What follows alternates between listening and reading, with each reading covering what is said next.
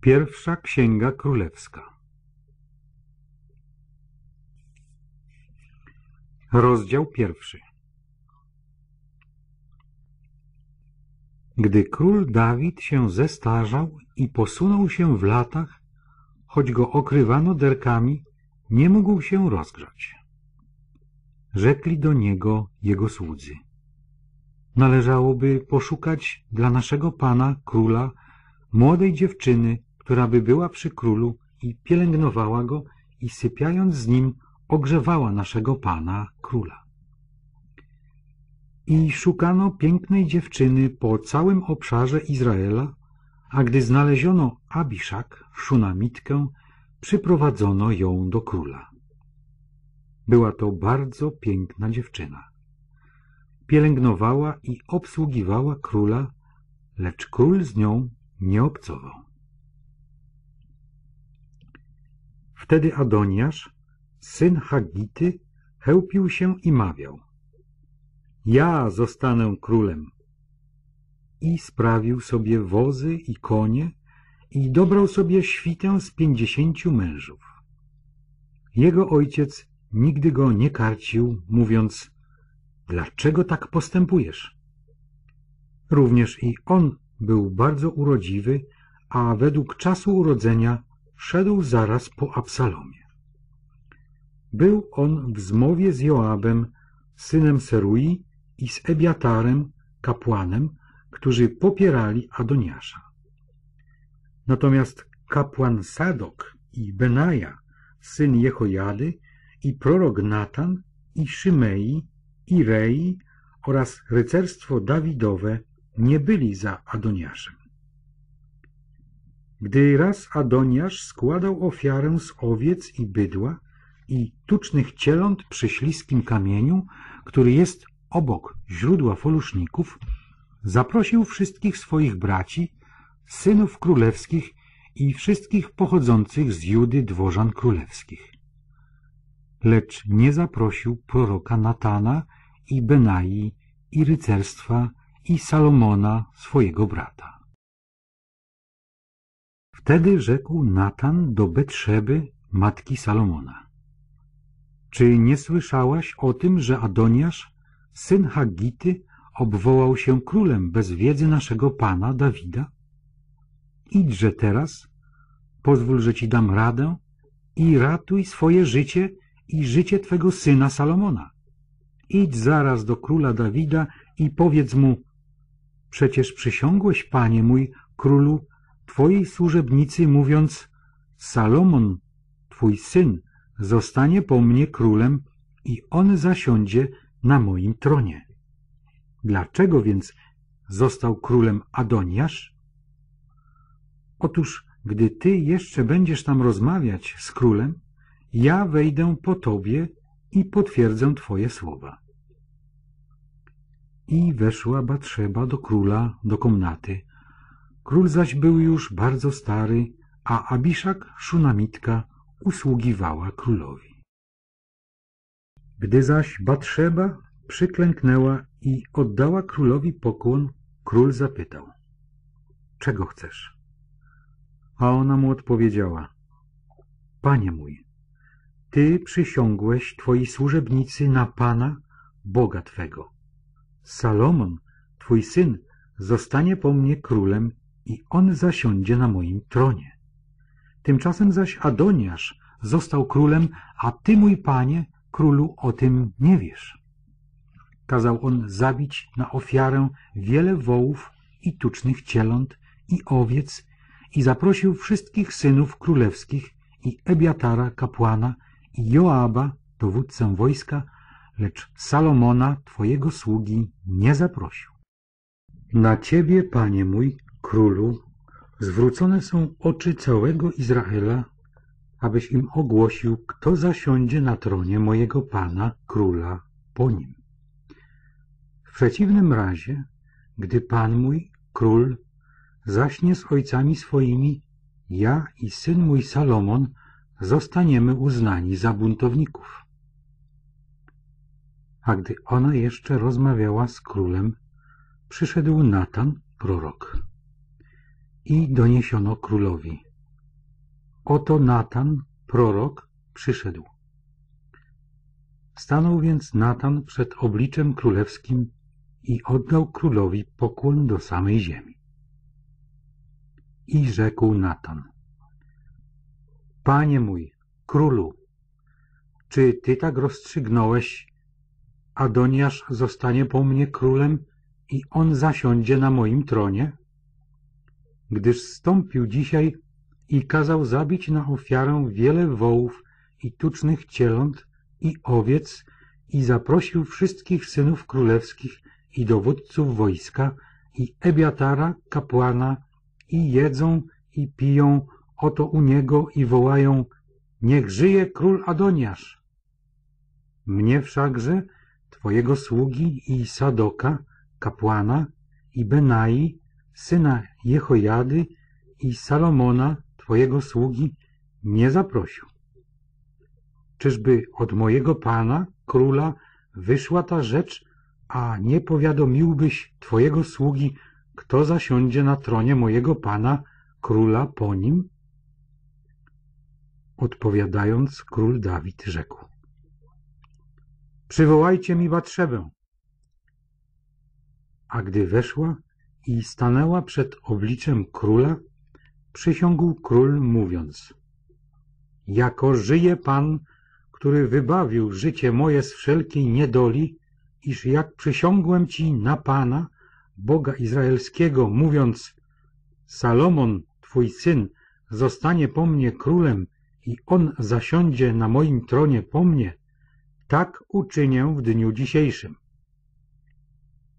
I przyklęknęła Batrzeba i oddała królowi pokłon do samej ziemi i rzekła Niech mój pan, król, żyje na wieki. Potem król Dawid rzekł Przywołajcie mi Sadoka, kapłana i Natana, proroka i Benaję, syna Jehojady. A gdy przybyli przed oblicze króla, rzekł król do nich Weźcie z sobą sługi waszego pana, następnie wsadźcie Salomona, mojego syna, na moją mulicę i zaprowadźcie go do Gichonu.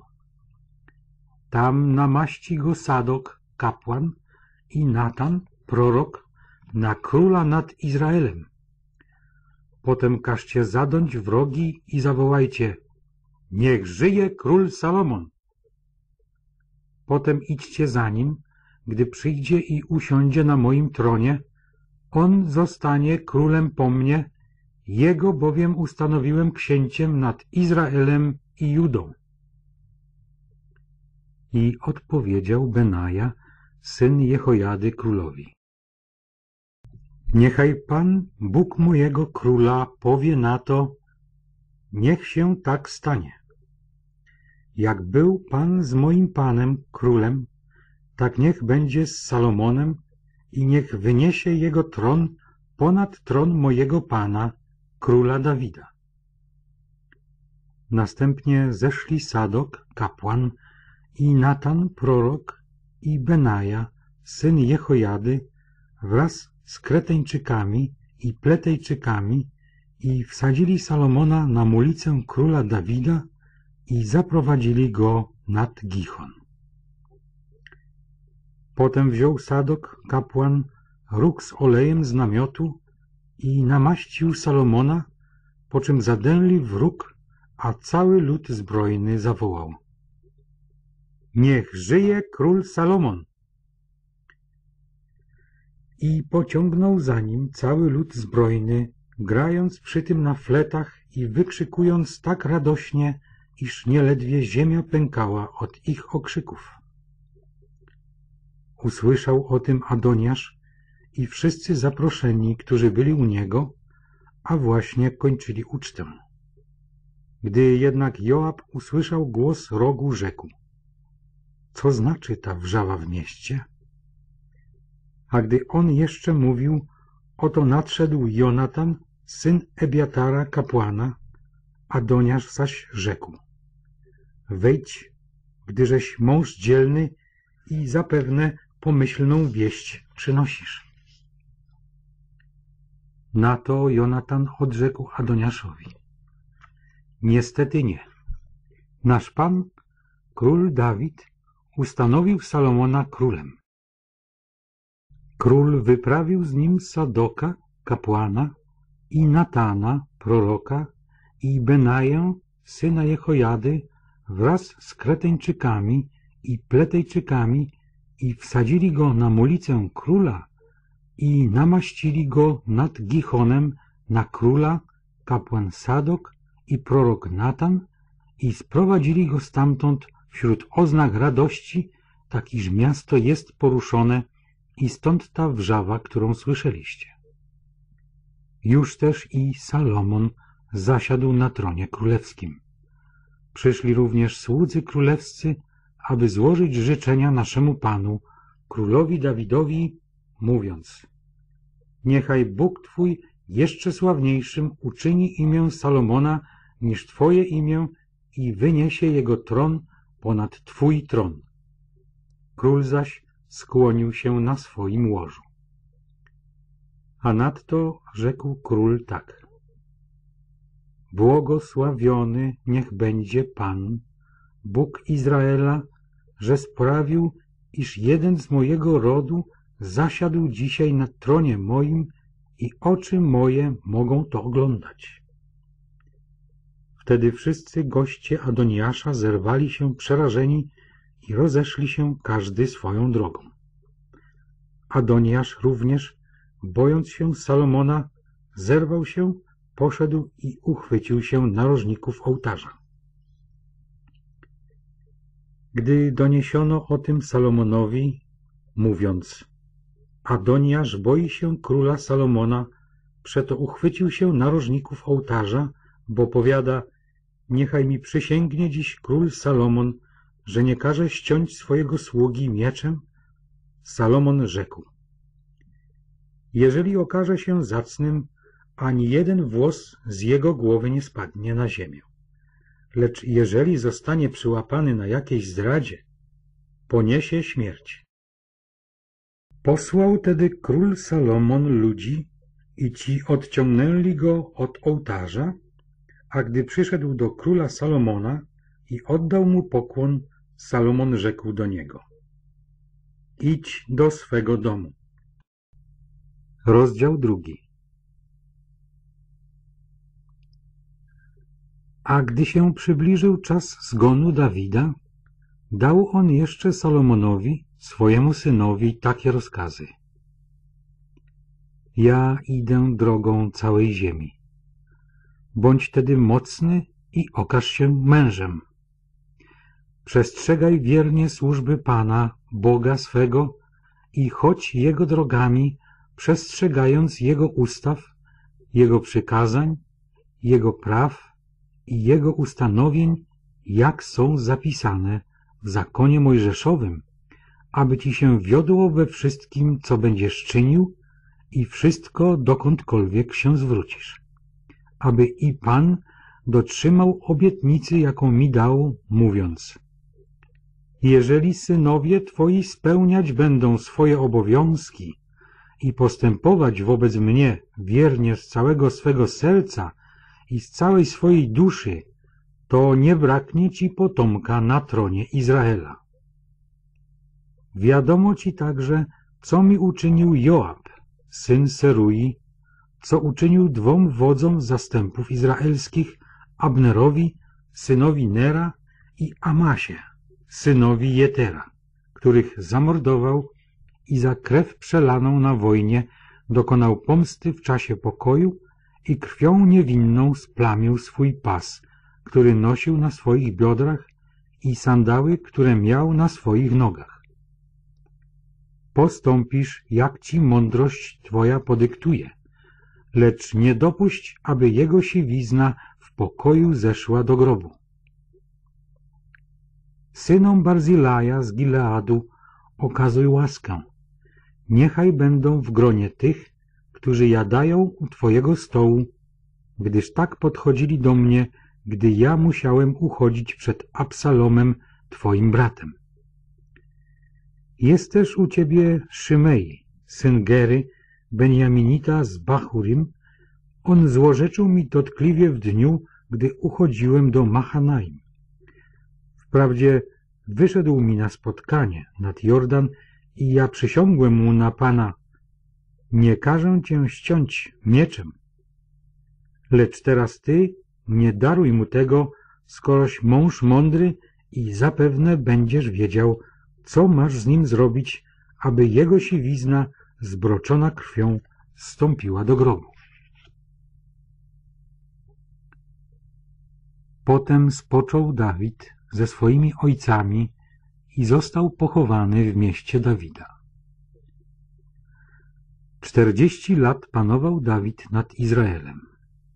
W Hebronie panował siedem lat, a w Jeruzalemie panował trzydzieści trzy lata. Zasiadł więc Salomon na tronie Dawida, swojego ojca, a jego królestwo było mocno ugruntowane. Potem przyszedł Adoniasz, syn Hagity, do Batrzeby, matki Salomona. Gdy ona zapytała go, czy twoje przyjście oznacza pokój? On odpowiedział, pokój.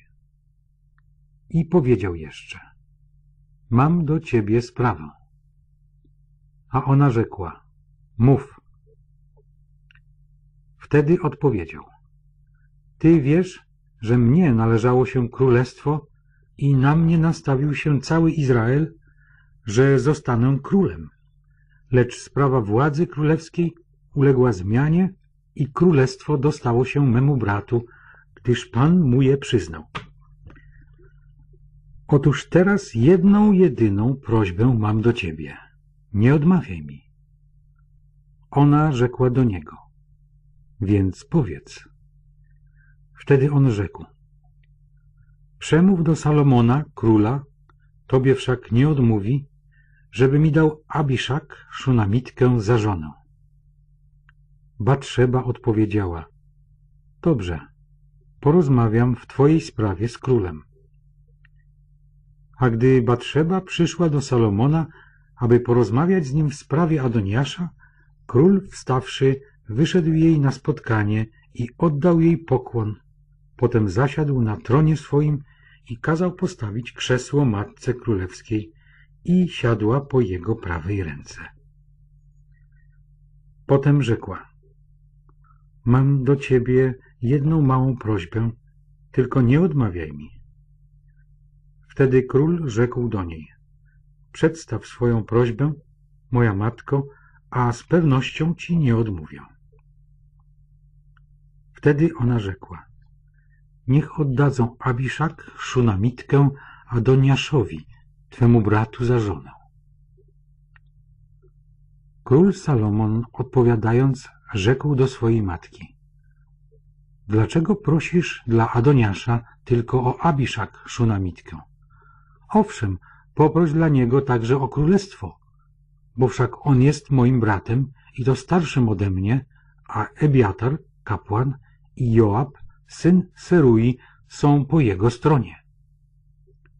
I przysiągł król Salomon na Pana tymi słowy. Niech mnie Bóg skaże, jeżeli tej prośby nie przypłaci Adoniasz życiem. Teraz oto, jako żyje Pan, który mnie ustanowił i posadził na tronie Dawida, mojego ojca, i który uczynił mi dom, jak zapowiedział, że dziś jeszcze Adoniasz poniesie śmierć. Zaraz też król Salomon posłał Benaję, syna Jehojady, który zadał mu cios, tak, że zginął. Ebiatarowi zaś, kapłanowi, dał król taki rozkaz. Udaj się do Anatot, do swojej posiadłości, gdyż zasłużyłeś na śmierć. Lecz dzisiaj jeszcze nie pozbawię cię życia, gdyż nosiłeś skrzynię Pana, Boga, przed Dawidem, moim ojcem, i wycierpiałeś wszystko, co mój ojciec wycierpiał. Tak to pozbawił Salomon Ebiatara godności kapłana pańskiego, spełniając słowo Pana, jakie wypowiedział odnośnie do domu Heliego w Sylo. Gdy zaś wieść o tym dotarła do Joaba, a Joab opowiedział się za Adoniaszem, chociaż nie opowiedział się za Absalomem, schronił się Joab w namiocie Pana i uchwycił się narożników ołtarza. Gdy doniesiono królowi Salomonowi, iż Joab schronił się w namiocie Pana i znajduje się przy ołtarzu, Salomon posłał Benaję, syna Jehojady, dawszy mu taki rozkaz. Idź i zabij go. Poszedł więc Benaja do namiotu Pana i rzekł do Joaba. Tak nakazuje król. Wyjdź. Lecz ten odpowiedział. Nie wyjdę, ale tutaj zginę. I przyniósł Benaja królowi wiadomość. Tak rzekł Joab i taką mi dał odpowiedź. Rzekł więc król do niego. Uczyń, jak sam powiedział. Zabij go i pogrzeb go. W ten sam sposób usuniesz ze mnie i z domu mojego ojca winę krwi, którą Joab przelał bez przyczyny, a Pan sprowadzi jego krew na jego własną głowę, ponieważ on zadał cios dwom mężom sprawiedliwym i lepszym niż on i zamordował ich mieczem bez wiedzy mojego ojca Dawida, Abnera, syna Nera, dowódcę zastępu izraelskiego i Amasę, syna Jetera, dowódcę zastępu judzkiego. Niech krew ich spadnie na głowę Joaba i na głowę jego potomstwa po wszystkie czasy. Dawid zaś i jego potomstwo i jego dom i tron niech mają pokój od Pana na wieki. Poszedł tedy Benaja, syn Jehojady, i pchnąwszy go, pozbawił go życia. Pochowano go zaś w jego domu na pustyni.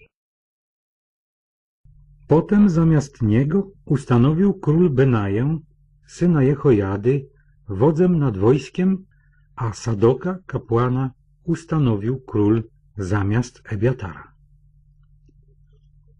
Następnie posłał król po Szymejego i nakazał mu Zbuduj sobie dom w Jeruzalemie i zamieszkaj w nim i nie odchodź stamtąd nigdzie. Zapamiętaj to sobie. W tym dniu, w którym oddalisz się stamtąd i przekroczysz potok Kidron, poniesiesz śmierć, a twoja krew spadnie na twoją głowę. Szymei odpowiedział królowi. Słuszny to rozkaz i jak nakazał mój pan, król, tak postąpi twój sługa. I mieszkał Szymei w Jeruzalemie przez długi czas. Zdarzyło się jednak po upływie trzech lat, że Szymejemu uciekli dwaj niewolnicy do Akisza, syna Maachy, króla Gad. Gdy doniesiono Szymejemu, mówiąc, oto twoi niewolnicy są w Gad, Szymej wstał, osiodłał swojego osła i ruszył do Gad, do Akisza, aby odszukać swoich niewolników. Poszedł tam i sprowadził swoich niewolników z Gad. Gdy doniesiono Salomonowi, że Szymei poszedł z Jeruzalemu do Gad, lecz znów wrócił, król posłał do Szymejego i rzekł do niego Czy nie zaprzysiągłem cię na Pana i nie ostrzegłem, oświadczając ci Zapamiętaj to sobie, że w tym dniu, w którym wyjdziesz stąd i udasz się gdziekolwiek, poniesiesz śmierć? A ty mi odpowiedziałeś, słuszny to rozkaz, przyjąłem go do wiadomości. Dlaczego więc nie dotrzymałeś przysięgi złożonej na Pana i nie wykonałeś rozkazu, jaki ci dałem? Po czym rzekł król do Szymejego. Ty znasz całe to zło i Twoje serce jest świadome tego, co wyrządziłeś Dawidowi, mojemu ojcu. Niechaj tedy Pan sprowadzi zło, jakie sam wyrządziłeś na Twoją głowę. Król Salomon niech zaś będzie błogosławiony, a tron Dawida utwierdzony przed Panem na wieki. Kazał tedy król Benai, synowi Jehojady, i ten wyszedł i zadał mu cios tak, że zginął. Królestwo zaś umacniało się dzięki Salomonowi. Rozdział trzeci Salomon spowinowacił się z faraonem, królem egipskim, biorąc córkę faraona za żonę i sprowadzając ją do miasta Dawidowego, zanim jeszcze ukończył budowę swojego domu i przybytku dla Pana oraz muru wokół Jeruzalemu. Tylko lud składał jeszcze ofiary na wzgórzach, gdyż nie wzniesiono jeszcze do tego czasu przybytku dla imienia Pańskiego. Lecz Salomon miłował Pana, postępując zgodnie z tymi postanowieniami Dawida, swego ojca, tylko że składał też ofiary i spalał kadzidła na wzgórzach. Król udał się też do Gibeonu, aby tam złożyć ofiary, gdyż to było najprzedniejsze wzgórze ofiarne. Na tym ołtarzu złożył Salomon tysiąc ofiar całopalnych. W Gibeonie ukazał się Pan Salomonowi nocą we śnie. I rzekł Bóg. Proś, co ci mam dać? Salomon odrzekł. Ty okazałeś Twemu słudze Dawidowi, mojemu ojcu, wielką łaskę, dlatego że postępował przed Tobą wiernie, sprawiedliwie i w prawości serca i zachowałeś dla niego tę wielką łaskę, że dałeś mu syna, który zasiadł na jego tronie, jak to jest dzisiaj. Teraz tedy, Panie, Boże mój, Ty ustanowiłeś królem Twego sługę w miejsce Dawida, mojego ojca, ja zaś jestem jeszcze bardzo młody i nie wiem, jak należy postępować. A Twój sługa jest pośród Twojego ludu, który wybrałeś ludu licznego, który trudno dokładnie zliczyć z powodu wielkiej jego ilości. Daj przeto Twemu słudze serce rozumne, aby umiał sądzić Twój lud, rozróżniać między dobrem i złem, inaczej bowiem któż potrafi sądzić ten Twój ogromny lud? I podobało się to Panu, że Salomon prosił o taką rzecz. To też rzekł Bóg do niego. Dlatego, że o taką rzecz prosiłeś, a nie prosiłeś dla siebie ani o długie życie, ani nie prosiłeś dla siebie o bogactwo, ani nie prosiłeś o śmierć dla Twoich wrogów, lecz prosiłeś o rozum, aby umieć być posłusznym prawu, przeto uczynię zgodnie z Twoim życzeniem. Oto daję Ci serce mądre i rozumne, że takiego jak Ty jeszcze nie było przed Tobą i takiego jak Ty również po Tobie nie będzie. Oprócz tego daję Ci to, o co nie prosiłeś, a więc bogactwo, jako też sławę, tak iż takiego jak Ty, męża, nie będzie między królami po wszystkie dni Twoje. A jeżeli chodzić będziesz moimi drogami, przestrzegając moich ustaw i przykazań, jak chodził Dawid, twój ojciec, przedłużę twoje dni. A gdy Salomon się obudził, okazało się, iż to był tylko sen. Gdy tedy przybył do Jeruzalemu, stanął przed skrzynią przymierza pańskiego i złożył ofiary całopalne i ofiary pojednania oraz wyprawił ucztę dla wszystkich swoich sług. Wtedy przyszły do króla dwie kobiety nierządne i stanęły przed nim. I rzekła jedna z tych kobiet. Proszę, panie mój, ja i ta kobieta mieszkamy w jednym domu i porodziłam przy niej w tym samym domu. Trzeciego dnia po moim porodzie Zdarzyło się, że porodziła również ta kobieta. Mieszkamy razem, nie było nikogo obcego z nami w tym domu, tylko my dwie byłyśmy w tym domu. Otóż syn tej kobiety, zmarł w nocy, ponieważ ona go przygniotła. Wstała więc w nocy i zabrała mojego syna leżącego u mojego boku, podczas gdy służebnica twoja spała i położyła go obok siebie, a swojego zmarłego chłopczyka położyła obok mnie. Gdy wstałam rano, aby nakarmić mojego syna, oto był martwy. Lecz gdy się rano przyjrzałam, okazało się, że to nie był mój syn, którego urodziłam. Wtedy odezwała się druga kobieta. Nieprawda, bo moim synem jest ten żywy, a twoim ten umarły.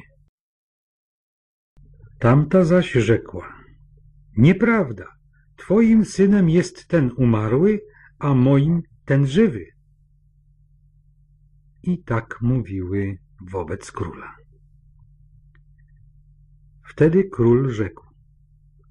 Ta mówi, moim synem jest ten żywy, a twoim ten umarły. Tamta zaś mówi, nieprawda, bo twoim synem jest ten umarły, a moim synem ten żywy.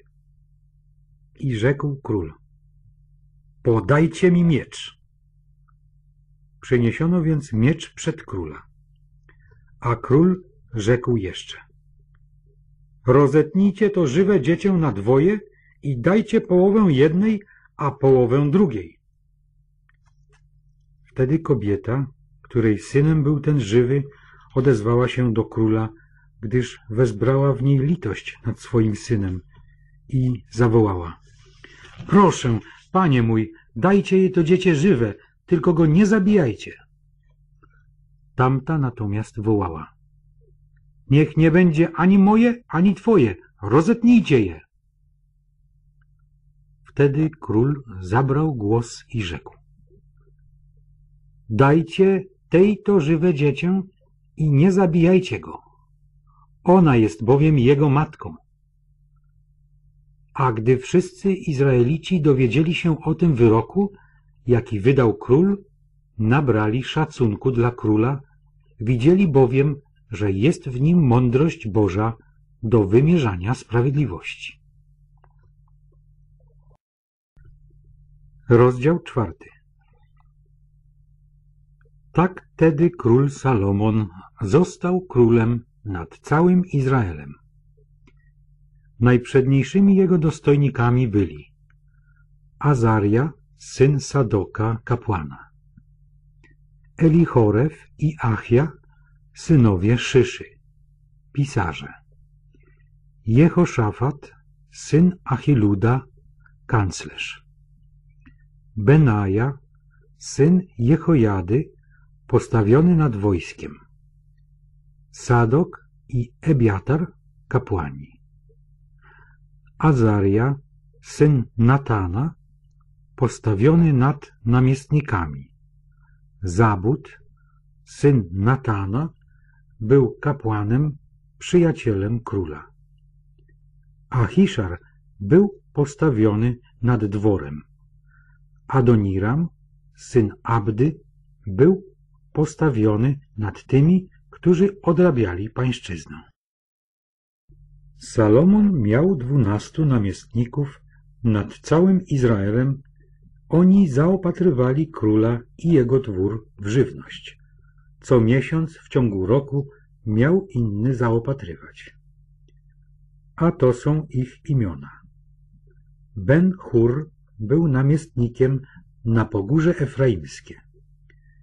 Ben-Deker był w Makas, w Szalbim, w Bet-Szemesz, w Elon i w Bet-Hanan.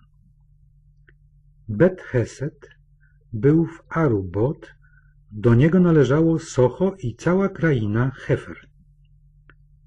Ben Abinadab był nad całym Nafot Dor. Żoną jego była Tafat, córka Salomona.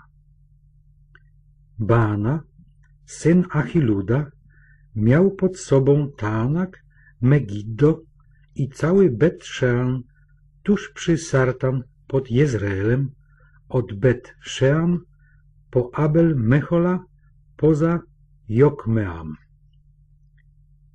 Ben Geber był nad Ramot Gilead.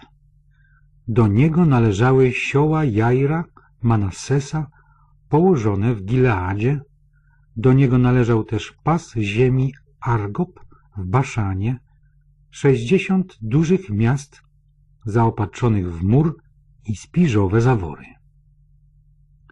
Achinadab, syn Iddo, był w Mahanaim. Achimaas był w Naftali. Również on pojął za żonę córkę Salomona, Basemat. Baana, syn Huszaja, był w Asher i w Bealot. Jehoszafat, syn Paruacha, był w Issacharze.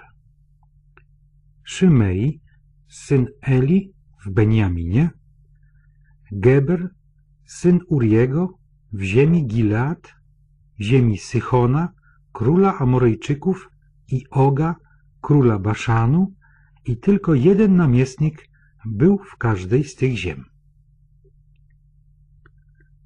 A Judejczyków i Izraelitów było tak wiele jak piasku nad brzegiem morza.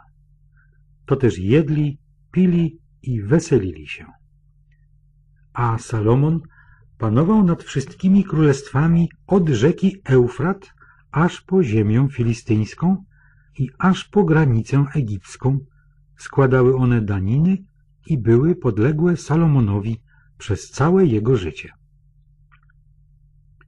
Do wyżywienia Salomon potrzebował w ciągu jednego dnia trzydzieści korców mąki przedniej i sześćdziesiąt korców mąki zwykłej, dziesięć tucznych wołów, dwadzieścia wołów z pastwiska i sto owiec, oprócz jeleni, gazeli, saren i tucznego drobiu. Władał bowiem krainami z tej strony rzeki od Tifsach aż po Gazę, nad wszystkimi królami z tej strony rzeki i miał pokój ze wszystkich stron wokoło. Judejczycy i Izraelici mieszkali tedy bezpiecznie, każdy pod swoim krzewem winnym i pod swoim drzewem figowym od Dan aż po Beer-Szebę przez wszystkie dni Salomona. Miał też Salomon cztery tysiące zaprzęgów do swoich wozów bojowych i dwanaście tysięcy jeźdźców. Namiestnicy zaopatrywali króla Salomona i wszystkich, którzy korzystali ze stołu króla Salomona, każdy w wyznaczonym mu miesiącu, nie dopuszczając, by czegokolwiek zabrakło. Również jęczmień i sieczkę dla wierzchowców i koni pociągowych dostawiali na miejsce, gdzie należało, według kolejności. Dał też Bóg Salomonowi bardzo wielką mądrość i roztropność. Nadto rozum tak rozległy, jak piasek nad brzegiem morza. A mądrość Salomona przewyższała mądrość wszystkich ludzi wschodu i całą mądrość Egiptu. Był on mędrszy niż wszyscy ludzie, niż Etan Ezrachita i Heman, i Kalkol, i Darda, synowie Machola. Jego sława dotarła do wszystkich okolicznych narodów. Ułożył on trzy tysiące przypowieści i tysiąc pięć pieśni. Mówił on w nich o drzewach, począwszy od cedru, który rośnie w Libanie, aż do hizopu, który wyrasta z muru, Mówił o zwierzętach i ptakach, o płazach i o rybach. To też ze wszystkich ludów przychodzili ludzie, aby słuchać mądrości Salomona od wszystkich królów ziemi, którzy posłyszeli o jego mądrości.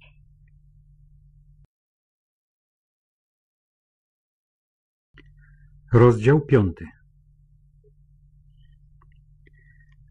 Wtedy Hiram, król Tyru, usłyszawszy, że Salomona namaszczono na króla po jego ojcu, wysłał do niego swoje sługi. Hiram był bowiem zaprzyjaźniony z Dawidem przez całe jego życie. Salomon zaś przysłał do Hirama takie poselstwo. Wiadomo ci o Dawidzie, moim ojcu, że nie zdołał on zbudować świątyni imieniu Pana, swego Boga, z powodu wojen, w jakiego uwikłali jego nieprzyjaciele, aż Pan poddał ich pod jego stopy.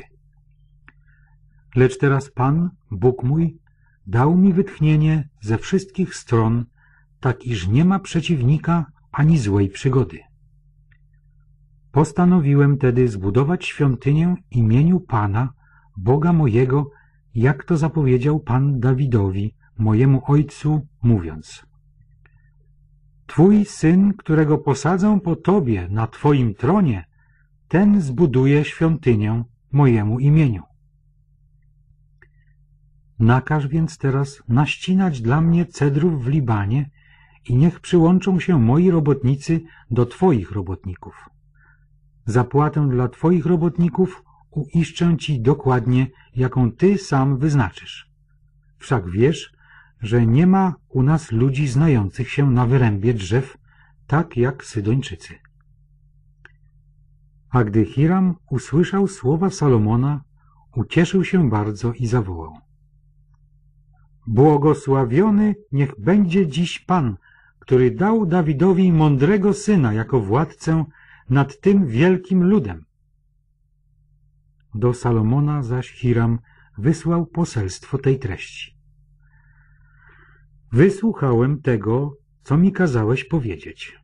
Spełnię wszystkie Twoje życzenia dotyczące drzew cedrowych i drzew cyprysowych.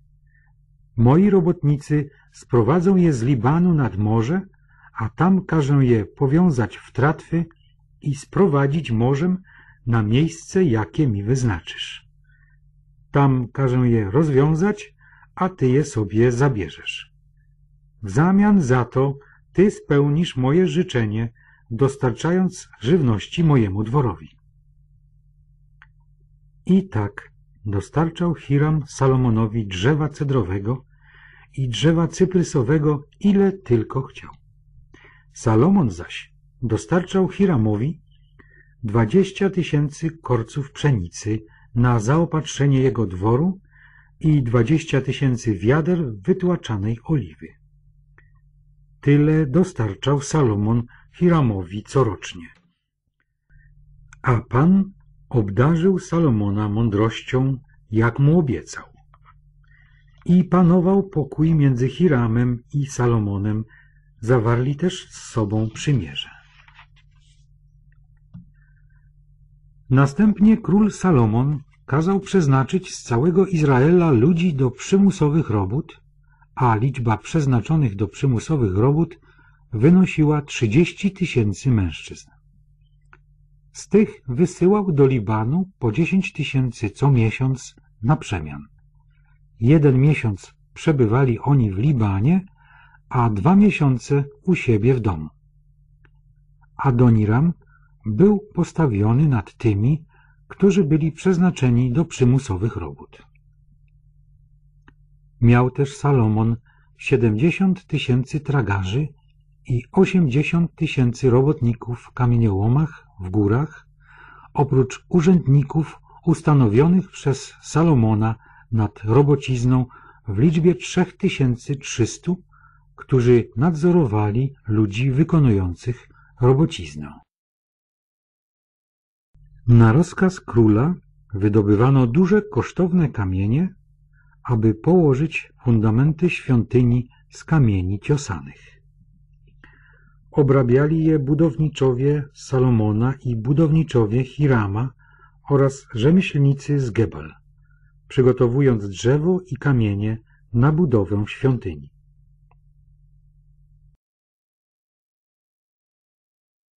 Rozdział szósty W 480 lat po wyjściu synów izraelskich z ziemi egipskiej, w czwartym roku, a miesiącu drugim panowania Salomona nad Izraelem, w miesiącu Zif, zaczął Salomon budować świątynię Panu. A świątynia, którą Salomon zaczął budować Panu, miała sześćdziesiąt łokci długości, dwadzieścia szerokości i trzydzieści wysokości. Przedsionek przed nawą główną świątyni miał dwadzieścia łokci długości wszerz świątyni i dziesięć łokci szerokości wzdłuż świątyni. Kazał też zrobić w świątyni zakratowane okna w kamiennych framugach i zbudować przy murze świątyni wokoło ganki biegnące zarówno wzdłuż ścian świątyni wokoło, jak i nawy głównej oraz miejsca najświętszego. Zrobił też wokoło komnaty boczne. Ganek dolny miał pięć łokci szerokości, środkowy sześć łokci szerokości, trzeci zaś siedem łokci szerokości. Kazał bowiem porobić uskoki na zewnątrz w ścianach świątyni wokoło, aby belki nie wchodziły w ściany świątyni. Świątynię zaś budowano z kamieni gotowych, przyciosanych już w kamieniołomach, tak iż w czasie budowy w świątyni nie było słychać w niej młotów czy siekier, w ogóle żadnego narzędzia żelaznego. Wejście do komnaty środkowej było po prawej stronie świątyni, po schodach wchodziło się do środkowej, a ze środkowej do trzeciej.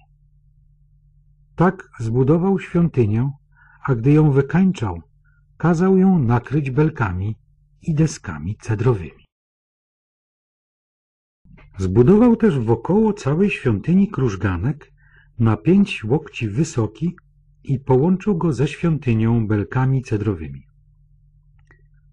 Potem usłyszał Salomon słowa Pana. Co się tyczy świątyni, którą budujesz, to jeśli będziesz postępował według moich przykazań i moje prawa będziesz wypełniał i przestrzegał wszystkich moich nakazów, postępując według nich, i ja dotrzymam mojego słowa dotyczącego Ciebie, jakie wypowiedziałem do Dawida, Twojego ojca. I zamieszkam wśród synów izraelskich i nie opuszczę mojego ludu izraelskiego. Zbudował tedy Salomon świątynię i wykończył ją. Ściany świątyni wyłożył od wewnątrz deskami cedrowymi, od posadzki świątyni aż do stropu wyłożył ją wewnątrz drzewem, samą zaś posadzkę świątyni wyłożył deskami cyprysowymi. W odległości dwudziestu łokci od tyłu świątyni wzniósł przegrodę z desek cedrowych od posadzki aż do stropu i w ten sposób zbudował wewnętrzny przybytek, miejsce najświętsze. Nawa główna świątyni od przodu miała czterdzieści łokci. Wykładzina cedrowa wewnątrz świątyni była pokryta płaskorzeźbami w kształcie liści i rozwartych kielichów kwiatowych. Wszystko to było z drzewa cedrowego, kamienia nie było widać. A miejsce najświętsze urządził wewnątrz w środku świątyni, aby umieścić tam skrzynię przymierza pańskiego. Przed miejscem najświętszym, które miało dwadzieścia łokci długości, dwadzieścia łokci szerokości i dwadzieścia łokci wysokości, a które kazał pokryć szczerym złotem, kazał ustawić ołtarz z drzewa cedrowego. Salomon kazał też wyłożyć świątynię od wewnątrz szczerym złotem i przeciągnąć złote łańcuchy przed miejscem najświętszym, które kazał wyłożyć złotem. Całą świątynię kazał dokładnie wyłożyć złotem, także i ołtarz, który był wewnątrz przybytku, kazał wyłożyć złotem. W miejscu najświętszym kazał wyrzeźbić z drzewa oliwkowego dwa cheruby wysokie na dziesięć łokci. Pięć łokci miało jedno skrzydło cheruba i pięć łokci drugie skrzydło cheruba. Było tedy dziesięć łokci od jednego końca skrzydła do drugiego końca skrzydła. Dziesięć łokci miał też drugi cherub. Oba cheruby miały tę samą wielkość i ten sam kształt. Wysokość jednego i drugiego cheruba wynosiła po dziesięć łokci. Cheruby te kazał umieścić w głębi wnętrza świątyni.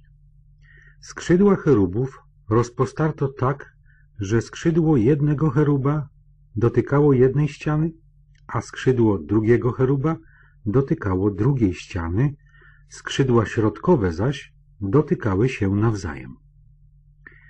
Także cheruby kazał pokryć złotem. Na wszystkich ścianach świątyni wokoło kazał wyryć jako płaskorzeźby postacie cherubów, liście palmowe i rozwarte kielichy kwiatów od wewnątrz i na zewnątrz. Także posadzkę świątyni kazał wyłożyć złotem zarówno w pomieszczeniu wewnętrznym, jak i zewnętrznym. U wejścia do miejsca najświętszego kazał sporządzić drzwi z drzewa oliwkowego, przy czym futryna i dźwigar tworzyły pięciobok. Na obu skrzydłach drzwi z drzewa oliwkowego kazał wyryć jako płaskorzeźby postacie cherubów, liście i rozwarte kielichy kwiatów i pokryć je złotem, przy czym na tych cherubach i liściach palmowych kazał to złoto rozklepać. Tak samo u wejścia do przybytku kazał zrobić futryny z drzewa oliwkowego w kształcie czworoboku, dwoje zaś drzwi z drzewa cyprysowego. Jedne drzwi miały dwa skrzydła wahadłowe i drugie drzwi miały dwa skrzydła wahadłowe. Kazał też wyryć na nich jako płaskorzeźby postacie cherubów, liście palmowe i rozwarte kielichy kwiatów oraz pokryć je złotą blachą, dokładnie dopasowując ją do rzeźby. Kazał też wznieść mur wokół dziedzińca wewnętrznego z trzech rzędów ciosanych kamieni i jednego rzędu belek cedrowych. Fundament pod świątynię pańską położono w czwartym roku w miesiącu Zif. A wykończono świątynię we wszystkich jej częściach i ze wszystkim, co do niej należało, w roku jedenastym w miesiącu Ból, który jest ósmym miesiącem, czyli budował ją siedem lat.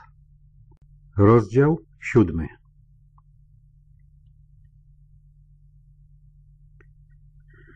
Własny zaś dom budował Salomon trzynaście lat, zanim go całkowicie wykończył. Zbudował mianowicie leśny dom libański, sto łokci długi, pięćdziesiąt łokci szeroki, trzydzieści łokci wysoki, a był on wzniesiony na czterech rzędach cedrowych kolumn z cedrowymi belkami na tych kolumnach, wyłożony drzewem cedrowym nad bocznymi komnatami, wzniesionymi na tych kolumnach w liczbie czterdziestu pięciu po piętnaście w jednym rzędzie. Były też trzy rzędy okien, jedno naprzeciw drugiego. Wszystkie zaś drzwi i futryny były czworokątne, również jedno naprzeciw drugiego w trzech rzędach. Kazał też zrobić salę kolumnową, pięćdziesiąt łokci długą, trzydzieści łokci szeroką, a przed nią była jeszcze inna sala z kolumnami oraz okap przed nią. Zbudował też salę tronową, gdzie odbywał sądy, a więc salę sądową, którą kazał wyłożyć drzewem cedrowym od posadzki aż do stropu. Dom zaś jego, w którym mieszkał, w drugim podwórzu z tyłu tej sali był zbudowany tak samo. Dla córki faraona, którą Salomon pojął za żonę, też kazał zbudować taki sam dom jak ta sala. Wszystko to było z kosztownego kamienia tych samych wymiarów, co kamienie ciosane, więc z kamieni ciosanych według miary, rżniętych piłą od wewnątrz i z zewnątrz, od fundamentu aż do stropu i od zewnątrz aż do wielkiego podwórza. Także fundament był z kosztownych kamieni, kamieni wielkich kamieni dziesięcio i ośmiołokciowych. Na tym zaś spoczywały kosztowne kamienie ciosane według miary oraz belki cedrowe.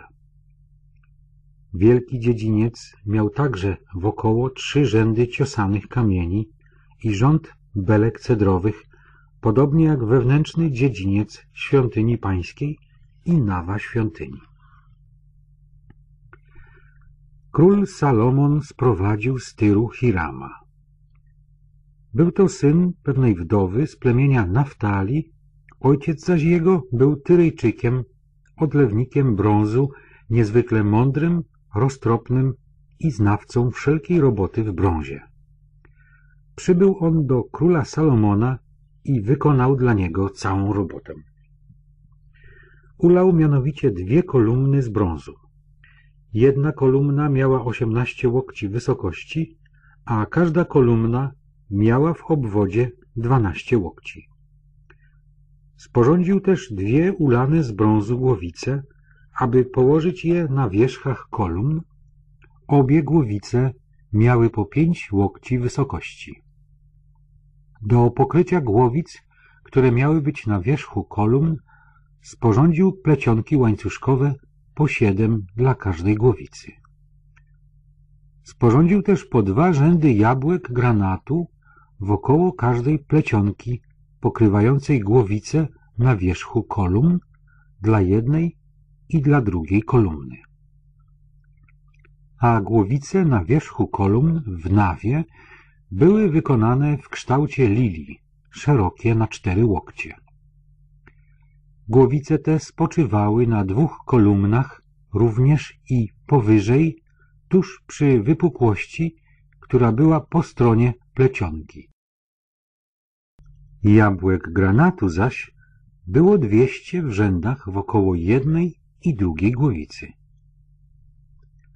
Potem ustawił te kolumny w przedsionku świątyni.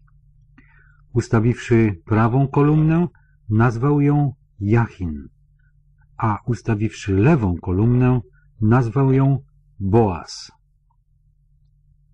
Na wierzchu kolumn wyrobiony był kształt lilii. W ten sposób dokończono robotę nad kolumnami. Sporządził też kać odlewną, wyobrażającą morze okrągłą, długości dziesięciu łokci od krawędzi do krawędzi, pięć łokci wynosiła jej wysokość na krawędzi, obwód zaś jej wynosił trzydzieści łokci. Pod jej krawędzią były wokoło ozdoby w kształcie pączków kwiatu po dziesięć na każdy łokieć długości, okalając kać dokoła. Po dwa rzędy takich ozdób były odlane razem z nią. Stała ona na dwunastu bykach, z których trzy były zwrócone ku północy, trzy ku zachodowi, trzy ku południowi, a trzy ku wschodowi. Kać zaś była na nich z wierzchu, a zady ich były zwrócone do wewnątrz. Jej ściana była gruba na dłoń, krawędź zaś była zrobiona jak krawędź pucharu na kształt kwiatu lilii, a mieściła ona w sobie dwa tysiące wiader. Sporządził również dziesięć brązowych umywalni, każdą na cztery łokcie długą, cztery łokcie szeroką, trzy łokcie wysoką. Umywalnie te zaś były zrobione tak. Miały one listwy, a te listwy były pomiędzy szczeblami. Na listwach, które były między szczeblami, były lwy, byki i cheruby, a na szczeblach w górę i w dół od lwów i byków zwisały wieńce. Każda umywalnia miała cztery koła z brązu wraz z osiami brązowymi, a w czterech jej rogach były uchwyty. Uchwyty te były odlane poniżej umywalni, od każdej zaś zwisały wieńce. Otwór jej był wewnątrz głowicy i miał wzwyż łokieć w przekroju, a otwór ten był okrągły w kształcie basenu i miał półtora łokcia. Również na jego krawędziach były płaskorzeźby, lecz jego listwy były czworokątne, nieokrągłe. Poniżej listew były cztery koła. Osie kół zaś były przymocowane do podpory, każde koło miało półtora łokcia średnicy. Koła te zaś były zrobione jak koła uwozu. Osie ich i obręcze, i dzwona, i piasty, wszystko było lane. W czterech rogach jednej umywalni były cztery ramiona, stanowiły one z nimi jedną całość. Na wierzchu każdej umywalni było obramowanie na około pół łokcia wysokie, u góry każdej umywalni były jej uchwyty i listwy z niej wychodzące. Na płaszczyznach tych uchwytów i na listwach wyrył też cheruby, lwy i liście palmowe, na ile miejsca starczyło, a wokoło wieńce. Taki sam sposób sporządził dziesięć umywalni, wszystkie z jednego odlewu, jednego wymiaru i jednego kształtu. Sporządził też dziesięć brązowych wanien, każdą o pojemności czterdziestu wiader i czterech łokciach długości. Dla każdej z dziesięciu umywalni przeznaczona była jedna wanna. Pięć umywalni umieścił po prawej stronie świątyni, pięć po lewej stronie, kać zaś umieścił po prawej stronie świątyni w kierunku południowo-wschodnim. Hiram sporządził też garnki, łopatki i kropielnice. W ten sposób dokończył Hiram całą robotę, jaką wykonywał z polecenia króla Salomona dla świątyni pańskiej. Mianowicie, dwie kolumny wraz z dwiema okrągłymi głowicami na wierzchu kolumn oraz dwie plecionki do pokrycia dwóch okrągłych głowic na wierzchach kolumn oraz czterysta jabłek granatu dla tych dwóch plecionek, po dwa rzędy jabłek dla każdej plecionki do pokrycia dwóch okrągłych głowic umieszczonych na kolumnach. Dziesięć umywalni i dziesięć wanien dla tych umywalni. Jedną kać brązową i dwanaście byków pod ową kadzią i garnki i łopatki i kropielnice i wszelkie te przybory, jakie sporządził Hiram z polecenia króla Salomona dla świątyni pańskiej. Wszystkie one były z brązu polerowanego. Król kazał je odlewać w dolinie nadjordańskiej w glinianych formach pomiędzy Sukot a Sartan. I pozostawił Salomon wszystkie te przybory niezważone z powodu nadzwyczajnego ich mnóstwa, nie zdołano bowiem stwierdzić wagi zużytego brązu. Następnie Salomon kazał sporządzić wszystkie przedmioty dla świątyni pańskiej. Ołtarz ze złota i złoty stół na chleby pokładne, pięć świeczników z prawej i pięć z lewej strony ze szczerego złota przed miejscem najświętszym z kwiatami i lampami i szczypcami ze złota, do tego miednice i noże i kropielnice i kadzielnice i węglarki ze szczerego złota, także zawiasy do podwoi wewnętrznego przybytku, miejsca najświętszego i do podwoi przybytku głównego ze złota. A gdy dokończono całą robotę, jaką podjęto z polecenia króla Salomona nad świątynią pańską, sprowadził tam Salomon święte dary Dawida, swojego ojca, srebro i złoto i naczynia i złożył je w skarbcu świątyni pańskiej. Rozdział ósmy Wtedy zgromadził Salomon starszych izraelskich i wszystkich naczelników plemion, przywódców rodów izraelskich u siebie, u króla Salomona w Jeruzalemie, aby przenieść skrzynię przymierza pańskiego z miasta Dawida, czyli Syjonu. Zgromadzili się więc na święto u króla Salomona wszyscy mężowie izraelscy w miesiącu Etanim, to jest w miesiącu siódmym.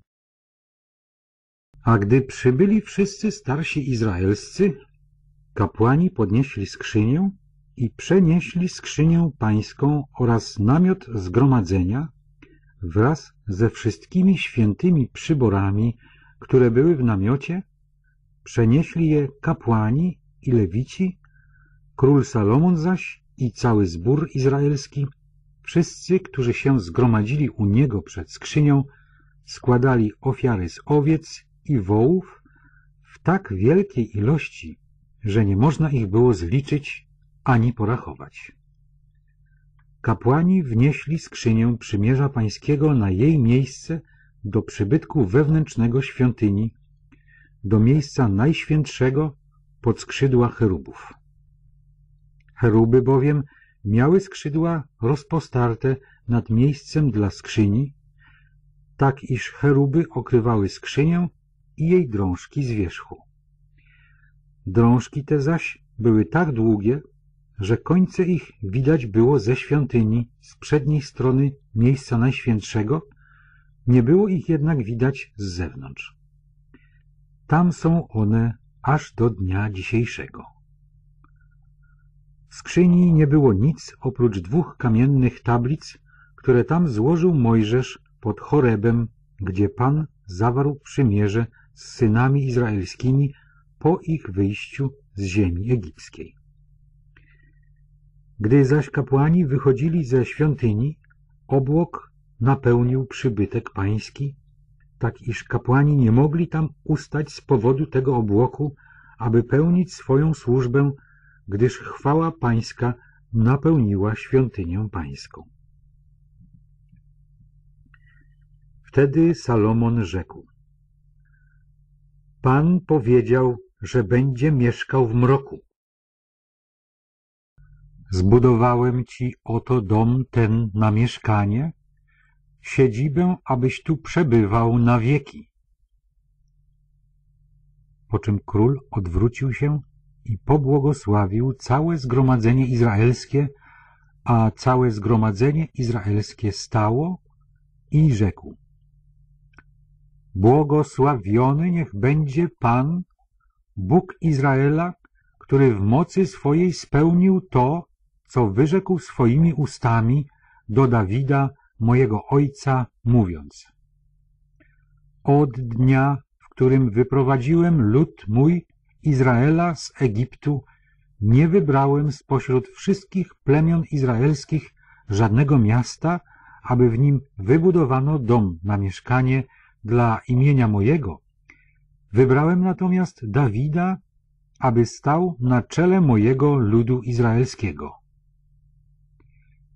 Dawid, mój ojciec, zamyślał wprawdzie zbudować przybytek imieniu Pana, Boga Izraela, lecz Pan rzekł do Dawida, mojego ojca, iż zamierzałeś zbudować dom dla imienia mojego, postąpiłeś dobrze tak zamyślając, jednak nie ty będziesz budował ten dom, ale twój syn, twój prawowity potomek, on zbuduje dom imieniu mojemu.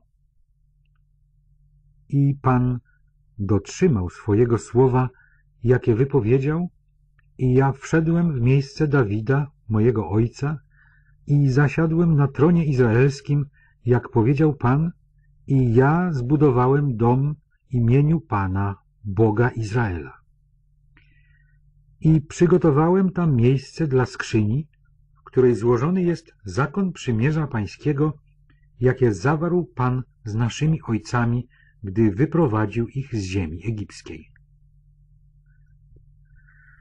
Potem Salomon stanął przed ołtarzem Pana wobec całego zgromadzenia izraelskiego, wyciągnął swoje dłonie ku niebu i rzekł Panie, Boże Izraela, nie ma ani na niebie w górze, ani na ziemi w dole takiego Boga jak Ty, który dotrzymujesz przymierza i okazujesz łaskę wobec swoich sług, którzy chcą z całego serca być z Tobą, który dotrzymałeś swojemu słudze Dawidowi, mojemu ojcu, tego, co mu obiecałeś. Swoimi ustami obiecałeś, a w swojej mocy spełniłeś, jak to jest dzisiaj. Teraz więc, Panie, Boże Izraela, dotrzymaj Twojemu słudze Dawidowi, mojemu ojcu, tego, co mu obiecałeś, mówiąc Nie zabraknie Ci przed moim obliczem męskiego potomka, który by zasiadał na tronie izraelskim, jeśli tylko synowie Twoi pilnować będą swej drogi i postępować tak, jak Ty postępowałeś przede mną. Teraz więc, Boże Izraela, potwierdź proszę swoje obietnice, jakie wypowiedziałeś do swojego sługi Dawida, mojego ojca. Lecz czy naprawdę zamieszka Bóg na ziemi? Oto niebiosa i niebiosa niebios nie mogą Cię ogarnąć, a cóż dopiero ten dom, który zbudowałem? Wejrzyj na modlitwę swojego sługi i na jego błaganie. Panie, Boże mój, wysłuchaj wołania i modlitwy, jaką Twój sługa zanosi dziś do Ciebie.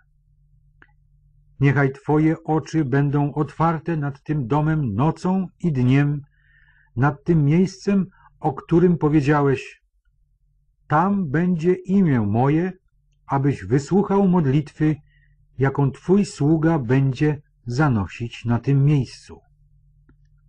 Zechciej wysłuchać błagania Twojego sługi i Twojego ludu izraelskiego, gdy będą się modlić na tym miejscu. Tak, wysłuchaj w miejscu, gdzie przebywasz, w niebie, a wysłuchując, racz odpuścić. Jeżeli ktoś zgrzeszy przeciwko swojemu bliźniemu i zostanie zmuszony do przysięgi, że się przeklnie i przyjdzie z tą przysięgą przed Twój ołtarz w tym przybytku, to Ty usłysz w niebie tę przysięgę, wkrocz i oddaj sprawiedliwość swoim sługom. Niech grzesznik będzie poczytany za grzesznika, a jego czyn spadnie na jego głowę. Niewinny zaś otrzyma zadośćuczynienie, aby mu zostało oddane według jego sprawiedliwości. Gdy Twój lud izraelski zostanie pobity przez nieprzyjaciela za to, że zgrzeszyli przeciwko Tobie, lecz potem nawrócą się do Ciebie, wyznają Twoje imię i będą się modlić i błagać Cię w tym przybytku, to Ty usłysz to w niebie i odpuść grzech Twojego ludu izraelskiego i pozwól im wrócić do ziemi, którą dałeś im ojcom.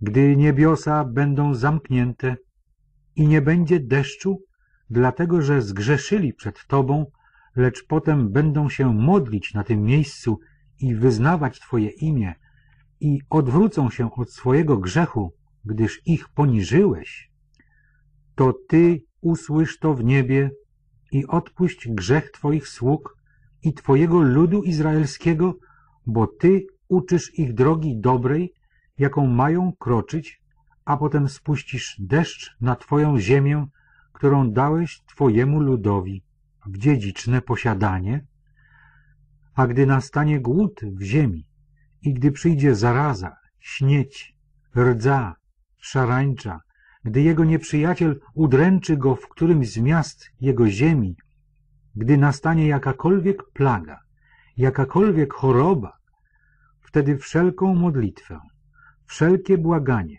jakiekolwiek wypowie poszczególny człowiek lub cały Twój lud izraelski, kto tylko odczuje to w swoim sercu jako cios i wzniesie swoje dłonie ku temu przybytkowi, Ty racz wysłuchać w niebie, w miejscu, gdzie mieszkasz i odpuścić, i wkroczyć, i dać każdemu według wszystkich jego postępków?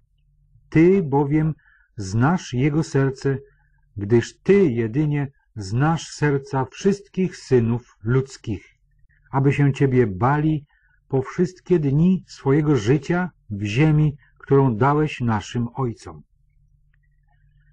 A także cudzoziemca, który nie należy do Twojego ludu izraelskiego, a przyjdzie z ziemi dalekiej ze względu na Twoje imię. Usłyszą bowiem o Twoim wielkim imieniu i o Twojej potężnej mocy i o Twoim wyciągniętym ramieniu. Gdy tedy przyjdzie i modlić się będzie w tym przybytku, Ty racz wysłuchać w niebie, w miejscu, gdzie mieszkasz i spełnić to wszystko, o co woła do Ciebie ten cudzoziemiec, aby wszystkie ludy ziemi poznały Twoje imię i bały się Ciebie, jak Twój lud izraelski i aby wiedziały, że Twoje imię wymieniane jest w tym przybytku, który zbudowałem. Gdy Twój lud wyruszy na wojnę przeciwko swojemu nieprzyjacielowi, drogą, którą Ty ich wyślesz, i pomodlą się do Pana, zwróceni w stronę miasta, które wybrałeś, i w stronę przybytku, który zbudowałem dla Twojego imienia, Ty racz wysłuchać w niebie ich modlitwy i błagania i uznać ich prawo. Lecz jeśli zgrzeszą przeciwko Tobie, gdyż nie ma człowieka, który by nie zgrzeszył, i Ty, rozgniewawszy się na nich, wydasz ich w ręce nieprzyjaciela i uprowadzą ich zaborcy ich do ziemi nieprzyjacielskiej, dalekiej czy bliskiej i wezmą to sobie do serca w ziemi, do której zostali uprowadzeni i nawrócą się do Ciebie i będą Cię błagać w ziemi tych, którzy ich uprowadzili, powiadając, zgrzeszyliśmy i zawiniliśmy i postąpiliśmy bezbożnie. I nawrócą się do Ciebie z całego swego serca i z całej swojej duszy w ziemi swoich nieprzyjaciół, którzy ich uprowadzili i będą się modlić do Ciebie, zwróceni w stronę Twojej ziemi, którą dałeś ich ojcom, i w stronę miasta, które wybrałeś, i w stronę przybytku, który zbudowałem dla imienia Twojego, Ty racz wysłuchać w niebie, w miejscu, gdzie mieszkasz, ich modlitwy i błagania i uznać ich prawo i odpuścić Twojemu ludowi to, czym zgrzeszyli przeciwko Tobie. I wszystkie wykroczenia, którymi zawinili przeciwko Tobie i wzbudzić litość nad nimi u tych, którzy ich uprowadzili, aby się nad nimi zlitowali. Gdyż Twój to lud i Twoje dziedzictwo, które wyprowadziłeś z Egiptu z samego środka tygla żelaznego. Niechże tedy Twoje oczy będą otwarte na błaganie sługi Twojego i na błaganie Twojego ludu izraelskiego, abyś ich wysłuchał, ilekroć zawołają do Ciebie. Gdyż Ty wybrałeś ich sobie na własność ze wszystkich ludów ziemi, jak obiecałeś przez Mojżesza, sługę Twojego, kiedy wyprowadzałeś naszych ojców z Egiptu, Panie Boże. A gdy Salomon dokończył wszystkich swoich modlitw do Pana i wszystkich tych błagalnych próśb, powstał ze swojego miejsca przed ołtarzem Pana, gdzie klęczał na kolanach z rękami wzniesionymi ku niebu, a wstawszy pobłogosławił całe zgromadzenie izraelskie, mówiąc donośnym głosem. Błogosławiony niech będzie Pan, który dał wytchnienie swojemu ludowi izraelskiemu, tak jak to obiecał. Ziściła się każda obietnica z wszystkich jego dobrych obietnic, jakie dał przez Mojżesza, sługę swojego. Niech Pan, Bóg nasz, będzie z nami, jak był z naszymi ojcami, niech nas nie opuści, ani nas nie porzuci. Niech raczej skłoni nasze serca ku sobie, abyśmy postępowali wszystkimi Jego drogami, przestrzegając Jego przykazań i ustaw i praw, jakie nadał naszym Ojcom. I niech będą te moje słowa, którymi błagałem Pana, blisko Pana Boga naszego, w dzień i w nocy, aby potwierdził prawo swojego sługi i prawo swojego ludu izraelskiego stosownie do potrzeb każdego dnia, aby poznały wszystkie ludy ziemi, że Pan jest Bogiem i nie ma innego. Niech będzie wasze serce szczere wobec Pana, Boga naszego, abyście postępowali według Jego ustaw i przestrzegali Jego przykazań, jak to jest dzisiaj. Następnie król i z nim cały Izrael składali ofiary Panu. Salomon złożył jako ofiarę pojednania Panu dwadzieścia dwa tysiące sztuk bydła i sto dwadzieścia tysięcy owiec. W ten sposób poświęcili przybytek pański król i wszyscy synowie izraelscy. Tego samego dnia poświęcił król środek dziedzińca, który był przed domem Pana, złożywszy tam ofiarę całopalną i ofiarę z pokarmów i tłuszcz ofiar pojednania. Ołtarz spiżowy bowiem, który był przed Panem, był za mały, aby pomieścić ofiary całopalne i ofiary z pokarmów i tłuszcz ofiar pojednania. Tak to obchodził Salomon w owym czasie tę uroczystość, a wraz z nim cały Izrael, ogromne zgromadzenie ludu od wejścia do Hamat, aż po rzekę egipską przed Panem, Bogiem naszym, przez dwakroć po siedem dni, razem tedy czternaście dni. Ósmego dnia zaś rozpuścił lud. Błogosławili więc króla i odeszli do swoich namiotów radośni i dobrej myśli z powodu wszelkiego dobra, jakie Pan wyświadczył Dawidowi, swojemu słudze i Izraelowi, swojemu ludowi. Rozdział dziewiąty A gdy Salomon dokończył budowy przybytku pańskiego i pałacu królewskiego oraz wszystkiego, co pragnął wykonać, ukazał się Pan Salomonowi po raz drugi, tak jak mu się ukazał ongiś w Gibeonie. I rzekł do niego – Słyszałem modlitwę i błagania Twoje, które zanosiłeś do mnie. Poświęciłem ten przybytek, który zbudowałeś, aby tam przebywało moje imię po wieczne czasy. Tam też będą moje oczy i moje serce po wszystkie dni. Jeżeli zatem będziesz postępował przede mną, jak postępował Dawid, twój ojciec, w szczerości serca i w prawości, czyniąc wszystko zgodnie z tym, co ci nakazałem, przestrzegając moich przykazań i praw, utwierdzę Twój tron królewski nad Izraelem na wieki, jak obiecałem Dawidowi, Twojemu ojcu, mówiąc Nie zabraknie Ci męskiego potomka na tronie Izraela.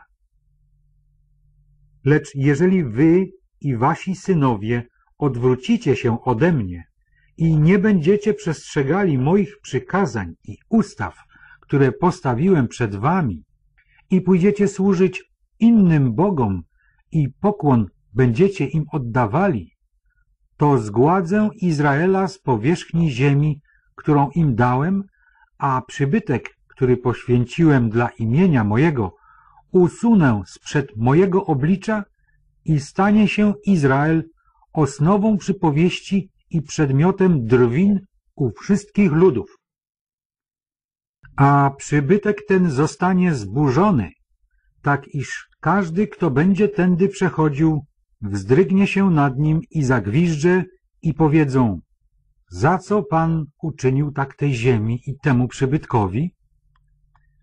Wtedy odpowiedzą, za to, że opuścili Pana, swojego Boga, który wyprowadził ich ojców z ziemi egipskiej, a przyłączyli się do innych bogów i pokłon im oddawali i im służyli, za to sprowadził Pan na nich całe to nieszczęście.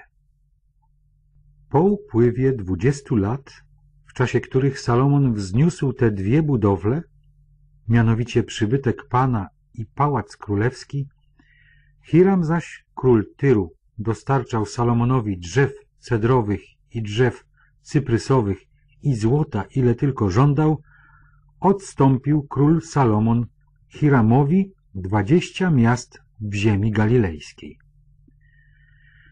Gdy jednak Hiram wyruszył z Tyru, aby obejrzeć miasta, któremu Salomon odstąpił, one mu się nie podobały. Rzekł więc, cóż to za miasta, które mi odstąpiłeś, mój bracie? I nazywają się one ziemią jałową do dnia dzisiejszego. Lecz Hiram przysłał królowi sto dwadzieścia talentów złota. Tak się zaś miała rzecz z pańszczyzną, jaką wprowadził król Salomon, budując przybytek Pana i swój pałac, i twierdzę Millo, i mury Jeruzalemu, i warownie Hasor, Megiddo i Gezer. Faraon mianowicie, król egipski, wyruszył i zdobywszy Gezer, spalił je ogniem, a Kananejczyków zamieszkujących to miasto wytracił, następnie zaś dał je jako posag swojej córce, żonie Salomona. Salomon zaś odbudował Gezer i dolne Bet-Horon i Baalat i Tamar na pustyni w ziemi judzkiej, także wszystkie miasta ze spichlerzami, jakie Salomon posiadał, i miasta dla wozów, i miasta dla konnicy, i to, co Salomon pragnął zbudować w Jeruzalemie i w Libanie i w całej krainie, w której panował. Całą pozostałą ludność po Amorejczykach, Hetejczykach, Peryzyjczykach, Jebuzejczykach nie należącą do Izraela, mianowicie potomków ich, pozostałych po nich w ziemi, których synowie izraelscy nie zdołali wybić do nogi, tych Salomon zaciągnął do robót pańszczyźnianych i tak to jest do dnia dzisiejszego. Z synów izraelskich Salomon nikogo nie zaciągnął do robót pańszczyźnianych, lecz byli oni jego wojownikami i urzędnikami, naczelnikami i rotmistrzami, dowódcami wozów bojowych i konnicy. Ustanowionych zaś nadzorców nad robotami wykonywanymi dla Salomona było 550 dozorujących ludzi pańszczyźnianych. Skoro tylko córka faraona wyprowadziła się z miasta Dawida do własnego pałacu, który Salomon dla niej zbudował, od razu przystąpił on do budowy twierdzy Milo. Salomon składał trzy razy w roku ofiary całopalne i ofiary pojednania na ołtarzu, który zbudował dla Pana, jak również ofiary z kadzidła na tym, który był przed Panem. Tak ukończył przybytek. Salomon kazał także zbudować okręty w Esion Geber, które jest przy Elat nad brzegiem Morza Czerwonego w ziemi edomskiej. Na okręty te wysyłał Hiram swoich poddanych, żeglarzy, obeznanych z morzem wraz z poddanymi Salomona. Pojechali oni do Ofir i przywieźli stamtąd 420 talentów złota i przywieźli je do króla Salomona.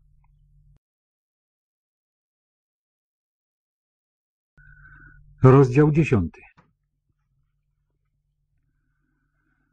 A gdy królowa Saby usłyszała wieść o Salomonie opartą na chwale Pana, wybrała się do niego, żeby go doświadczyć przez stawianie trudnych pytań.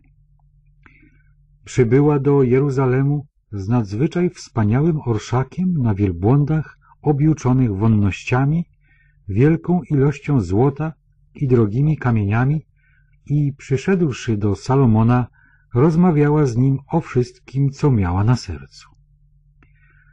Salomon zaś odpowiadał na wszystkie jej pytania i nie było takiego pytania, na które król nie umiałby dać jej odpowiedzi.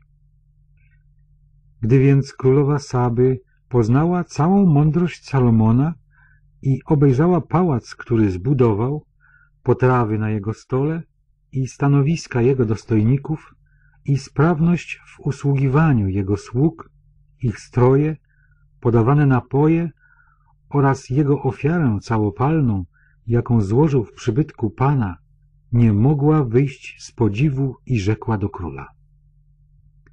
Prawdą okazało się to, co o Twoich sprawach i o Twojej mądrości słyszałam w mojej ziemi, lecz nie wierzyłam tym słowom, aż przybyłam i zobaczyłam na własne oczy.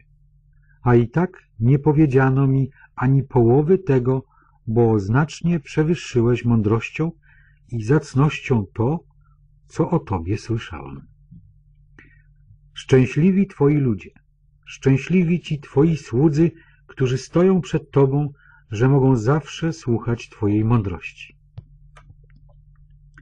Niech będzie błogosławiony Pan, Bóg Twój, który Cię sobie upodobał, aby Cię posadzić na tronie Izraela, dlatego że umiłował Pan Izraela na wieki, ustanowił Cię królem, abyś stosował prawo i sprawiedliwość. Po czym podarowała królowi sto dwadzieścia talentów złota i ogromną ilość wonności i drogich kamieni.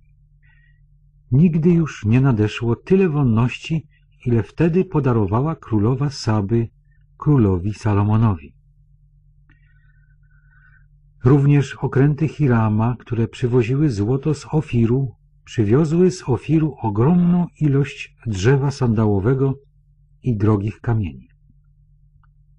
Wtedy król kazał sporządzić z drzewa sandałowego poręcze dla przybytku pana dla pałacu królewskiego, jak również cytry i harfy dla śpiewaków. Nie nadeszło już nigdy tyle drzewa sandałowego, co wtedy i nie widziano go tyle aż do dnia dzisiejszego.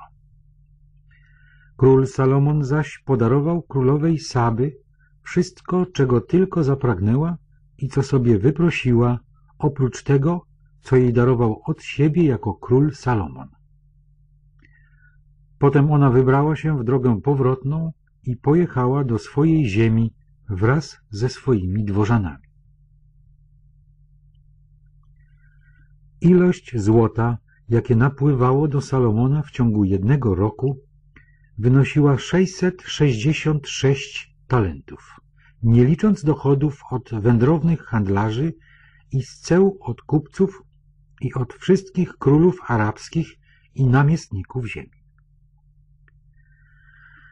Następnie król Salomon kazał sporządzić dwieście tarcz skutego złota, na jedną tarczę zaś wychodziło sześćset cykli złota, poza tym trzysta puklerzy skutego złota, a na jeden puklerz wychodziły trzy miny złota. I złożył je król w leśnym domku libańskim. Dalej kazał król sporządzić wielki tron z kości słoniowej i powlec go szczerym złotem. Tron miał sześć stopni, a z tyłu miał ten tron łby byków, z obu stron siedzenia były poręcze, a dwa lwy stały obok poręczy.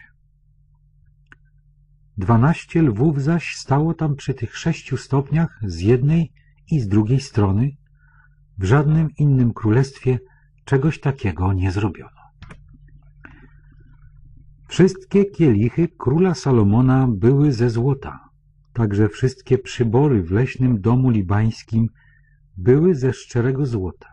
Nic nie było ze srebra, gdyż srebro w czasach Salomona za nic było uważane, gdyż król posiadał okręty, które płynęły do Tarszysz morzem wraz z okrętami Hirama. Raz na trzy lata przypływały okręty Starszysz, przywożąc złoto i srebro, kość słoniową, małpy i pawie.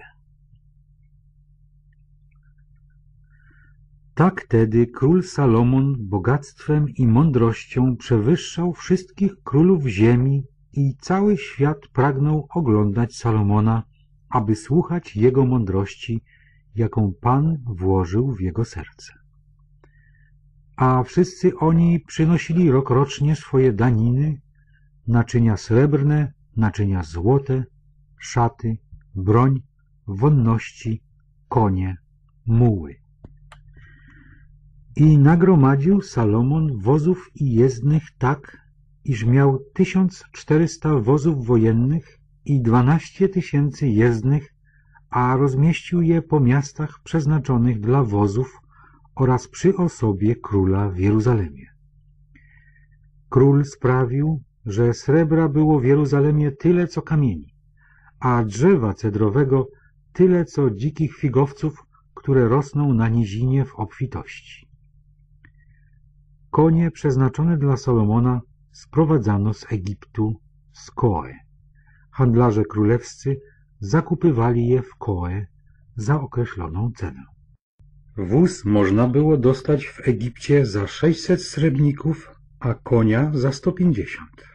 W ten sposób, za ich pośrednictwem, dostawały się one do wszystkich królów chetyckich i królów aramejskich.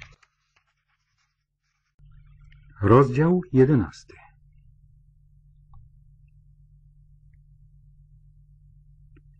Król Salomon pokochał wiele kobiet cudzoziemskich. Córkę Faraona, Moabitki, Ammonitki, Edomitki, Sydonitki, Chetytki, z narodów, co do których Pan nakazał Izraelitom, nie łączcie się z nimi i one niech nie łączą się z wami. Nakłonią bowiem na pewno wasze serca do swoich bogów.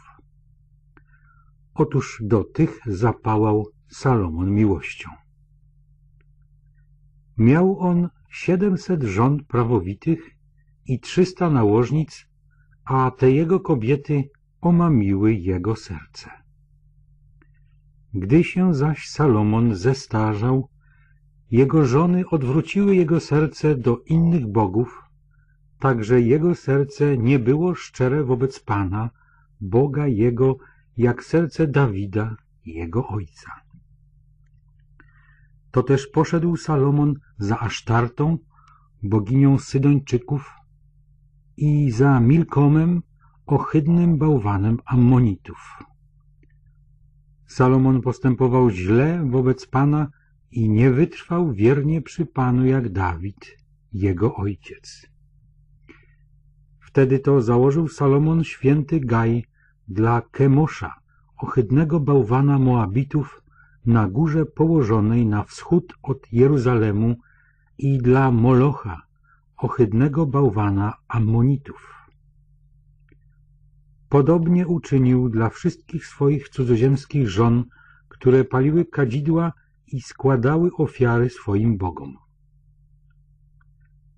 To też Pan rozgniewał się na Salomona za to, że odwrócił serce swoje od Pana, Boga Izraelskiego, który mu się dwukrotnie ukazał i to mu szczególnie przykazał, aby nie poszedł za innymi bogami.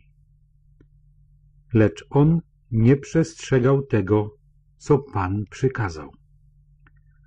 Przeto rzekł Pan do Salomona.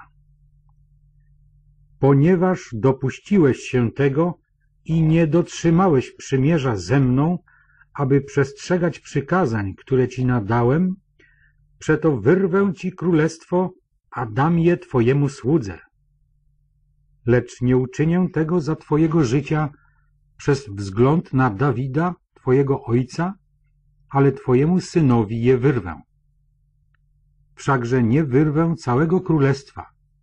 Jedno plemię pozostawię twojemu synowi przez wzgląd na Dawida, mojego sługę, i przez wzgląd na Jeruzalem, który wybrałem.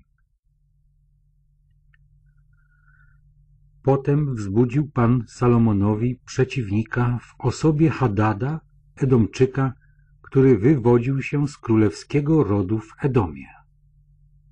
Gdy bowiem Dawid pobił Edomitów, a Joab, wódz wojska, wyruszył, aby pogrzebać poległych, wytracił on wszystkich mężczyzn w Edomie. A Joab i cały Izrael przebywał tam przez sześć miesięcy dopóki nie wybili wszystkich mężczyzn w Edomie.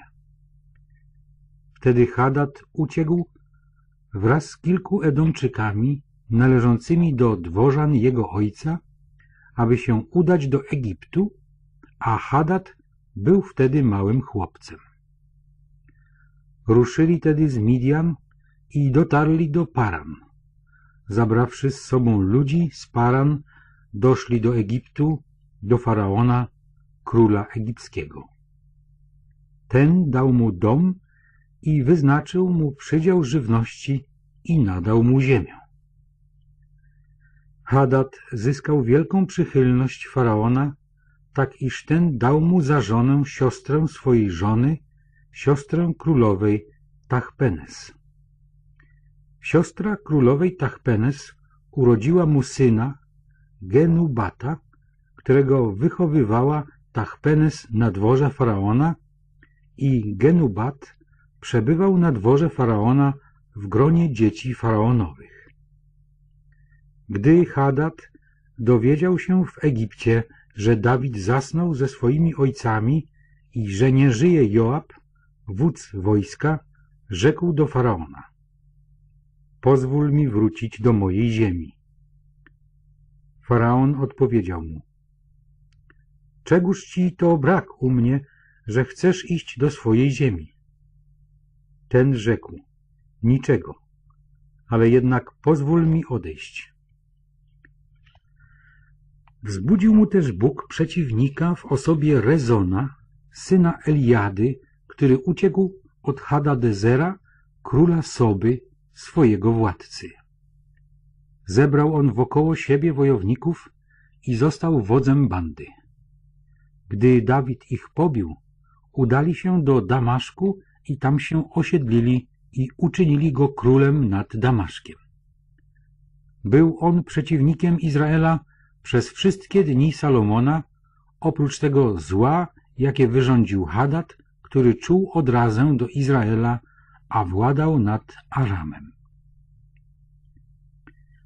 Również Jeroboam, syn Nebata, Efraimita z Seredy, którego matka nazywała się Serua i była wdową, dworzanin Salomona zbuntował się przeciwko królowi, powodem zaś buntu było to. Salomon budował twierdzę Milo, aby wypełnić wyłom w murze wokoło miasta Dawida, swego ojca. Ów Jeroboam zaś był mężem obrotnym. To też gdy Salomon zobaczył, że młodzieniec ten dobrze wykonuje swoją pracę, ustanowił go nadzorcą nad całą robotą pańszczyźnianą plemienia Józefa. W tym czasie wyszedł raz Jeroboam z Jeruzalemu i spotkał go na drodze prorok Achiasz z Sylo, który miał na sobie nowy płaszcz, a byli na polu sami. Wtedy pochwycił Achiasz ten nowy płaszcz, który miał na sobie, podarł go na dwanaście kawałków i rzekł do Jeroboama. Weź sobie dziesięć kawałków. Tak bowiem mówi Pan Bóg Izraela. Oto ja wyrywam królestwo z ręki Salomona i Tobie daję dziesięć plemion.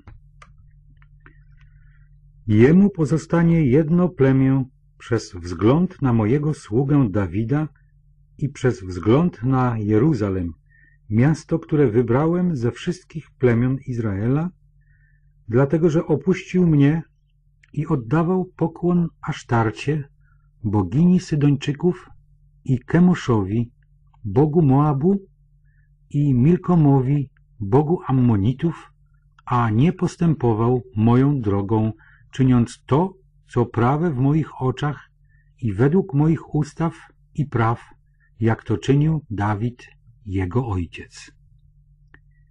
Nie wyrwę już teraz całego królestwa z jego ręki, pozostawię go władcą po wszystkie dni jego życia przez wzgląd na Dawida, mojego sługę, którego wybrałem i który przestrzegał moich przykazań i ustaw. Wyrwę natomiast królestwo z ręki jego syna, a tobie dam dziesięć plemion.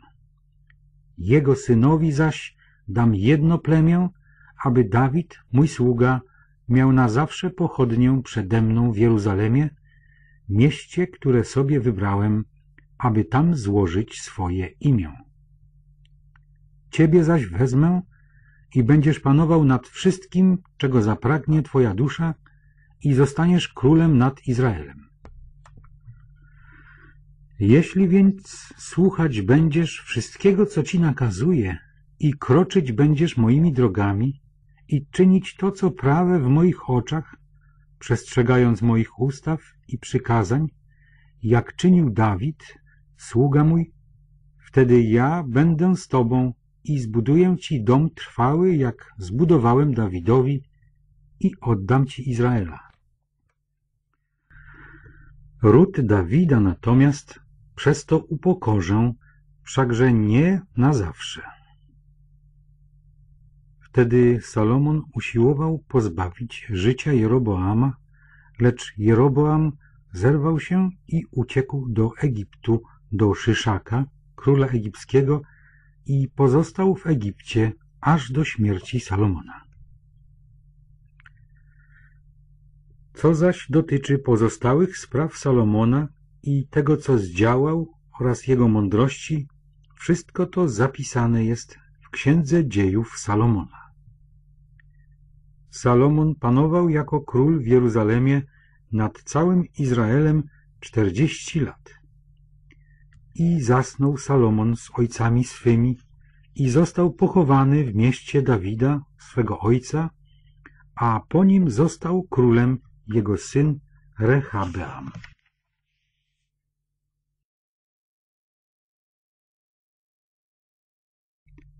Rozdział dwunasty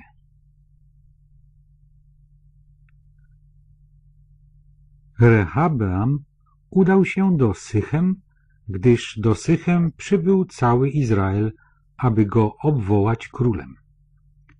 Gdy usłyszał o tym Jeroboam, syn Nebata, który przebywał wtedy jeszcze w Egipcie, dokąd uciekł przed królem Salomonem, powrócił Jeroboam z Egiptu.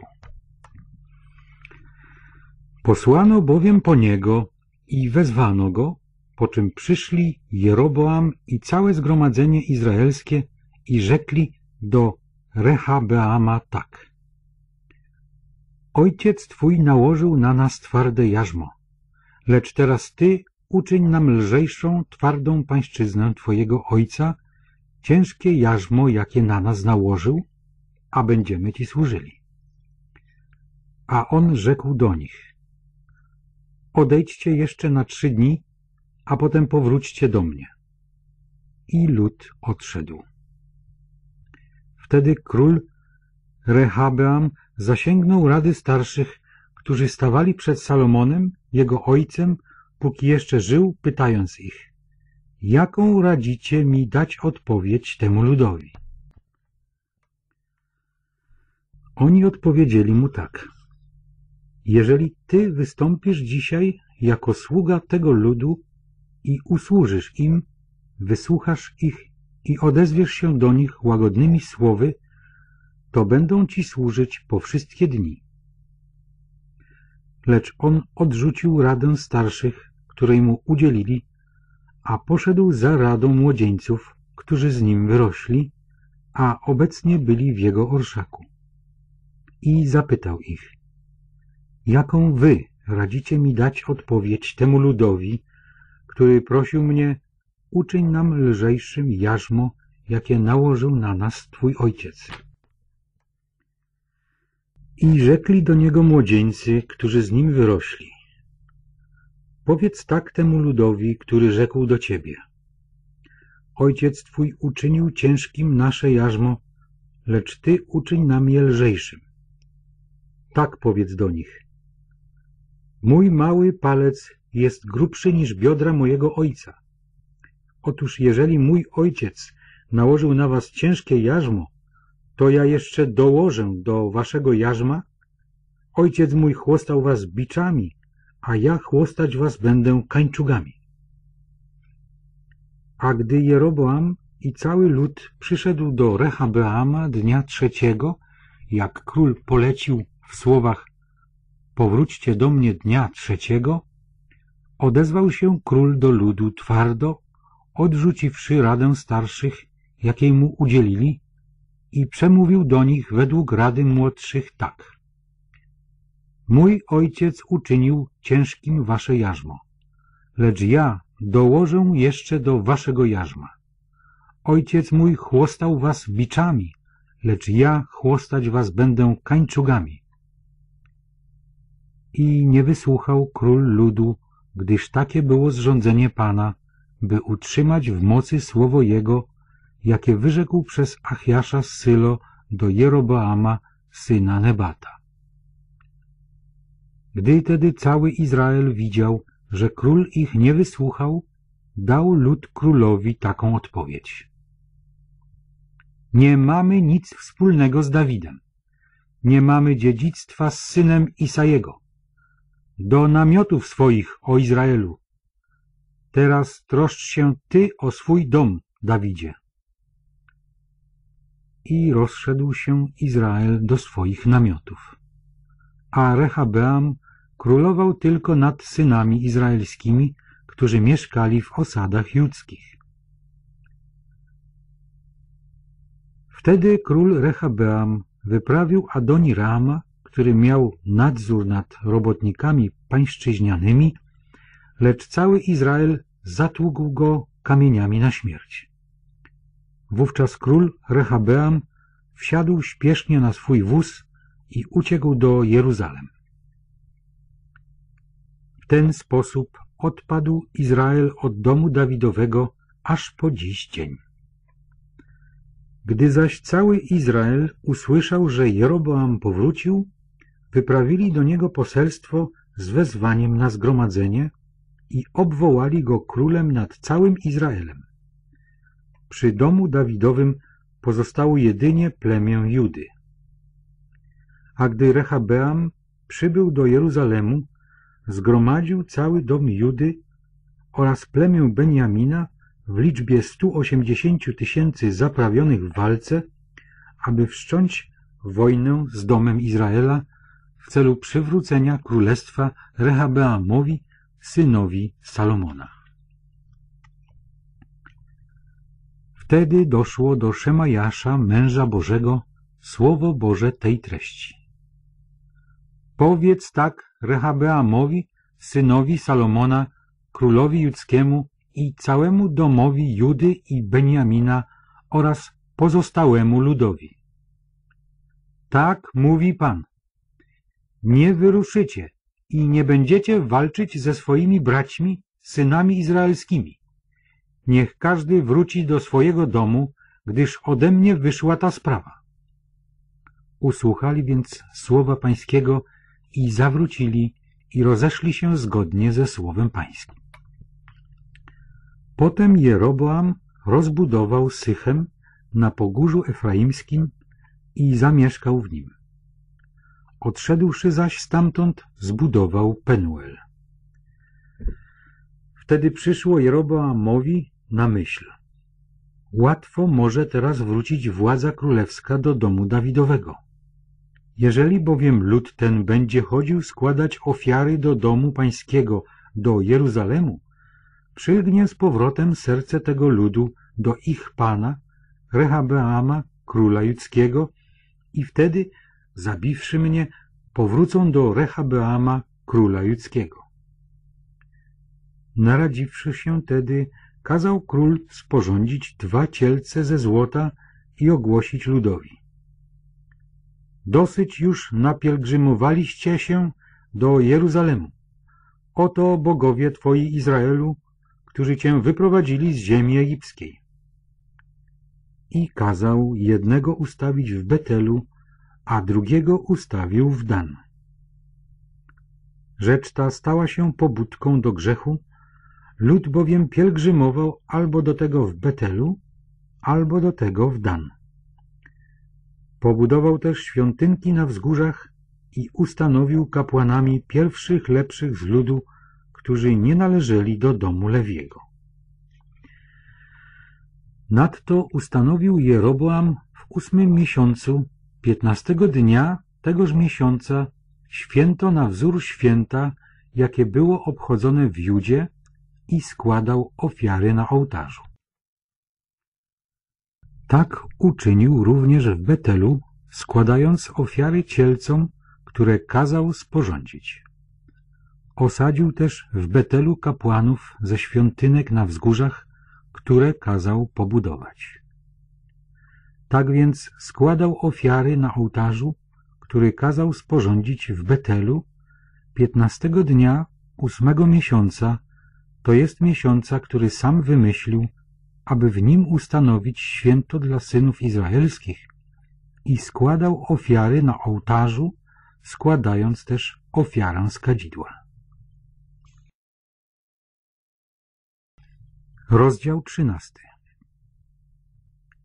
A oto przyszedł z Judy do Betelu na rozkaz Pana mąż Boży, a Jeroboam stał właśnie przy ołtarzu, aby złożyć ofiarę z kadzidła i zawołał na rozkaz Pana w stronę ołtarza.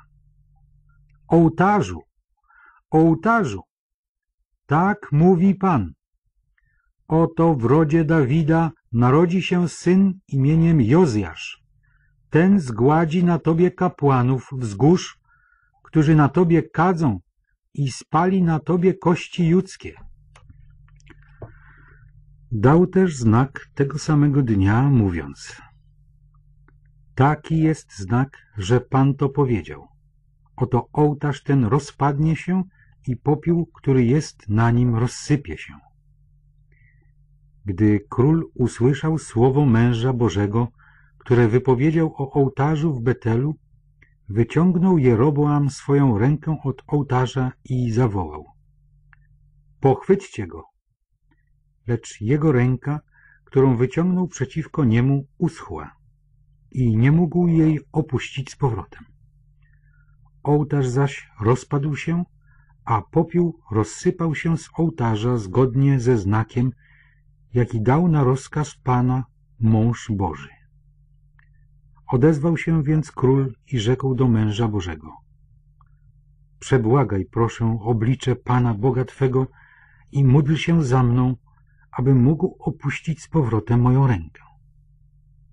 I przebłagał mąż Boży oblicze Pana, tak że król mógł opuścić z powrotem swoją rękę i była jak poprzednio. Potem rzekł król do męża Bożego. Chodź ze mną do domu i posil się, chcę ci też dać upominek. Lecz mąż Boży odrzekł królowi. Choćbyś mi dał nawet połowę twojego mienia, nie pójdę z tobą i nie spożyję chleba i nie napiję się wody na tym miejscu. Taki bowiem mam rozkaz od Pana. Nie spożyjesz chleba i nie napijesz się wody, ani nie wrócisz tą samą drogą, którą przyszedłeś. Poszedł też inną drogą, a nie wracał tą, którą przyszedł do Betelu. Mieszkał zaś w Betelu pewien prorok, starzec, a gdy jego synowie przyszli i opowiedzieli mu wszystko, co w tym dniu uczynił w Betelu mąż Boży i słowa, które wypowiedział do króla, opowiedzieli to swojemu ojcu, rzekł do nich ojciec. Którą drogą poszedł? Synowie jego pokazali mu drogę, którą poszedł mąż Boży przybyły z Judy. On zaś rzekł do swoich synów, osiodłajcie mi osła. A gdy oni osiodłali mu osła, wsiadł nań i pojechał za mężem Bożym, a spotkawszy go siedzącego pod dębem, zapytał go. Czy ty jesteś owym mężem Bożym, który przyszedł z Judy? A on odpowiedział, ja jestem. Rzekł tedy do niego, chodź ze mną do domu i posil się chlebem. A ten na to, nie mogę zawrócić i pójść z tobą i nie posilę się też chlebem i nie napiję się u ciebie wody w tamtym miejscu. Taki bowiem mam rozkaz Pana. Nie jedz tam chleba i nie pij tam wody, nie wracaj też tą samą drogą, którą przyszedłeś. A on rzekł do niego, także ja jestem prorokiem jak ty, a anioł rzekł do mnie z rozkazu Pana tak.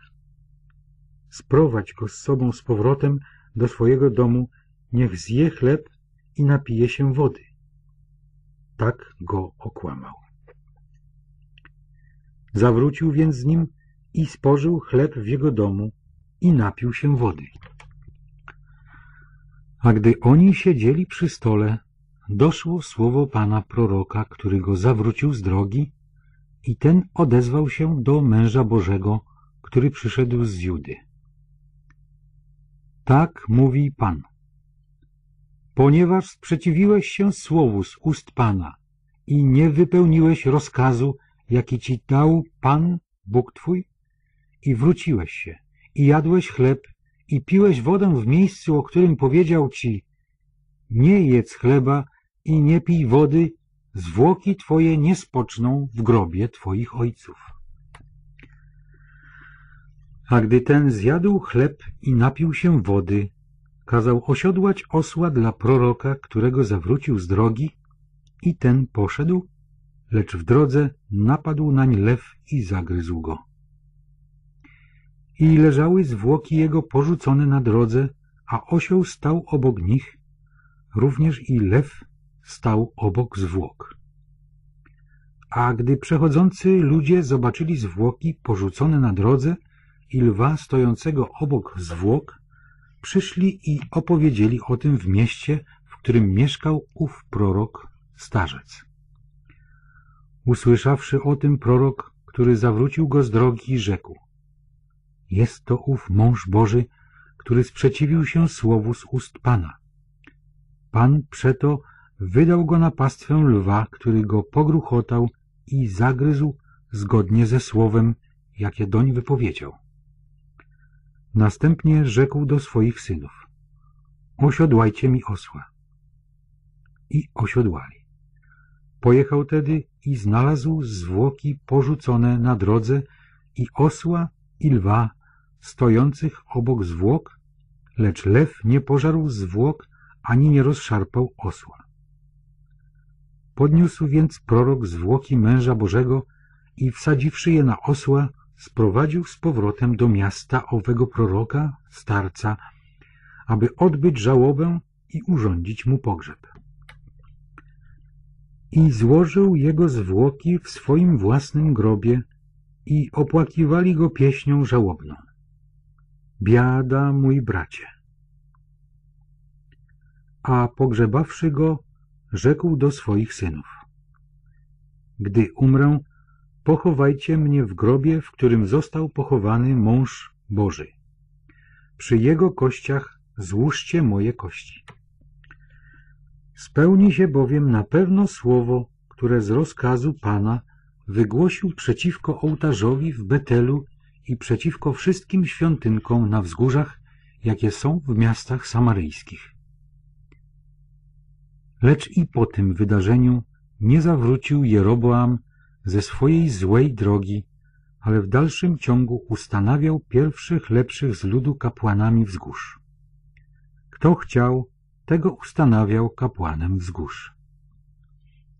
Sprawa ta była przyczyną grzechu domu Jeroboama, aby został wytępiony i zgładzony z powierzchni ziemi.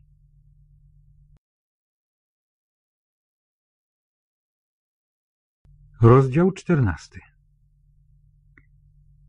tym czasie zachorował Abiasz, syn Jeroboama. Rzekł tedy Jeroboam do swojej żony Wstań i przebierz się, aby nie poznano, że jesteś żoną Jeroboama, a wybierz się do Sylo. Tam oto jest prorok Achiasz, ten sam, który przepowiedział mi, że zostanę królem nad tym ludem. Weź też z sobą dziesięć chlebów, placki i dzban miodu i zajdź do niego. On ci oznajmi, co będzie z chłopcem. I postąpiła tak żona Jeroboama, wyruszyła do Sylo i weszła do domu Achiasza. Lecz Achiasz był już niewidomy, gdyż oślepły jego oczy z powodu starości. Wtedy rzekł Pan do Achiasza Oto nadchodzi żona Jeroboama, aby dowiedzieć się od ciebie coś o swoim synu, bo zachorował. Powiedz jej tak, a tak. Gdy zaś weszła, udała kogoś innego. Zaledwie Achiasz usłyszał odgłos jej kroków, gdy weszła do drzwi, rzekł. Wejdź, żono Jeroboama. Dlaczego to udajesz kogoś innego, gdy zlecono mi dla ciebie przykrą wiadomość? Idź i powiedz Jeroboamowi. Tak mówi Pan, Bóg Izraela. Wywyższyłem cię spośród ludu, ustanowiłem cię księciem nad moim ludem izraelskim. Odebrałem domowi Dawidowemu władzę królewską i dałem ją tobie. Ty jednak nie byłeś takim jak mój sługa Dawid, który przestrzegał moich przykazań i który naśladował mnie z całego swego serca, aby czynić tylko to, co prawe w moich oczach. Lecz postępowałeś gorzej niż wszyscy twoi poprzednicy. Zacząłeś czynić sobie innych bogów, bałwany lane, aby mnie pobudzić do gniewu. Mnie zaś odrzuciłeś precz na ubocze. Dlatego oto ja sprowadzę nieszczęście na dom Jeroboama i wytępię u Jeroboama każdego męskiego potomka, niewolników i wolnych w Izraelu i wymiotę dom Jeroboama, jak się wymiata do cna śmieci, aż wszystko jest wymiecione. Kto u Jeroboama umrze w mieście, tego pożrą psy, a kto umrze w polu, tego rozdziobią ptaki niebieskie, gdyż Pan tak powiedział. Ty zaś wstań i idź do swojego domu. Gdy dojdziesz do miasta, dziecię umrze. I będzie je opłakiwał cały Izrael i pochowają je, gdyż jedynie ono z domu Jeroboama zejdzie do grobu, gdyż jedynie u niego z domu Jeroboama znalazło się coś, co podobało się Panu, Bogu Izraelskiemu. Pan zaś ustanowi sobie króla nad Izraelem, który wytępi ród Jeroboama już teraz, a rychło. I uderzy Pan Izraela tak, że się zachwieje jak trzcina nad wodą i wykorzeni Izraela z tej urodzajnej ziemi, którą dał ich ojcom i zapędzi ich aż poza Eufrat za to, że sporządzili sobie aszery, pobudzając Pana do gniewu. I wyda Izraela z powodu grzechów Jeroboama, które popełnił i którymi przywiódł do grzechu Izraela. Żona Jeroboama powstała i odeszła i przybyła do Tirsy, a gdy przekraczała próg domu, chłopiec umarł. I pochowali go i opłakiwał go cały Izrael według słowa Pana, jakie wypowiedział przez swojego sługę Achiasza, proroka. Pozostałe zaś sprawy Jeroboama, jakie prowadził wojny i jak panował, te zapisane są w Księdze Dziejów Królów Izraelskich. Panował zaś Jeroboam dwadzieścia dwa lata, po czym spoczął obok swoich ojców, a władzę królewską po nim objął Nadab, jego syn.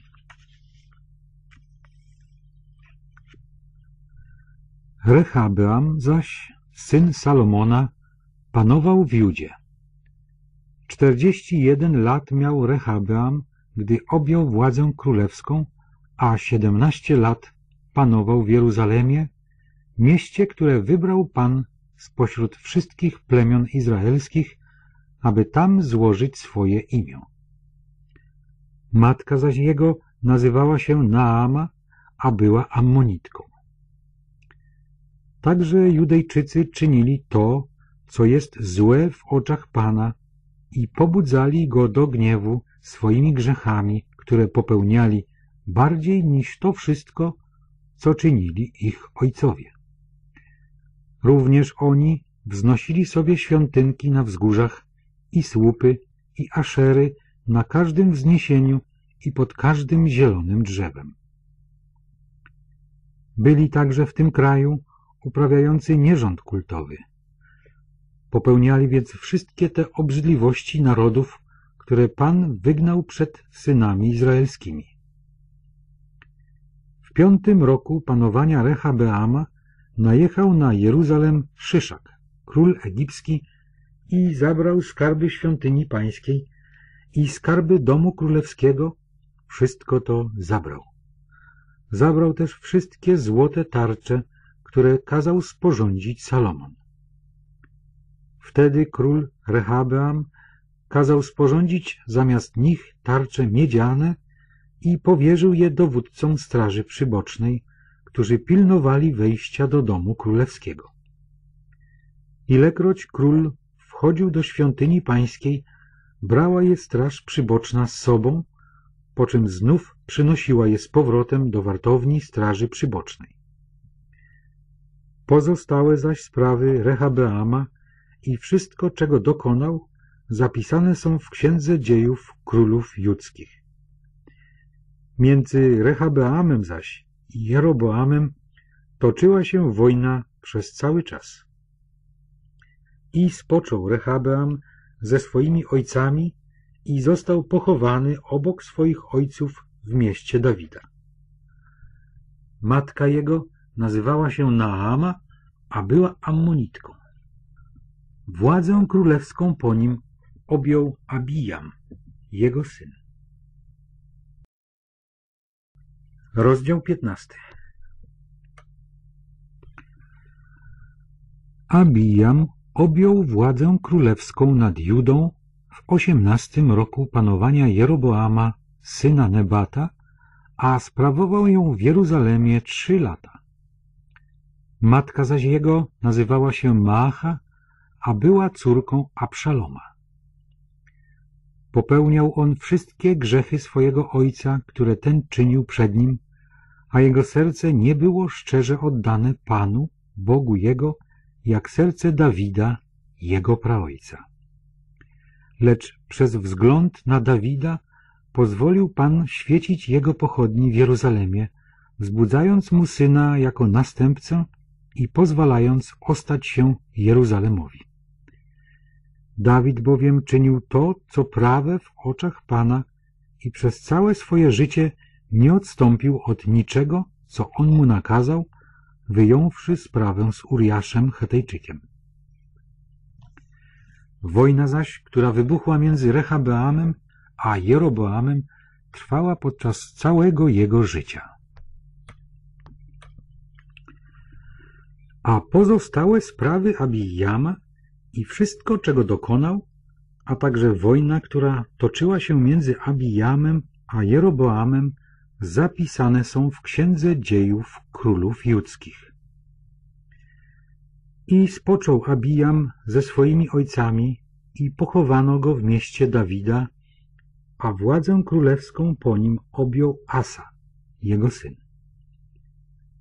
Asa objął władzę królewską nad Judą w dwudziestym roku panowania Jeroboama, króla izraelskiego.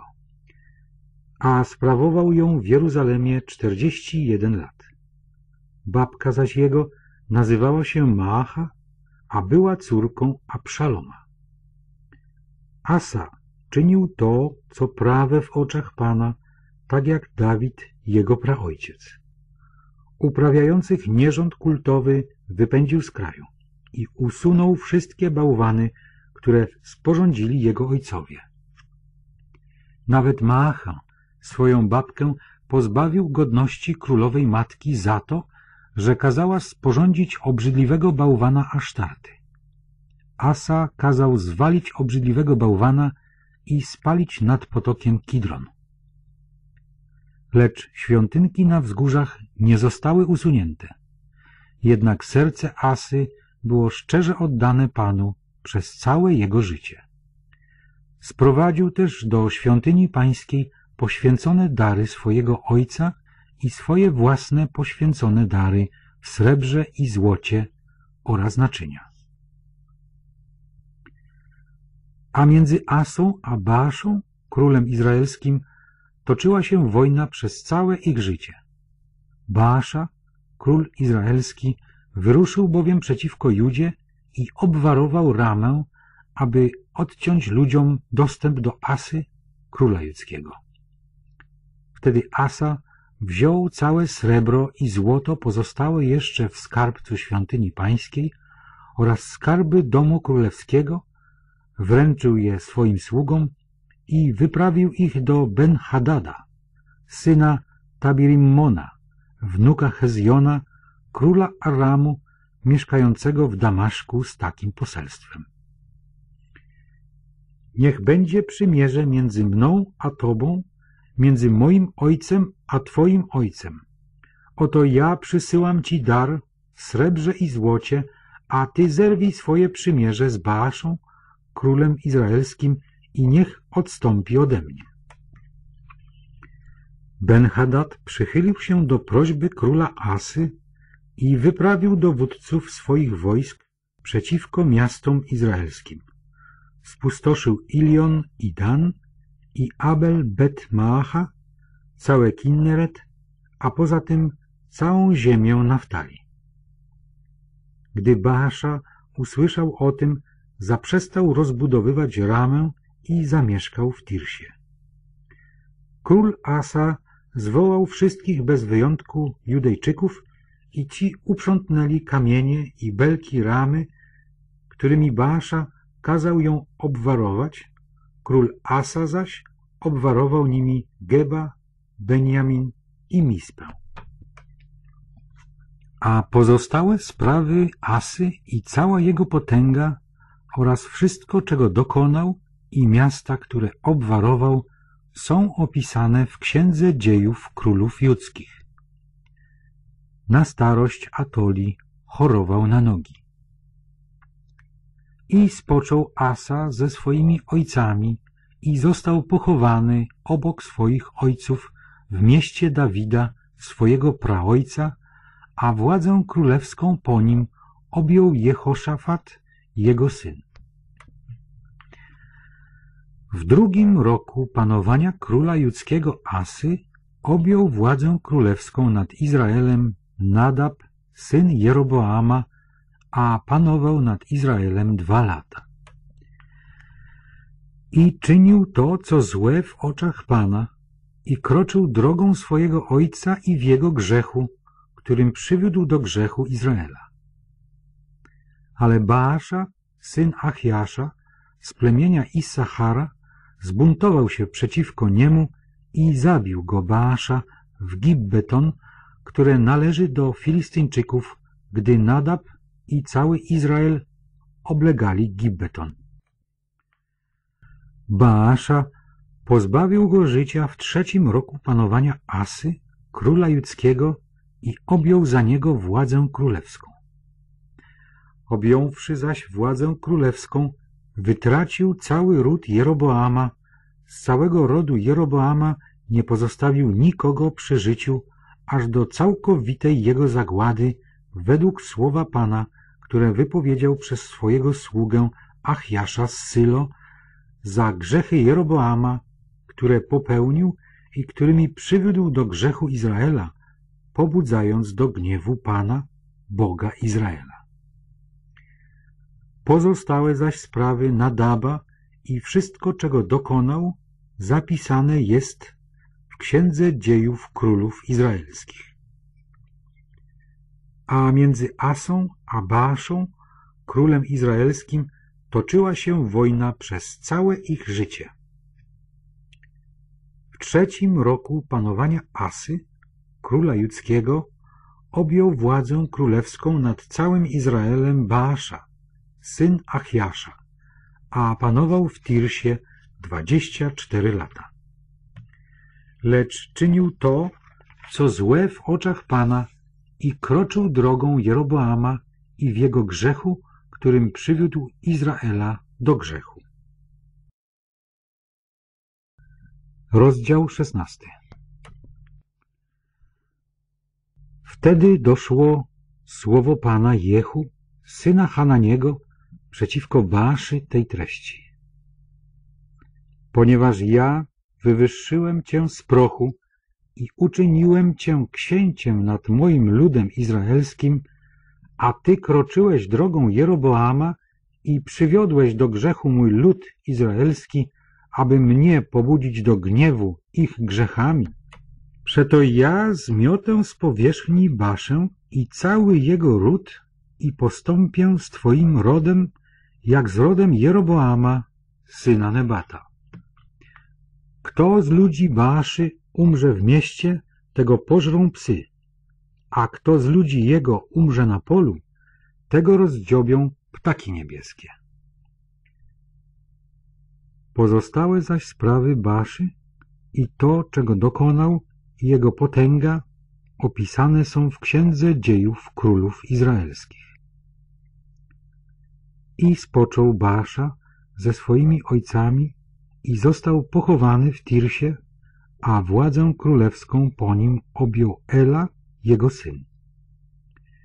Tak to przez Jehu, syna Hananiego, proroka, spełniło się słowo Pana o Baszy i całym jego rodzie, zarówno za wszelkie zło, które czynił w oczach Pana, pobudzając go do gniewu czynami swoich rąk, aby stać się podobnym do rodu Jeroboama, jak też za to, że go wytracił. Ela, syn Baszy, objął władzę królewską nad Izraelem w dwudziestym szóstym roku panowania Asy, króla judzkiego, a panował Ela, syn Baszy, w Tirsie dwa lata. Lecz Zimri, jego dworzanin, dowódca połowy wozów wojennych, uknął przeciwko niemu spisek. Gdy pewnego razu upił się w Tirsie w czasie uczty w domu Arsy, który był nadzorcą jego pałacu w Tirsie, Zimri wtargnął tam, pchnął go i pozbawił go życia w dwudziestym siódmym roku panowania Asy, króla judzkiego, i objął władzę królewską po nim.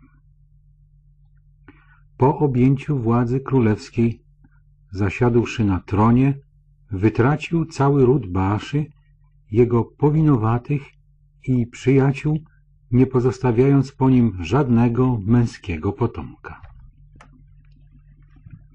Zimri tedy wytracił cały ród Baaszy według słowa Pana, jakie wypowiedział o Baaszy przez proroka Jehu za wszystkie grzechy Baaszy i za grzechy Eli, jego syna, które popełnili i którymi przywiedli do grzechu Izraela, pobudzając do gniewu Pana, Boga Izraela, swoim bałwochwalstwem. Pozostałe zaś sprawy Eli i wszystko, czego dokonał, zapisane jest w Księdze Dziejów Królów Izraelskich. Zimri objął władzę królewską w dwudziestym siódmym roku panowania Asy, króla judzkiego, ale panował tylko siedem dni w Tirsie, podczas gdy wojownicy oblegali Gibbeton, należące do Filistyńczyków. Gdy zaś w obozie wojownicy usłyszeli wieść, że Zimri uknął spisek i nawet zabił króla, w tym dniu cały Izrael obwołał tam w obozie królem nad Izraelem Omriego, dowódcę wojska. Wtedy Omri, a z nim cały Izrael, wyprawił się z Gibbeton i oblegli Tirsę. Gdy zaś Zimri zobaczył, że miasto zostało zdobyte, wycofał się do warowni Zamku Królewskiego i podpaliwszy nad sobą zamek królewski zginął za swoje grzechy, które popełnił, czyniąc to, co złe w oczach Pana i krocząc drogą Jeroboama i żyjąc w jego grzechach, które popełnił, przywodząc do grzechu Izraela.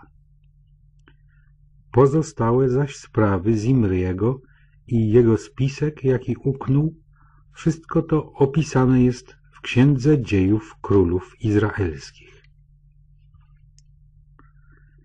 Wtedy lud izraelski rozdzielił się na dwie części.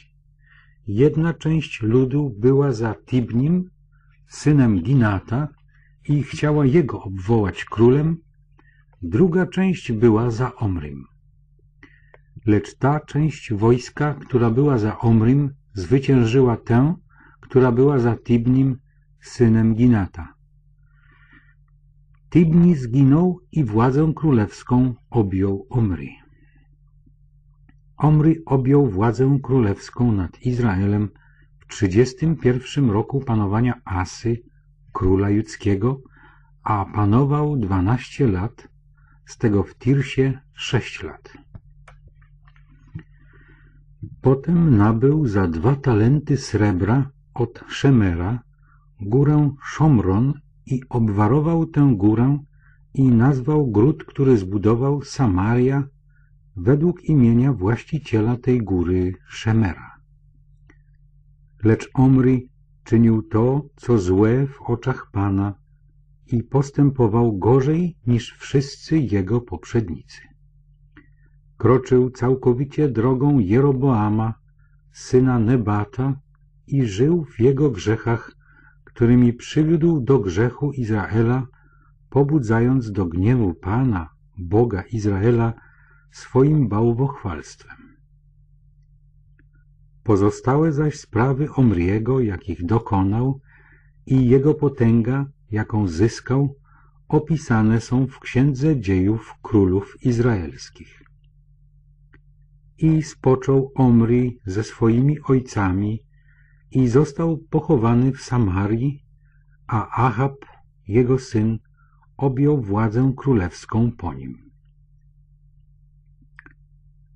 Ahab zaś, syn Omriego, objął władzę królewską nad Izraelem w trzydziestym ósmym roku panowania Asy, króla judzkiego, panował zaś Ahab, syn Omriego, nad Izraelem w Samarii dwadzieścia dwa lata.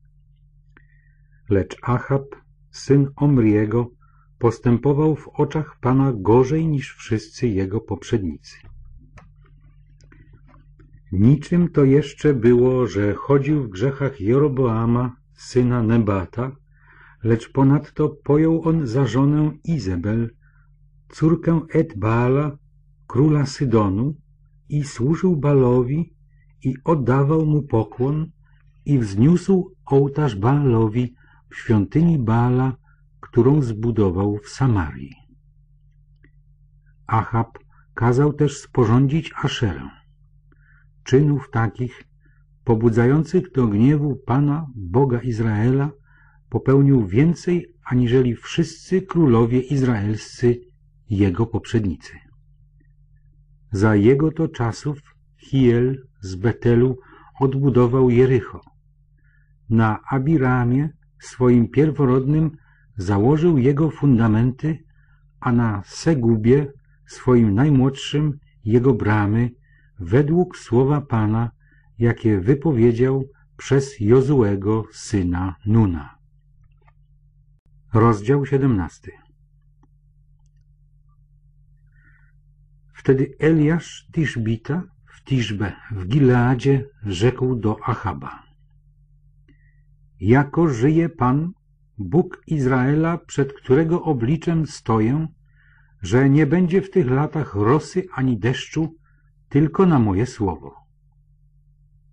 I doszło go takie słowo Pana. Odejdź stąd, a udaj się na wschód i ukryj się nad potokiem Kerit, który wpływa od wschodu do Jordanu. Z potoku tego będziesz pił, a krukom nakazałem, aby cię tam żywiły. Poszedł więc i postąpił według słowa Pana. Odszedłszy, zamieszkał nad potokiem Kerit, który wpływa od wschodu do Jordanu. Kruki zaś przynosiły mu chleb i mięso rano oraz chleb i mięso wieczorem, a z potoku pił wodę. Lecz po pewnym czasie wysechł potok, gdyż nie było deszczu w tym kraju. I wtedy doszło go takie słowo Pana.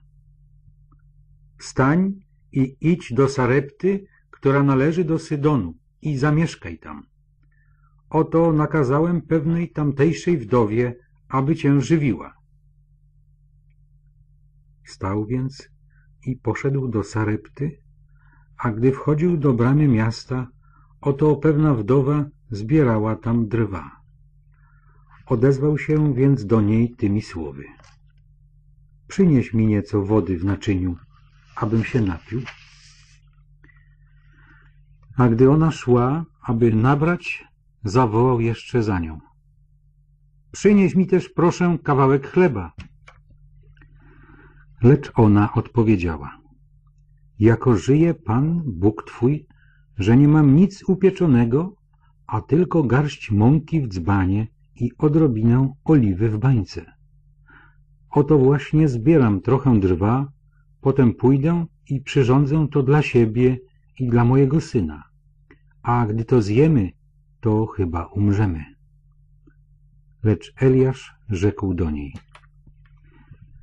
Nie bój się, idź i zrób jak powiadasz, lecz najpierw przyrządź mi z tego mały placek i przynieś mi go. Dla siebie zaś i syna swojego przyrządzisz później. Gdyż tak mówi Pan, Bóg Izraela.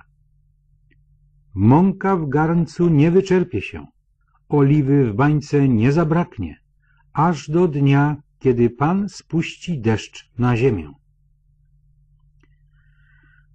Poszła więc i postąpiła według słowa Eliasza i mieli co jeść ona i on i jej rodzina dzień w dzień. Mąka w garnku nie wyczerpała się, oliwy w bańce nie zabrakło według słowa Pana, które wypowiedział przez Eliasza. Po tych wydarzeniach zachorował syn tej niewiasty, właścicielki domu, a tak się wzmogła jego choroba, że przestał oddychać. Wtedy ona rzekła do Eliasza. Cóż ja mam z tobą, mężu Boży? Przyszedłeś do mnie po to, aby przywieść na pamięć mój grzech i przyprawić o życie mojego syna? Lecz Eliasz rzekł, daj mi twego syna. Potem wziął go z jej łona i wyniósł do izdebki na poddasze, gdzie mieszkał i położył go na swoim łożu. Następnie zawołał do Pana tak. Panie, Boże mój, czy także na tę wdowę, u której jestem gościem, chcesz sprowadzić nieszczęście, pozbawiając życia jej syna? Potem wyciągnął się trzy razy nad dzieckiem i zawołał do Pana tak. Panie, Boże mój, przywróć proszę życie temu dziecku. I wysłuchał Pan prośby Eliasza i wróciła dusza tego dziecka do niego i ożyło. Eliasz wziął dziecię i zniósł je z poddasza na dół i oddał je jego matce, mówiąc Patrz, syn twój żyje. Wtedy rzekła kobieta do Eliasza Teraz poznałam, że jesteś mężem Bożym i słowo Pana naprawdę jest w ustach Twoich. Rozdział osiemnasty Po upływie długiego czasu, w trzecim roku, doszło Eliasza słowo Pana tej treści. Idź, pokaż się Achabowi, gdyż chcę spuścić na ziemię deszcz. Poszedł więc Eliasz, aby pokazać się Achabowi. A w Samarii panował wielki głód. Wtedy wezwał Achab Obadiasza, ochmistrza domu królewskiego, a ten Obadiasz był bardzo wiernym wyznawcą Pana. Gdy bowiem Izabel kazała tępić proroków Pana, Obadiasz zgromadził stu proroków, ukrył ich po pięćdziesięciu w pieczarach i żywił ich chlebem i wodą. I rzekł Achab do Obadiasza. Przejdź się po kraju, zwłaszcza gdzie są źródła wód. Może znajdziemy trawę, abyśmy zachowali przy życiu konie i muły i nie musieli wybić części bydła. I podzielili między siebie kraj, aby go przejść. Achab poszedł osobno jedną drogą, a Obadiasz poszedł osobno drugą drogą. A gdy Obadiasz szedł drogą, oto wyszedł mu naprzeciw Eliasz. Poznawszy go, padł na twarz i rzekł. Czy to ty jesteś, panie mój Eliaszu? A on mu na to. Ja jestem. Idź, powiedz swojemu panu. Oto jest Eliasz. A ten odrzekł. Cóż zawiniłem, że chcesz swego sługę wydać w rękę Achaba, aby mnie kazał zgładzić. Jako żyje Pan, Twój Bóg, że nie ma narodu ani królestwa, do którego by nie posyłał mój Pan, aby Cię tam szukano, a gdy mówiono, nie ma go tu, to odbierał przysięgę od królestw i od narodów, że Cię nie znaleziono. A teraz Ty powiadasz, idź, powiedz swemu Panu, oto Eliasz? Gdy ja ruszę się stąd, duch Pana może Cię zanieść na miejsce, którego nie znam. Ja pójdę zanieść Achabowi wiadomość, a on Cię tu już nie zastanie i wtedy mnie zabije. A wszak Twój sługa należy do wyznawców Pana od samej młodości. Czy nie doniesiono mojemu Panu o tym, co uczyniłem, gdy Izabel kazała tępić proroków Pana, że ukryłem stół z proroków Pana po pięćdziesięciu mężów w pieczarach i żywiłem ich chlebem i wodą? A teraz ty powiadasz, idź, powiedz twemu Panu, oto Eliasz? Przecież mnie zabije. Wtedy Eliasz rzekł, jako żyje Pan zastępów, przed którego obliczem stoję, że jeszcze dziś mu się pokażę. Poszedł więc Obadiasz, aby się spotkać z Achabem i doniósł mu o tym. Achab zaś ruszył na spotkanie z Eliaszem. Gdy Achab zobaczył Eliasza, rzekł Achab do niego. Czy to ty jesteś sprawcą nieszczęść w Izraelu? A on odpowiedział, nie ja sprowadziłem nieszczęście na Izraela, lecz ty i ród twojego ojca przez to, że zaniedbaliście przykazania Pana, a ty poszedłeś za Baalami. Poślij tedy teraz i zgromadź do mnie całego Izraela na górze Karmel oraz owych czterystu pięćdziesięciu proroków Baala i czterystu proroków Aszery, którzy jadają u stołu Izabel. Achab wysłał więc Zew do wszystkich synów izraelskich i zgromadził proroków na górze Karmel. Wtedy Eliasz przystąpił do całego ludu i rzekł Jak długo będziecie kuleć na dwie strony? Jeżeli Pan jest Bogiem, idźcie za Nim, a jeżeli Baal, idźcie za Nim. Lecz lud nie odrzekł mu ani słowa. Rzekł więc Eliasz do ludu. Ja jeden tylko pozostałem jako prorok Pana, proroków Bala zaś jest czterystu pięćdziesięciu. Niech nam przeto dadzą dwa cielce. Niech oni wybiorą sobie jednego cielca i poćwiartują go i położą na drwach, lecz ognia niech nie podkładają. Ja również przygotuję jednego cielca i położę go na drwach, ale ognia nie podłożę. Potem wzywajcie wy imienia waszego Boga, ja zaś będę wzywał imienia Pana. Ten zaś Bóg, który odpowie ogniem, ten zaiste jest Bogiem. I odpowiedział cały lud. Dobrze, niech tak będzie. Następnie Eliasz rzekł do proroków Baala. Wybierzcie sobie jednego cielca i przygotujcie go pierwsi, gdyż was jest więcej i wzywajcie imienia waszego Boga, lecz ognia nie podkładajcie. Wzięli tedy cielca, którego im dano, oprawili go i wzywali imienia Baala od rana aż do południa, mówiąc Baalu, wysłuchaj nas. Lecz nie było żadnej odpowiedzi. Wykonywali przy tym taniec kultowy wokoło ołtarza, który wznieśli. A gdy nastało południe, Eliasz zaczął drwić z nich, mówiąc Wołajcie głośniej, wszak jest Bogiem, ale może się zamyślił, lub jest czym innym zajęty, lub może udał się w drogę, albo może śpi. Niech się więc obudzi. Wołali więc głośno i według swojego zwyczaju zadawali sobie rany nożami i włóczniami, aż krew po nich spływała. A gdy minęło południe, oni trwali jeszcze w swoim upojeniu, aż do pory składania ofiary z pokarmów, ale nie było żadnej odpowiedzi. Wtedy Eliasz rzekł do całego ludu: Przystąpcie do mnie. A gdy cały lud zbliżył się do niego, on naprawił zburzony ołtarz Pana.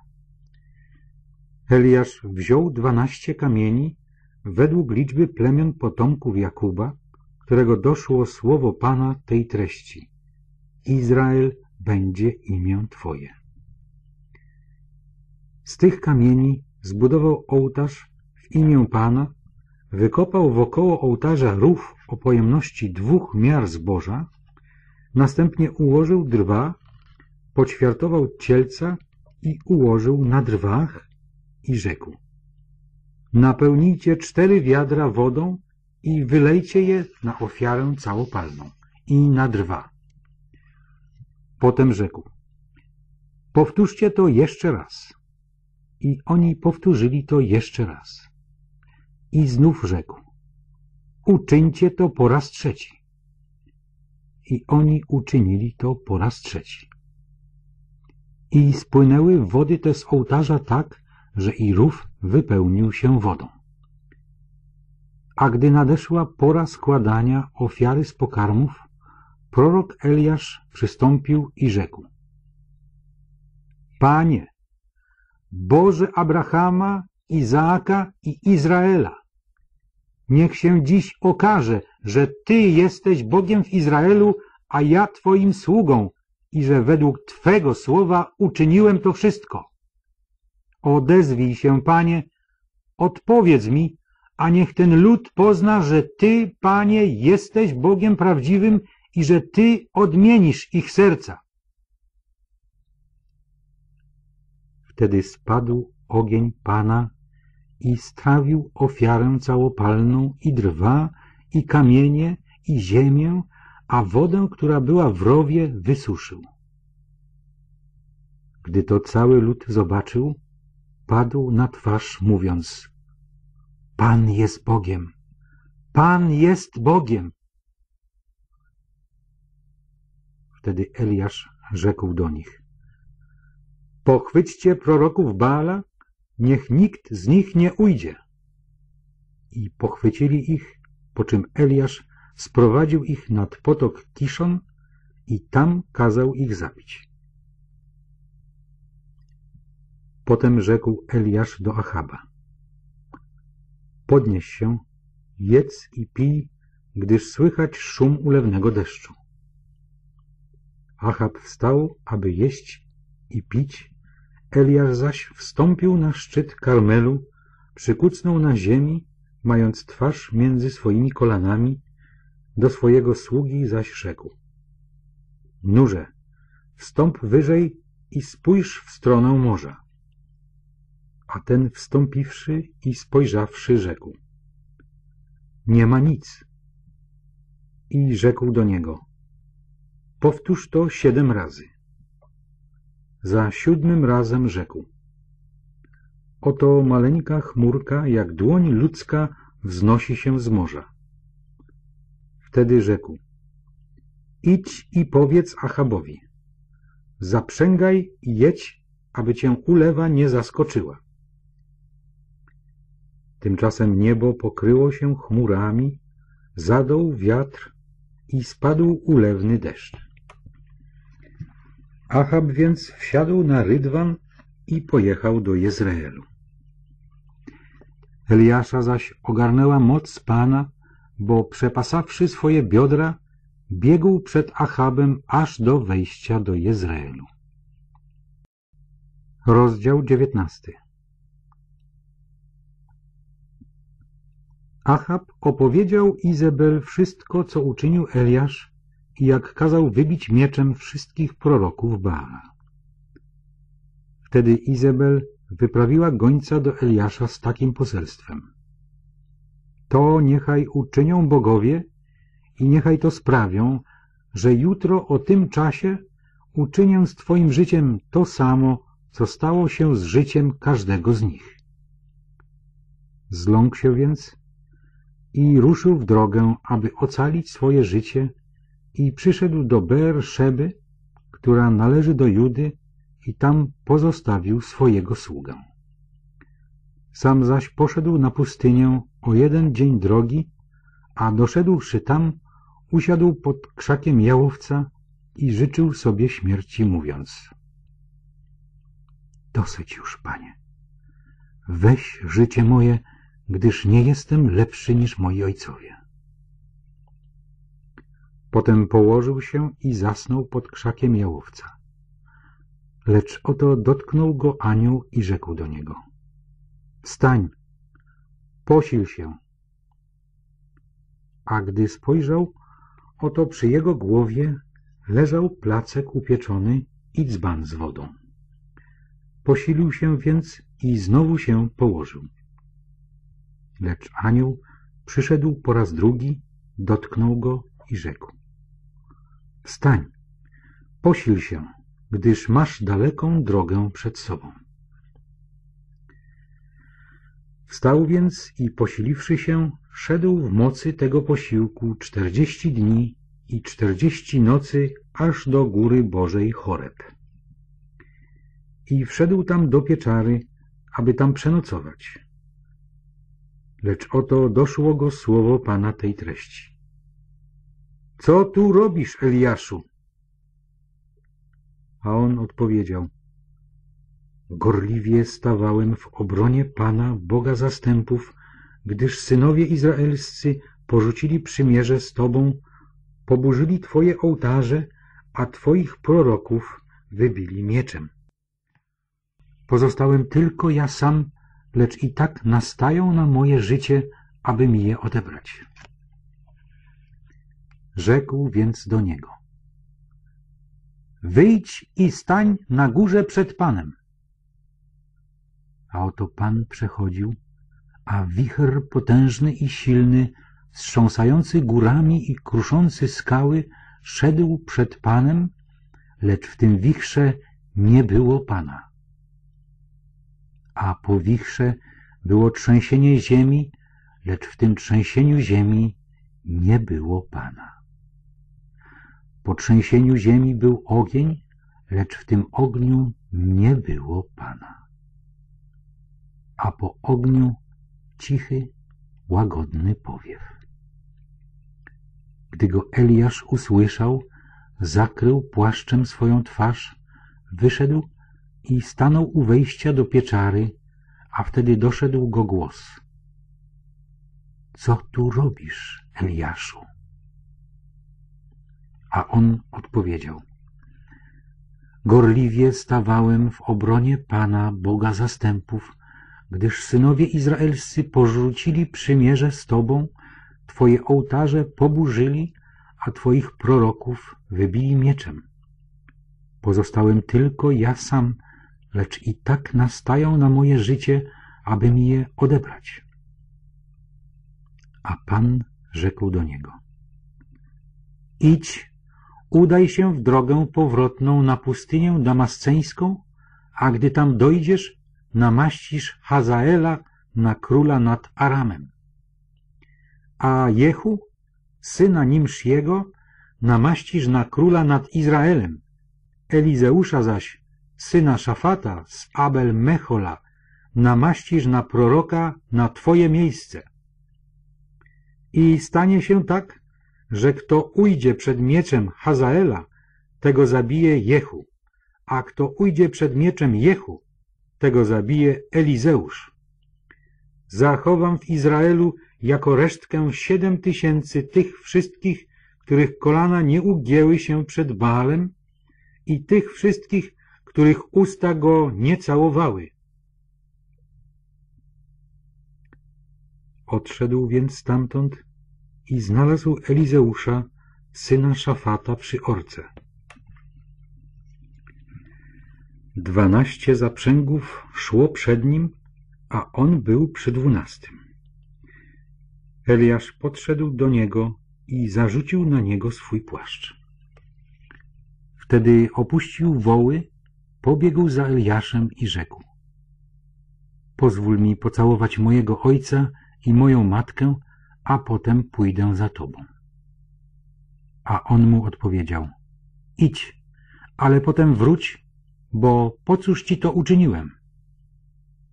Wrócił więc do niego i wziąwszy parę wołów, zarżnął je, a na uprzęży z tych wołów ugotował ich mięso i podał swoim ludziom, a oni jedli. Potem ruszył i poszedł za Eliaszem i usługiwał mu.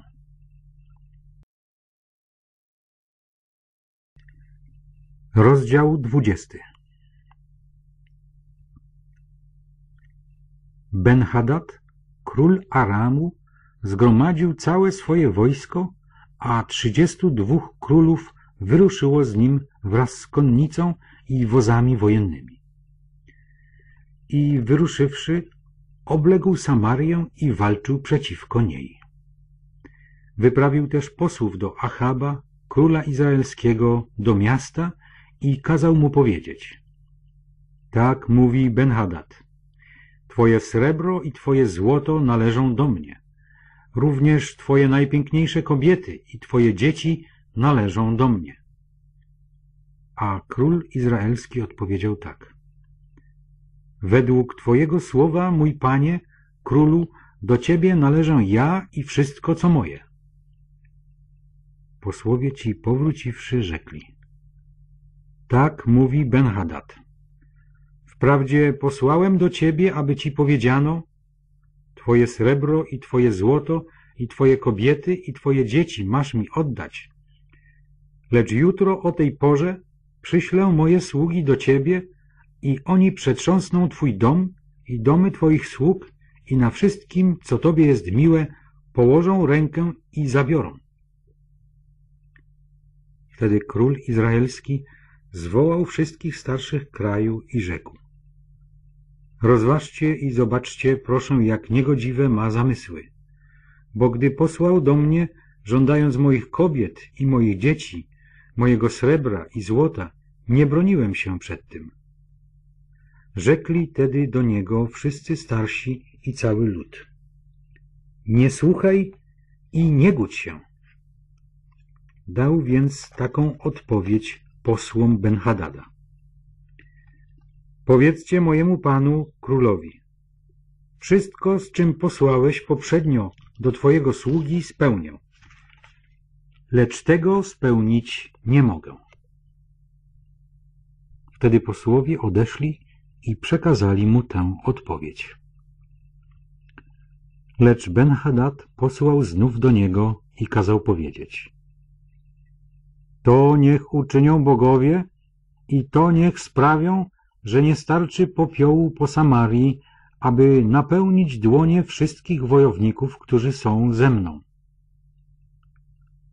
Król izraelski dał taką odpowiedź. Powiedzcie mu tak. Niech się nie chełpi ten, który pas zapina, jak ten, który go rozpina. Gdy usłyszał tę odpowiedź, a właśnie ucztował wraz z królami w namiotach, rzekł do swoich sług. Przypuśćcie szturm. I zaczęli szturmować miasto. Wtedy przystąpił do Achaba, króla izraelskiego, pewien prorok i rzekł. Tak mówi Pan. Czy widzisz cały ten ogromny tłum? Oto ja wydam go dziś w Twoją rękę i poznasz, żem ja Pan. Achab zapytał, za czyją sprawą? A on odpowiedział, tak mówi Pan. Za sprawą sług naczelników okręgów. I pytał dalej, kto ma wszcząć bitwę? A on odpowiedział, ty. Zrobił więc przegląd sług naczelników okręgów i było ich około 232. Po nich zaś zrobił przegląd wszystkich wojowników z całego Izraela, a tych było siedem tysięcy. I wyruszyli w południe. Ben-Hadad zaś pił na umór w namiotach wraz z trzydziestu dwoma królami, którzy mu pomagali. Jako pierwsi wystąpili słudzy naczelników okręgów. A gdy Ben-Hadad wysłał ludzi na zwiady, doniesiono mu. Z Samarii wyruszyli wojownicy. Wtedy rzekł, jeżeli wyruszyli w celach pokojowych, schwytajcie ich żywych. Gdy tedy oni wyszli z grodu, to jest słudzy naczelników okręgów, a za nimi wojsko, pobił każdy swojego tak, iż Aramejczycy pierzchnęli, a Izraelici puścili się za nimi w pogoń. Ben-Hadad zaś, król Aramu, ratował się ucieczką konno wraz z wozami wojennymi. Następnie wyruszył król izraelski i pobił konie i wojowników na wozach, stoczywszy z Aramejczykami wielką bitwę. Wtedy znowu przystąpił do króla izraelskiego prorok i rzekł do niego Idź, zbierz siły i dobrze się zastanów, co masz czynić, gdyż w przyszłym roku król Aramu ruszy na ciebie. Lecz dworzanie króla Aramu rzekli do niego Ich bogowie są bogami gór, dlatego nas zwyciężyli. Gdybyśmy stoczyli z nimi bitwę na równinie, może zwyciężylibyśmy. Uczyń przeto tak.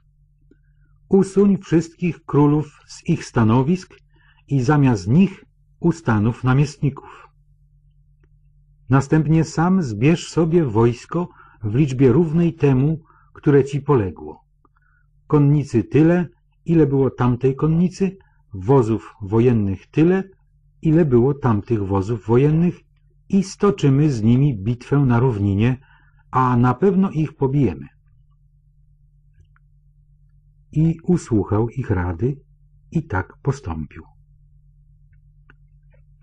Następnego roku zrobił Ben-Hadad pobór Aramejczyków i ruszył do Afek, aby walczyć z Izraelem. Również u Izraelitów zrobiono pobór i zaopatrzono ich w żywność. Potem ruszyli na ich spotkanie. Ale Izraelici stali przed nimi obozem jak dwa statka kus. Aramejczycy zaś zapełnili całą okolicę. Wtedy znowu przystąpił mąż Boży do króla izraelskiego i rzekł do niego. Tak mówi Pan. Ponieważ Aramejczycy powiedzieli, Pan jest Bogiem gór, a nie jest On Bogiem dolin, przeto wydam cały ten ogromny tłum w Twoją rękę i poznacie, żem ja Pan. I stali jedni naprzeciw drugich obozem przez siedem dni. Siódmego dnia jednak rozgorzała bitwa i synowie izraelscy pobili Aramejczyków, kładąc trupem w jednym dniu sto tysięcy pieszych. Pozostali zaś uciekli do grodu Afek, ale tam runął mur na dwadzieścia siedem tysięcy pozostałych wojowników. Również Ben-Hadad uciekł do grodu i krył się z jednej izby do drugiej. Wtedy jego dworzanie rzekli do niego. Oto słyszeliśmy, że królowie domu izraelskiego to królowie łaskawi. Włóżmy więc wory na nasze biodra, a powrozy na nasze szyje i poddajmy się królowi izraelskiemu, może zachować się przy życiu. Włożyli więc wory na swoje biodra i powrozy na swoje szyje i poszli do króla izraelskiego i rzekli. Sługa twój Benhadad prosi, zachowaj mnie proszę przy życiu. A on odpowiedział, czy żyje jeszcze? Wszak to mój brat. Mężowie ci wzięli to za pomyślny znak i szybko podchwycili tę myśl i rzekli. Czy Benhadad jest twoim bratem? A on odpowiedział. Idźcie i sprowadźcie go tu. Benhadad wyszedł do niego, a on kazał mu wsiąść na swój rydwan. Ten zaś rzekł do niego. Miasta, które zabrał mój ojciec twojemu ojcu, zwrócę. Ty zaś możesz sobie w Damaszku urządzić bazary, jak mój ojciec urządził sobie w Samarii. Ja zaś, rzekł Achab, wypuszczę cię na wolność jako mojego sprzymierzeńca. I zawarł z nim przymierze i wypuścił go wolno. Wtedy jeden z uczniów prorockich z rozkazu Pana rzekł do swego towarzysza. Uderz mnie. Lecz mąż ten nie chciał go uderzyć. Rzekł więc do niego. Ponieważ nie usłuchałeś głosu Pana, oto gdy odejdziesz ode mnie, zagryzie cię lew. A gdy odszedł od niego, natknął się na lwa, który go zagryzł. Następnie spotkał innego człowieka i rzekł do niego — Uderz mnie! A człowiek ten uderzył go mocno i zranił go. I odszedł ów prorok i stanął królowi na drodze i zmienił swój wygląd, nałożywszy na oczy opaskę. A gdy król tamtędy przejeżdżał, krzyknął na króla tymi słowy. Gdy twój sługa dostał się w środek walki, Oto pewien mąż wystąpił z szeregu i przyprowadził do mnie jednego jeńca i rzekł Pilnuj tego człowieka. Jeśli by ci umknął, przypłacisz to życiem albo zapłacisz talent srebra. Podczas gdy sługa twój tym i owym był zajęty, tamten umknął. Wtedy rzekł do niego król izraelski. Taki jest twój wyrok, ty go sam wydałeś. Wtedy ten szybko zdjął opaskę ze swoich oczu i król izraelski poznał, że należy do proroków. A on rzekł do niego. Tak mówi Pan. Za to, że wypuściłeś z ręki swojej męża, który był obłożony moją klątwą, zapłacisz swoim życiem za jego życie, a swoim ludem za jego lud. I odszedł król izraelski do swego domu, posępny i gniewny, i przyszedł do Samarii.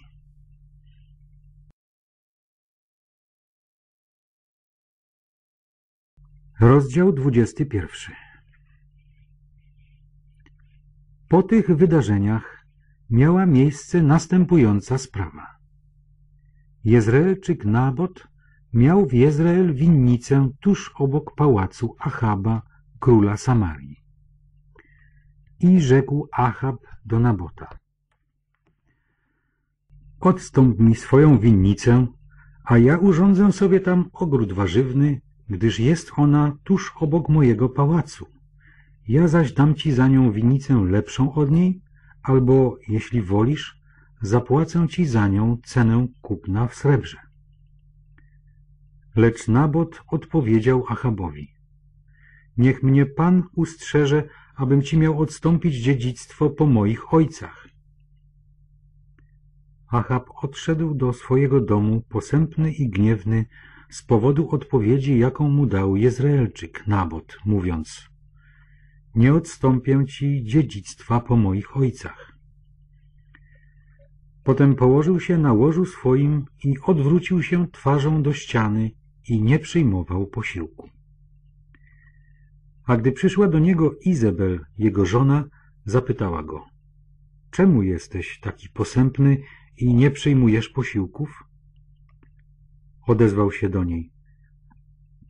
Rozmawiałem z Nabotem, Jezreelczykiem i rzekłem do niego, odstąp mi swoją winnicę za pieniądze lub, jeśli wolisz, dam ci także w zamian winnicę. A on na to, nie odstąpię ci mojej winnicy. Izabel, jego żona, rzekła do niego. To ty sprawujesz władzę królewską w Izraelu? Wstań, przyjmij posiłek i bądź dobrej myśli. Ja dam ci winnicę Nabota Jezreelczyka. Potem napisała w imieniu Achaba listy i opatrzyła je jego pieczęcią i wysłała te listy do starszyzny i przedniejszych obywateli, którzy mieszkali w jego mieście razem z Nabotem. W listach tych zaś napisała tak. Ogłoście post, a Nabota postawcie wśród ludu na przodzie. Wysuńcie przeciwko niemu dwóch nikczemnych ludzi, którzy złożą świadectwo tej treści. Bluźniłeś przeciwko Bogu i królowi. Potem wyprowadźcie go i ukamienujcie go na śmierć. Obywatele jego miasta, mianowicie starszyzna i przedniejsi obywatele, którzy mieszkali w jego mieście, uczynili według rozkazu Izabel, zawartego w listach, które ona przysłała do nich. Ogłosili post i postawili Nabota wśród ludu na przedzie. Potem przyszli dwaj nikczemni ludzie, zasiedli naprzeciw niego i ci nikczemni ludzie złożyli wobec ludu takie świadectwo przeciwko Nabotowi. Nabot bluźnił przeciwko Bogu i królowi. Wyprowadzili go tedy poza miasto i ukamienowali i umarł. Następnie posłali do Izabel wiadomość, że Nabot został ukamienowany i nie żyje.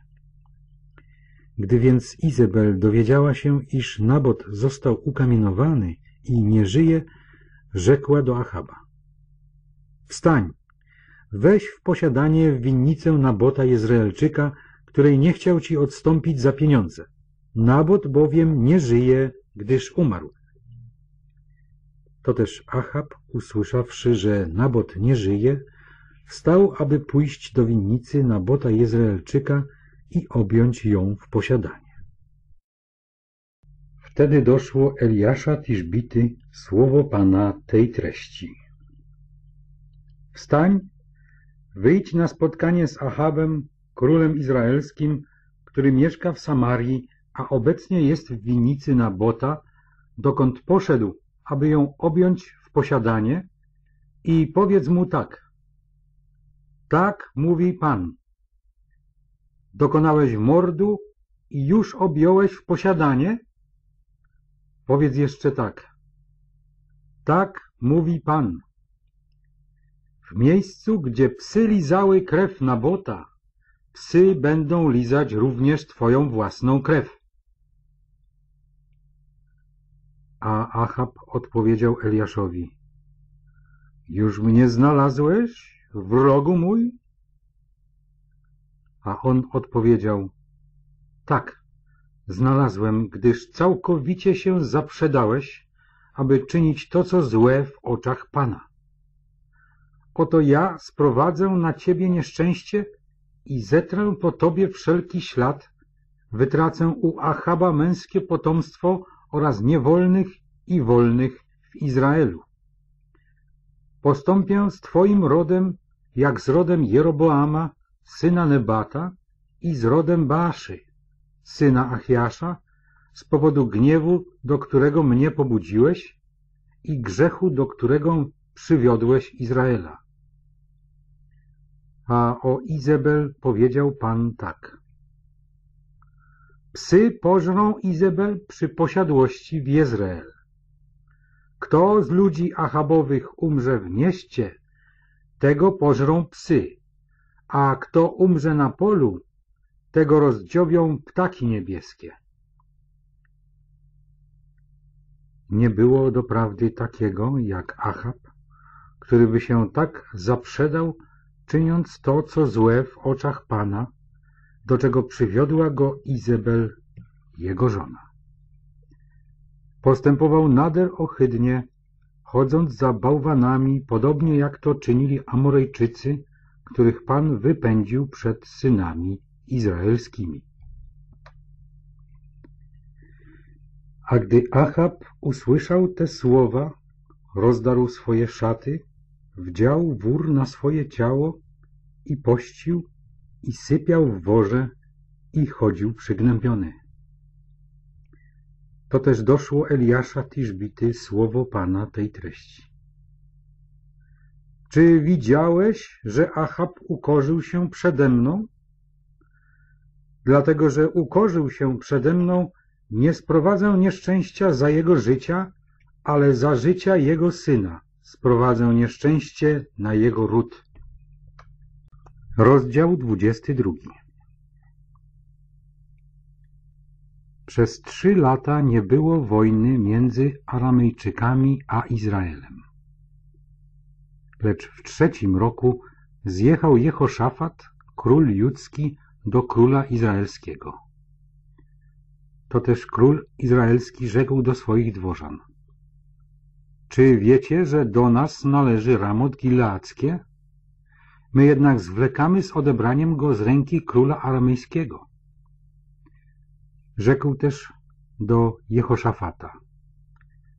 Czy ruszysz ze mną na wojnę pod Ramot Gileackie? Jehoszafat zaś odpowiedział królowi izraelskiemu. Ja zrobię tak jak ty. Mój lud jak twój lud, a konie moje jak twoje konie. Jehoszafat rzekł jeszcze do króla izraelskiego. Wpierw jednak zapytaj Pana o wyrocznię. Król izraelski zgromadził więc proroków w liczbie około czterystu mężów i zapytał ich. Czy mam wyruszyć na wojnę pod Ramot Gileackie, czy też mam tego zaniechać? A oni odpowiedzieli, wyrusz, a Pan wydaje w rękę króla. Lecz Jehoszafat zapytał, czy nie ma tutaj jeszcze jakiegoś proroka Pana, abyśmy i jego zapytali? Król izraelski odpowiedział Jehoszafatowi. Jest jeszcze jeden mąż, przez którego moglibyśmy zapytać się Pana, lecz ja go nienawidzę, gdyż nie zwiastuje mi nigdy nic dobrego, a tylko zło. Jest to Micheasz, syn Imli. A Jehoszafat rzekł, niech król tak nie mówi. Wtedy król izraelski zawołał jednego z dworzan i rzekł, sprowadź tu szybko Micheasza, syna Imli. Król izraelski zaś i Jehoszafat, król judzki, siedzieli na swoich tronach, przyodziani w szaty uroczyste na placu naprzeciwko bramy wjazdowej do Samarii, a wszyscy prorocy prorokowali przed nimi. Jeden z nich, Sedekiasz, syn Kenaany, sporządził sobie żelazne rogi i mówił Tak mówi Pan, nimi będziesz budził Aramejczyków, dopóki ich zupełnie nie wytępisz. Wszyscy też prorocy tak samo prorokowali, mówiąc Wyrusz do Ramot Gileackiego, a poszczęści ci się i Pan wydaje w ręce króla. A posłaniec, który poszedł, aby przywołać Michaasza, rzekł do niego tak. Oto wszystkie wypowiedzi proroków są jednakowo pomyślne dla króla. Oby i Twoje słowa były jak słowa każdego z nich. Przepowiadaj dobrze. A Michasz odpowiedział. Jako żyje Pan, że będę mówił tylko to, co mi powie Pan. A gdy przyszedł do króla, król rzekł do niego. Micheaszu, czy mamy ruszyć przeciwko Ramot Gileackiemu na wojnę, czy też tego zaniechać? A on odpowiedział. Wyrusz, a poszczęści ci się i Pan wydaje w ręce króla. Wtedy rzekł król do niego. Ileż razy mam cię zaklinać, byś mi nie mówił nic innego, jak tylko prawdę w imieniu Pana. Wtedy rzekł. Widziałem całego Izraela rozproszonego po górach, jak owce, które nie mają pasterza. Pan zaś rzekł, ci nie mają Pana, niechaj każdy wraca do swego domu w pokoju. Wtedy król izraelski rzekł do Jehoszafata, czy nie mówiłem ci, że ten nie zwiastuje mi nic dobrego, a tylko złe? On zaś rzekł, słuchaj przeto słowa pańskiego. Widziałem Pana siedzącego na swoim tronie, a cały zastęp niebieski stał przy nim po jego prawicy i po lewicy. A Pan rzekł, kto zwiedzie Achaba, aby wyruszył i poległ w Ramot Gileackim? I jeden mówił to, a drugi owo. Wtedy wystąpił duch i stanął przed Panem i rzekł, ja go zwiodę. A Pan rzekł do niego, w jaki sposób? A on odpowiedział, wyjdę i stanę się duchem kłamliwym w ustach wszystkich jego proroków. Wtedy on rzekł, tak, ty go zwiedziesz, ty to potrafisz. Idź więc i uczeń tak. Otóż teraz włożył Pan ducha kłamliwego w usta tych wszystkich Twoich proroków. Pan zapowiedział Tobie nieszczęście. Wtedy przystąpił Sedekiasz, syn Kenaana, i uderzył Micheasza w policzek, mówiąc Jak to? Więc duch Pana odszedł ode mnie, aby mówić przez Ciebie? A Micheasz rzekł Przekonasz się o tym w dniu, kiedy będziesz biegał z izby do izby, aby się ukryć. Wtedy król izraelski rzekł Zabierz Micheasza i zaprowadź go z powrotem do Amona, dowódcy miasta, i do Joasza, syna królewskiego, i powiedz im Tak mówi król. Osadźcie go w więzieniu i żywcie go skąpo chlebem i wodą, dopóki nie wrócę szczęśliwie. Michasz zaś rzekł Jeżeli ty szczęśliwie powrócisz, to Pan nie mówił przeze mnie. I dodał jeszcze Słuchajcie tego wszyscy ludzie. Potem wyruszył król izraelski oraz Jehoszafat, król judzki, przeciwko Ramot Gileackiemu. Król izraelski rzekł tam do Jehoszafata, że pójdzie do walki w przebraniu.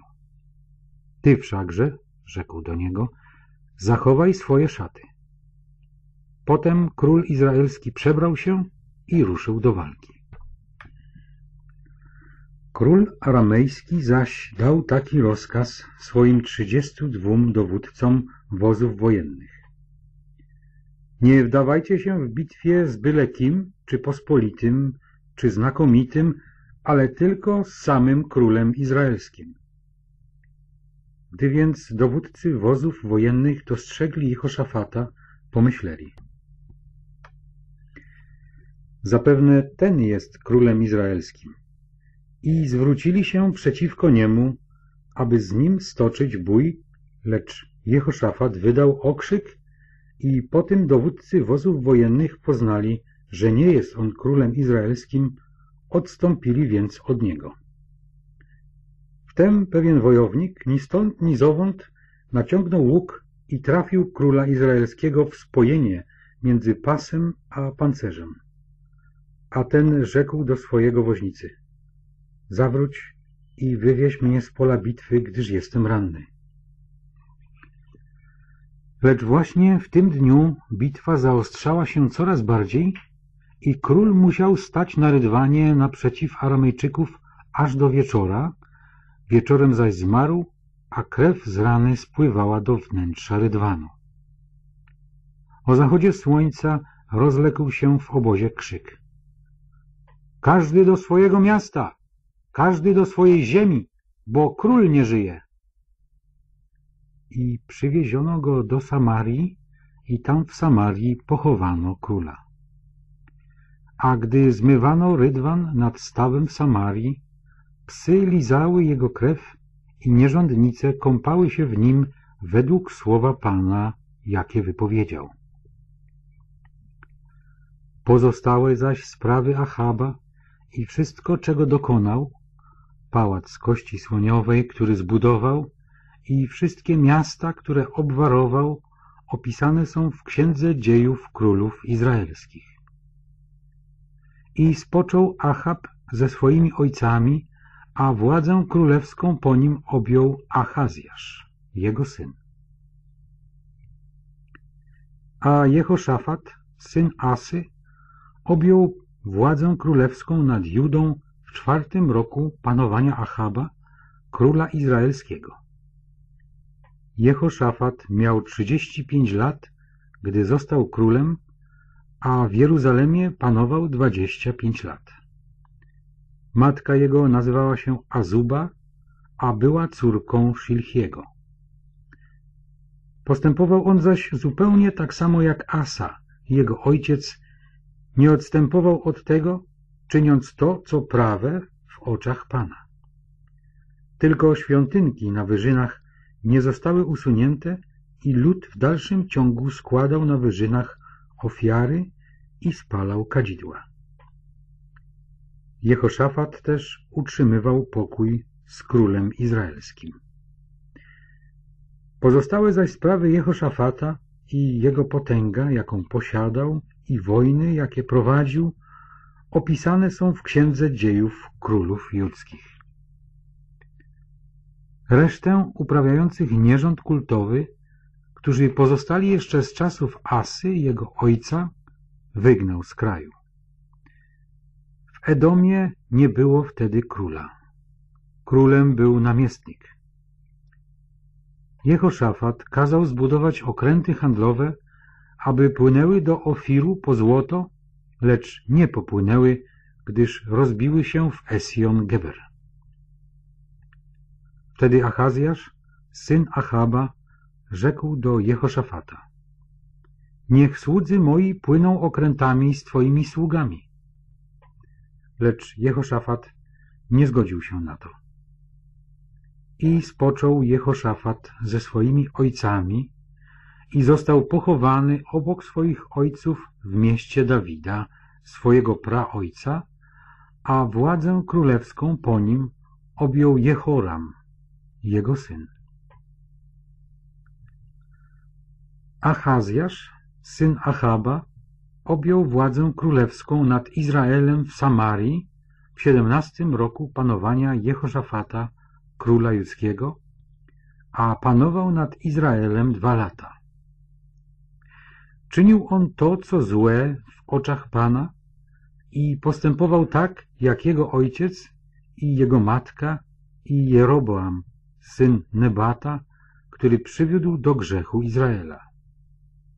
Służył on Baalowi i oddawał mu pokłon i pobudził do gniewu Pana, Boga Izraelskiego, tak jak to czynił jego ojciec.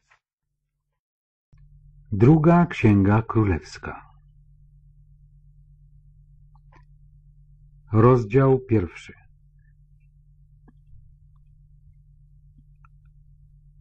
Po śmierci Achaba odpadli Moabici od Izraela. Pewnego razu spadł Achazjasz poprzez ogrodzenie z balkonu swej górnej komnaty w Samarii i zachorował. Wysłał przeto posłów, dając im polecenie. Idźcie i dowiedzcie się u Belzebuba, boga Ekronu, czy wyzdrowieję z tej mojej choroby. Wtedy anioł pański rzekł do Eliasza Tiszbity. Wstań, wyjdź naprzeciw posłańców króla Samarii i powiedz do nich. Czy nie ma Boga w Izraelu, że idziecie zasięgnąć rady Belzebuba, Boga Ekronu? Dlatego tak mówi Pan. Złoża, na którym się położyłeś, już nie wstaniesz, gdyż na pewno umrzesz. I Eliasz odszedł, posłańcy zaś powrócili do niego. Wtedy on rzekł do nich, dlaczego to zawróciliście? A oni mu odpowiedzieli, pewien mąż wyszedł nam naprzeciw i rzekł do nas, idźcie, wróćcie do króla, który was wysłał i powiedzcie mu tak. Tak mówi Pan. Czy nie ma Boga w Izraelu, że posłałeś zasięgnąć rady Belzebuba, Boga Ekronu? To też złoża, na którym się położyłeś, już nie wstaniesz, gdyż na pewno umrzesz. On zaś zapytał ich, jak wyglądał ten mąż, który wyszedł naprzeciw was i powiedział do was te słowa? A oni odpowiedzieli mu, był to mąż długowłosy, przepasany skórzanym pasem wokół swoich bioder. A on na to, to Eliasz Tyżbita. Wtedy posłał po niego dowódcę pięćdziesięciu wojowników z jego pięćdziesięcioma, a gdy ten doszedł do niego, siedział on na szczycie góry i przemówił do niego. Mężu Boży, król nakazuje, abyś zszedł. Odpowiadając, Eliasz rzekł do dowódcy pięćdziesięciu wojowników.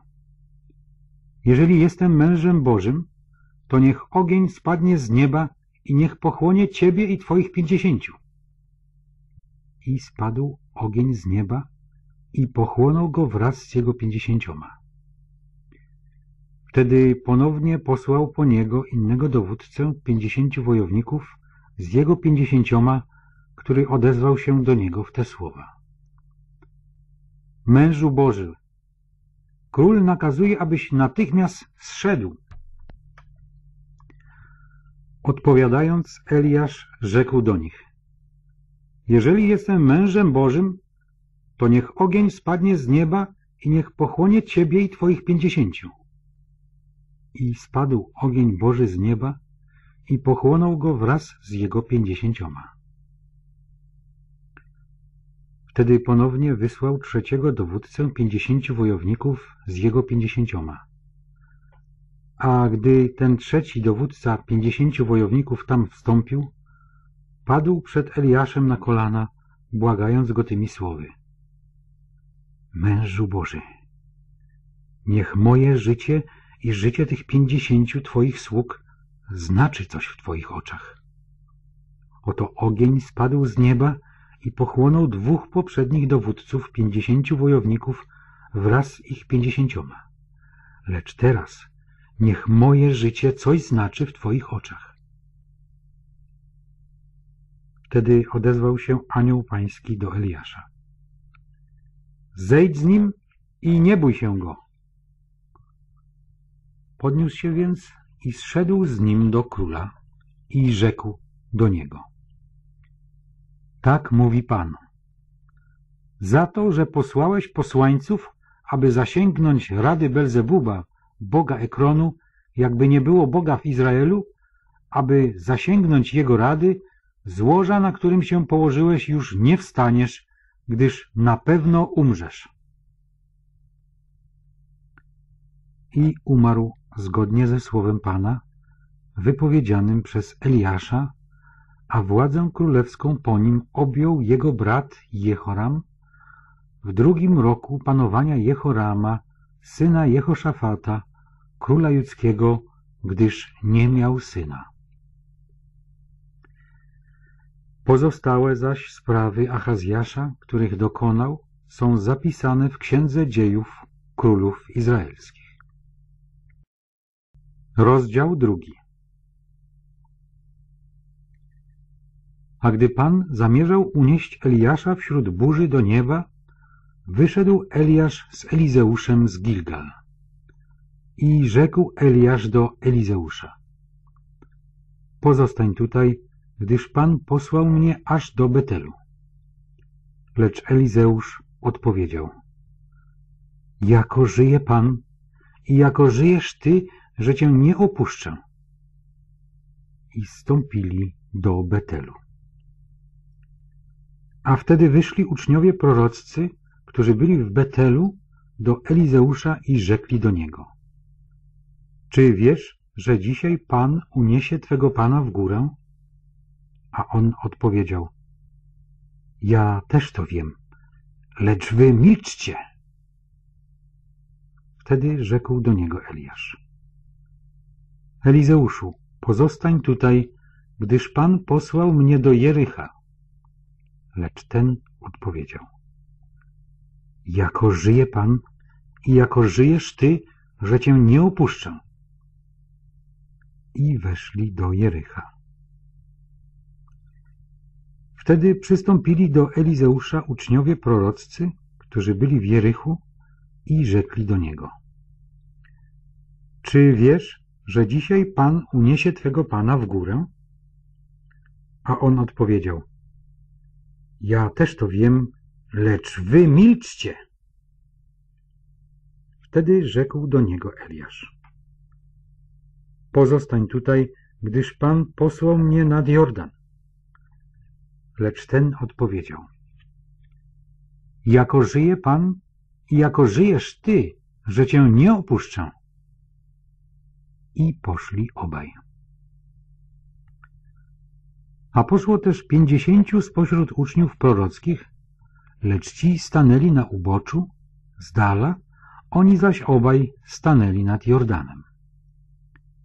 Wtedy Eliasz zdjął swój płaszcz, zwinął go i uderzył nim wodę, a ta rozstąpiła się w jedną i drugą stronę.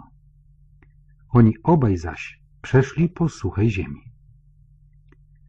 Gdy zaś przeszli, rzekł Eliasz do Elizeusza. Proś, co mam dla ciebie uczynić, zanim zostanę wzięty od ciebie. Elizeusz zaś odpowiedział.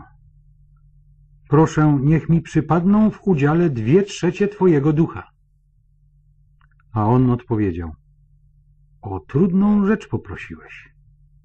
Lecz jeśli mnie ujrzysz w chwili, gdy będę od ciebie wzięty, spełni ci się to, a jeśli nie, to się to nie spełni.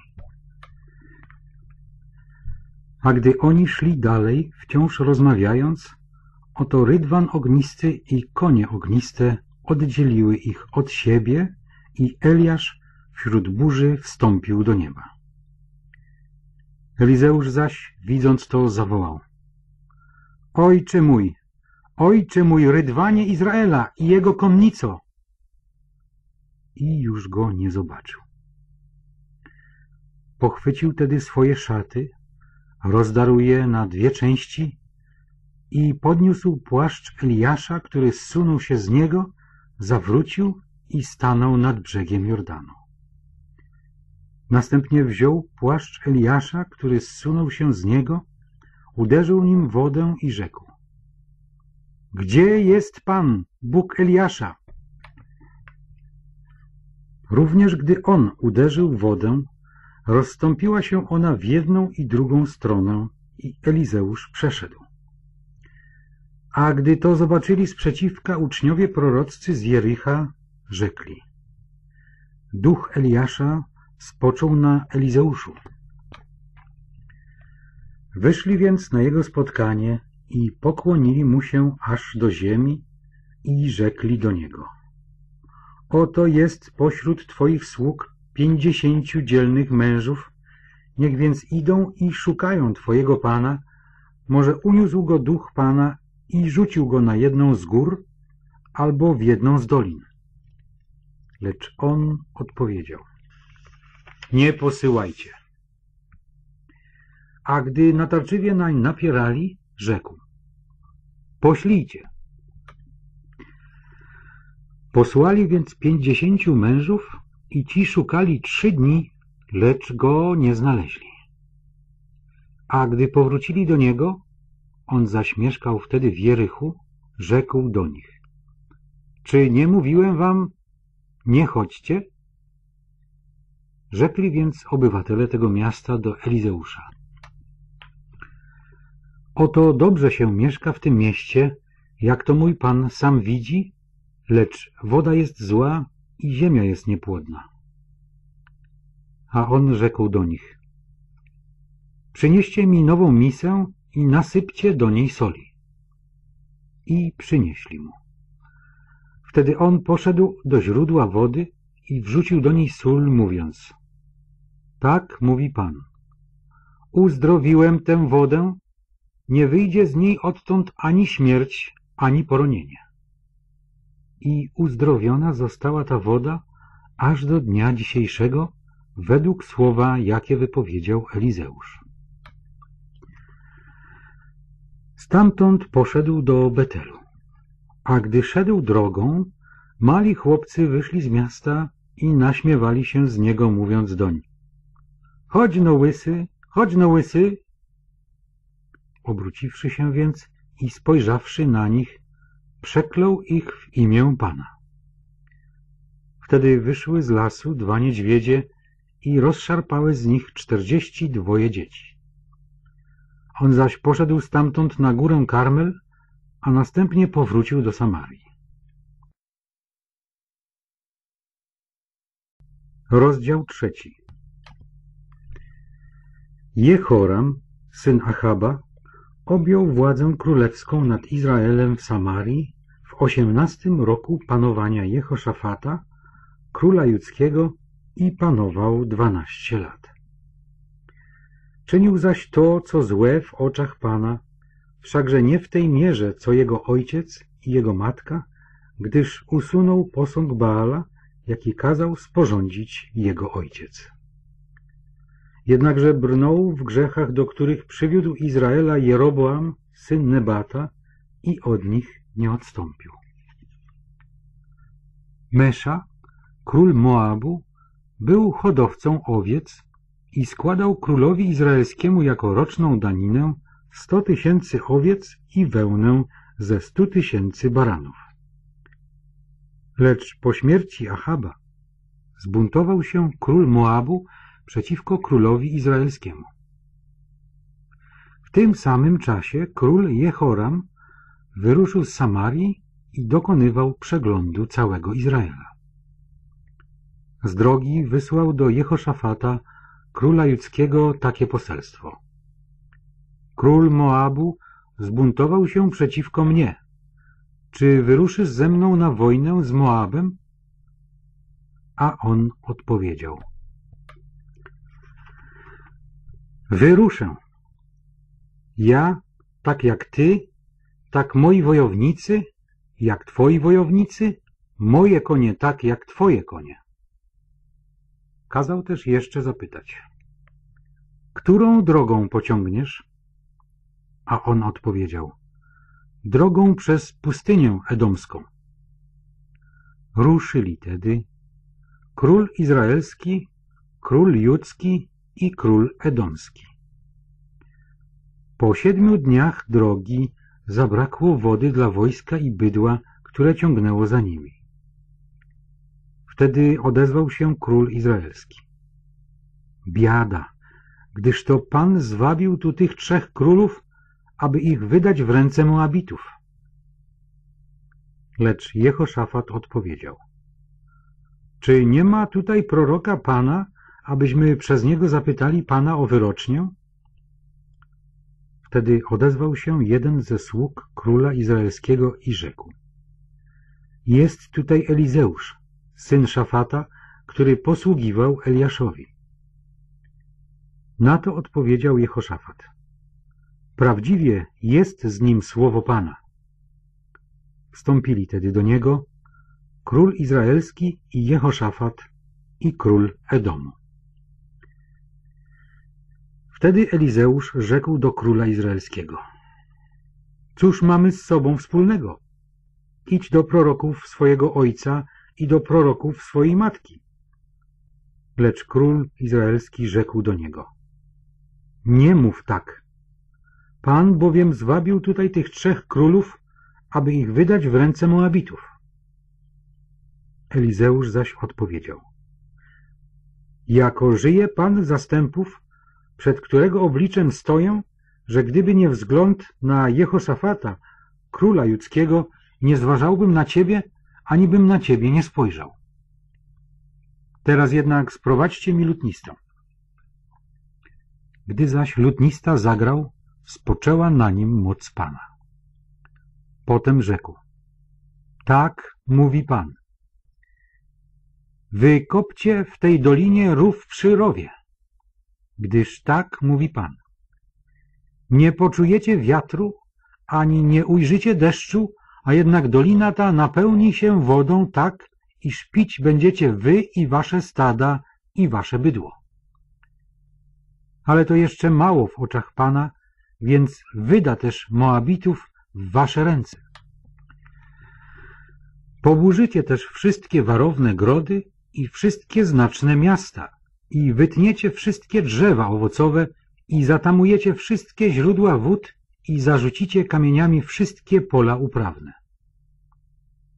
A z rana, w porze składania ofiary z pokarmów, oto zaczęła płynąć woda od strony Edomu i okolica napełniła się wodą.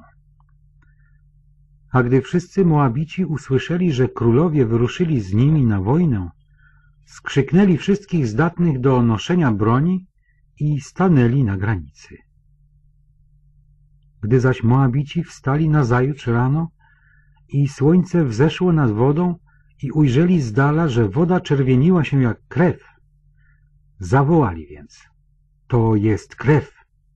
Zapewne pomordowali się królowie mieczami i nawzajem się wybili.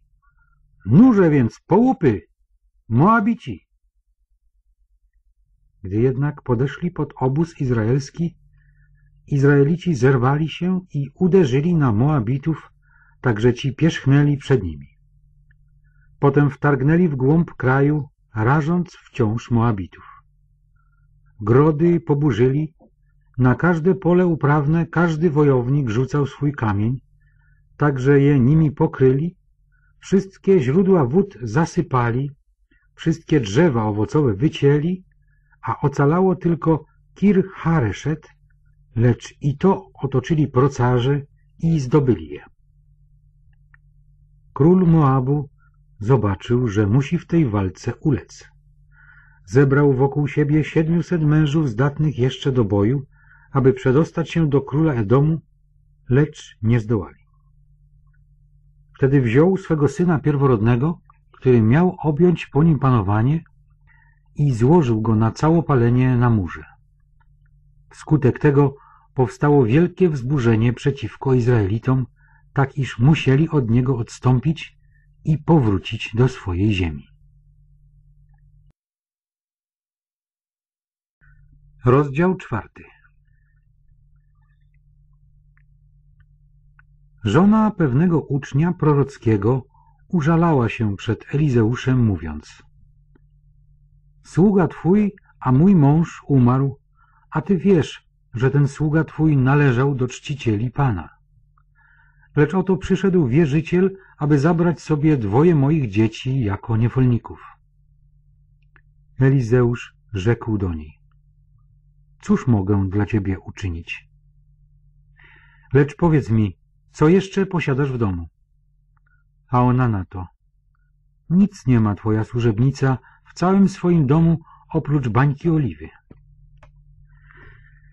On rzekł, idź, napożyczaj sobie naczyń z zewnątrz od wszystkich swoich sąsiadów, naczyń pustych, byle nie za mało. Potem wejdź do domu i zamknij drzwi za sobą i za swoimi synami i nalewaj do wszystkich tych naczyń, a pełne odstawiaj. Odeszła więc od niego, zamknęła drzwi za sobą i za swoimi synami, oni jej podawali, a ona nalewała. A gdy naczynia były pełne, rzekła do swego syna. Podaj mi jeszcze naczynie.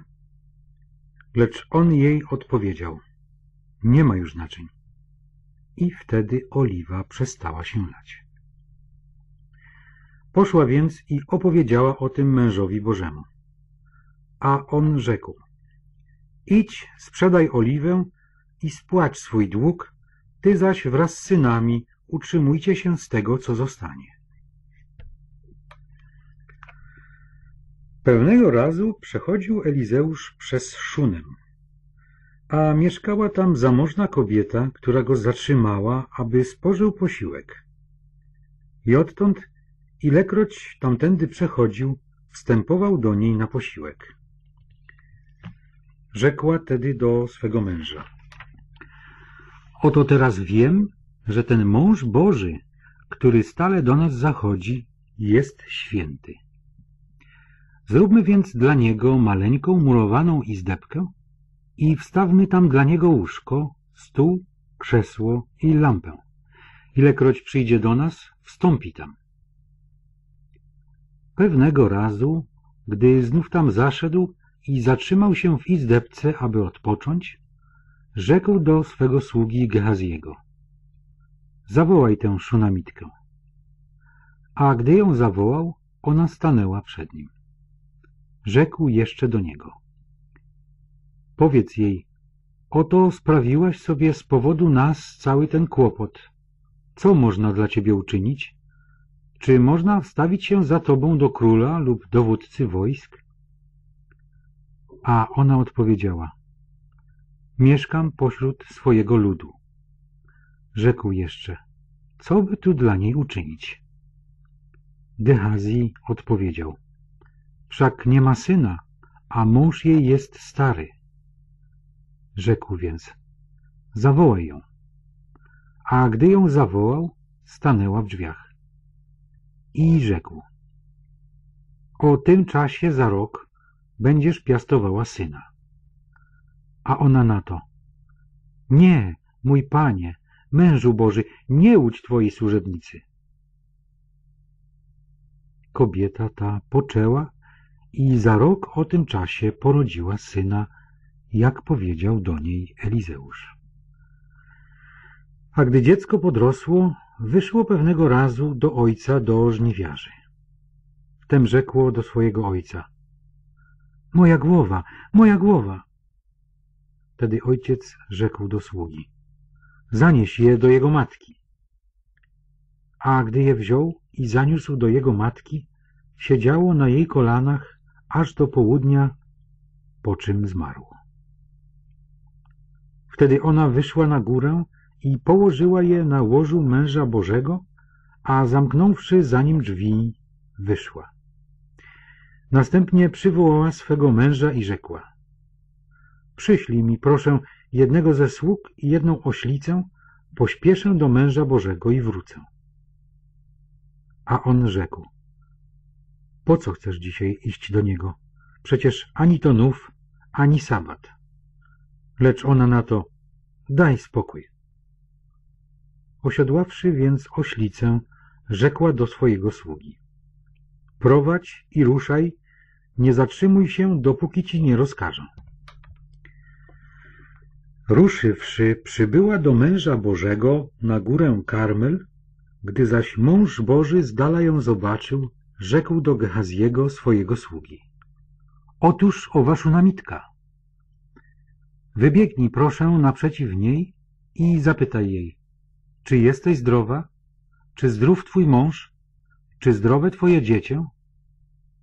A ona odpowiedziała, zdrowi jesteśmy.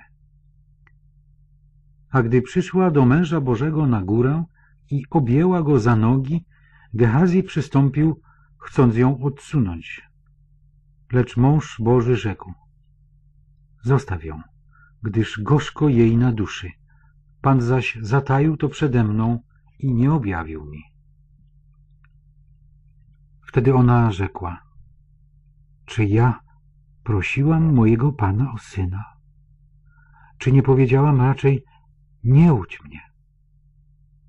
Wtedy on rzekł do Gehaziego, przepasz swoje biodra i weź moją laskę w swoją rękę i idź. Gdy kogo spotkasz, nie pozdrawiaj go, a gdy ciebie kto pozdrowi, nie odpowiadaj mu i połóż moją laskę na twarzy chłopca.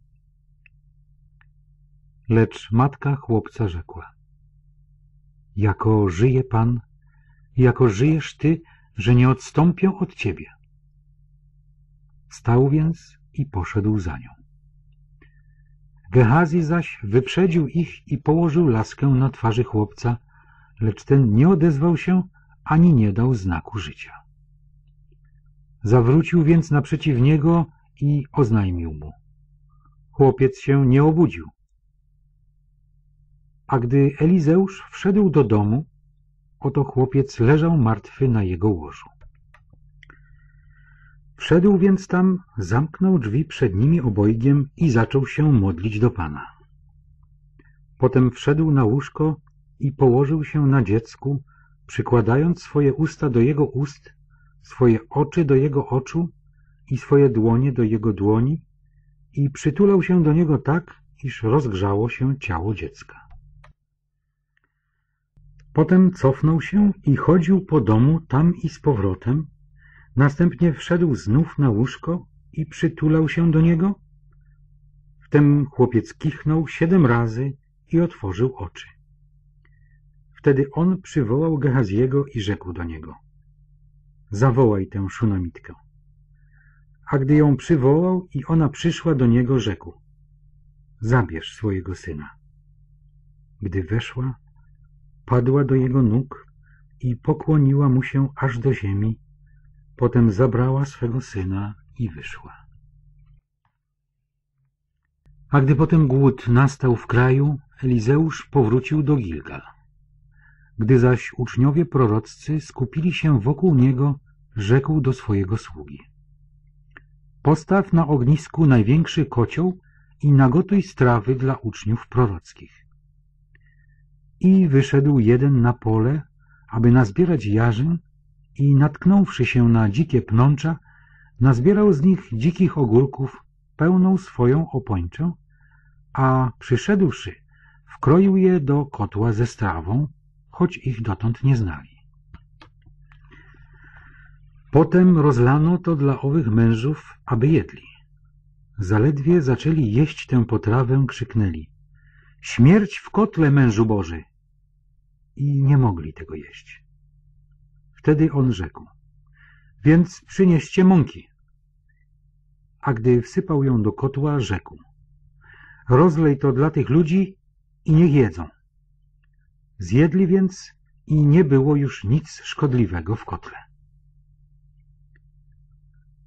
Potem przyszedł pewien człowiek z Bal Szalisza i przyniósł dla męża Bożego chleby z pierwszego ziarna, dwadzieścia chlebów jęczmiennych i wór świeżego ziarna.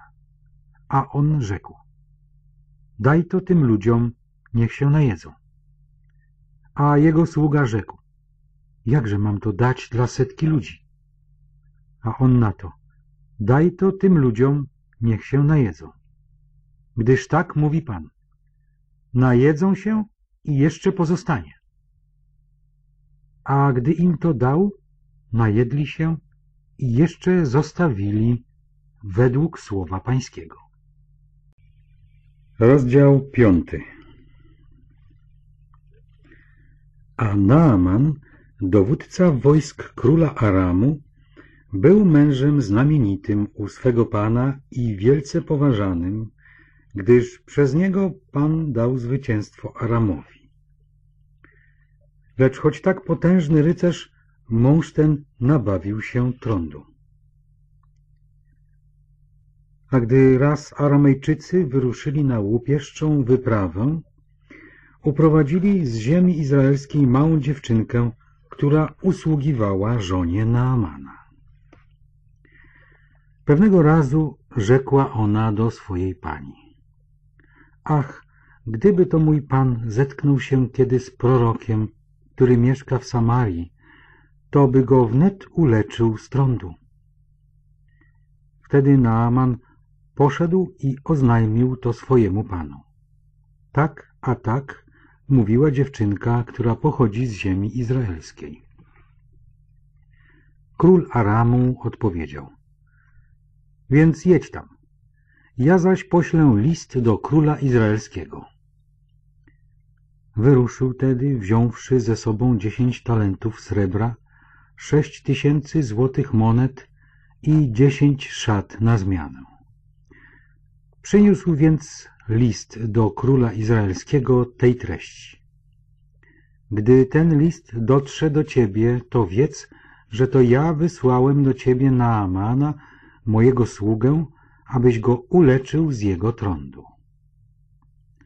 Lecz gdy król izraelski przeczytał ten list, rozdarł swoje szaty i rzekł Czy ja jestem Bogiem, aby śmierć zadawać i życiem obdarzać, że tamten przysyła do mnie, abym uleczył człowieka z jego trądu?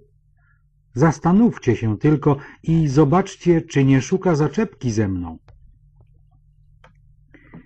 A gdy do Elizeusza, męża Bożego, dotarła wieść, że król izraelski rozdarł swoje szaty, posłał do króla i kazał mu powiedzieć Dlaczego rozdarłeś swoje szaty? Niech tamten przyjdzie do mnie i dowie się, że jest prorok w Izraelu. Przybył tedy Naaman ze swoimi końmi i ze swoim powozem i stanął przed drzwiami domu Elizeusza. Wtedy Elizeusz wysłał do niego posłańca z takim poleceniem.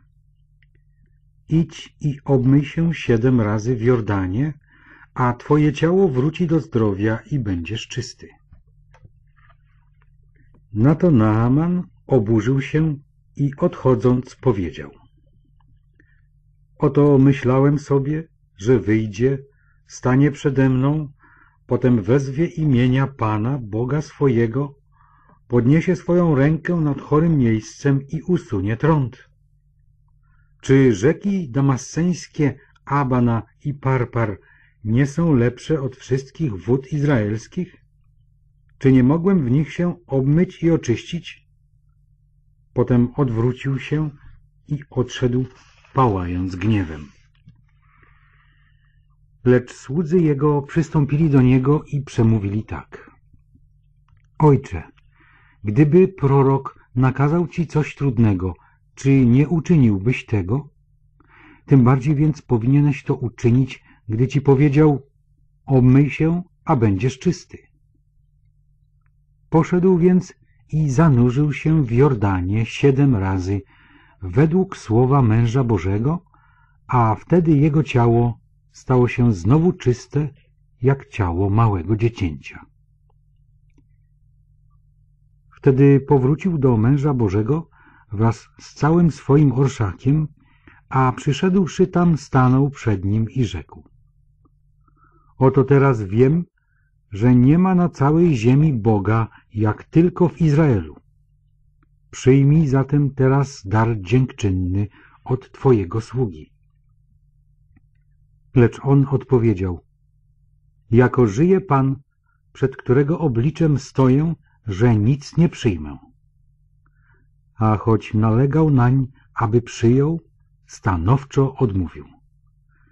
Naaman więc rzekł, jeżeli nie, to niech dadzą Twemu słudze tyle ziemi, ile udźwignie para mułów, gdyż sługa Twój nie będzie już składał ofiar całopalnych ani krwawych innym bogom, jak tylko Panu. W tej jednej sprawie tylko niech Pan będzie pobłażliwy dla Twego sługi, mianowicie, gdy władca mój wstępuje do świątyni Rimmona, aby tam oddać pokłon, a wspiera się na moim ramieniu, to i ja muszę oddawać pokłon w świątyni Rimmona. Gdy więc ja oddaję pokłon w świątyni Rimmona, niech więc Pan będzie pobłażliwy dla Twego sługi w tej jednej sprawie. Wtedy rzekł do niego Elizeusz, idź w pokoju. A gdy odszedł od niego kawał drogi, Gehazi, Sługa Elizeusza, męża Bożego, pomyślał sobie. Oto mój Pan oszczędził Naamana, tego Aramejczyka, nie przyjmując od niego nic z tego, co przywiózł. Jako żyje Pan, pobiegnę za nim i wezmę coś od niego. I puścił się Gehazi za Naamanem. A gdy Naaman zobaczył go biegnącego za sobą, wyskoczył ze swojego powozu na jego spotkanie i rzekł — Czy przychodzisz w uczciwych zamiarach? A on odrzekł — W uczciwych. Pan mój wysłał mnie z taką wieścią. W tej właśnie chwili przyszli do mnie dwaj młodzieńcy z uczniów prorockich z gór efraimskich. Dajże dla nich talent srebra i dwie szaty na zmianę. Naaman rzekł, ależ owszem, zechciej przyjąć dwa talenty.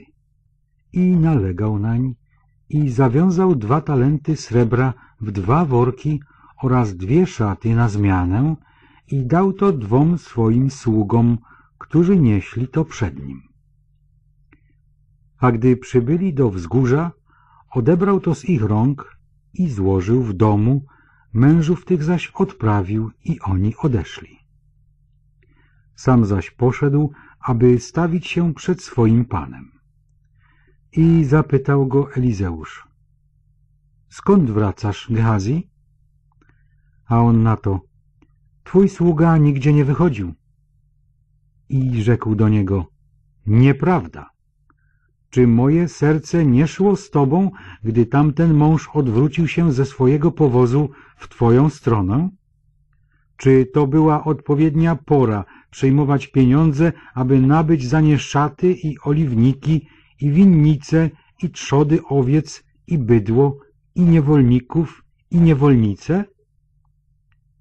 Niechaj tedy trąd Naamana przylgnie do ciebie i do twojego potomstwa na zawsze. I wyszedł od niego zbielały od trądu jak śnieg.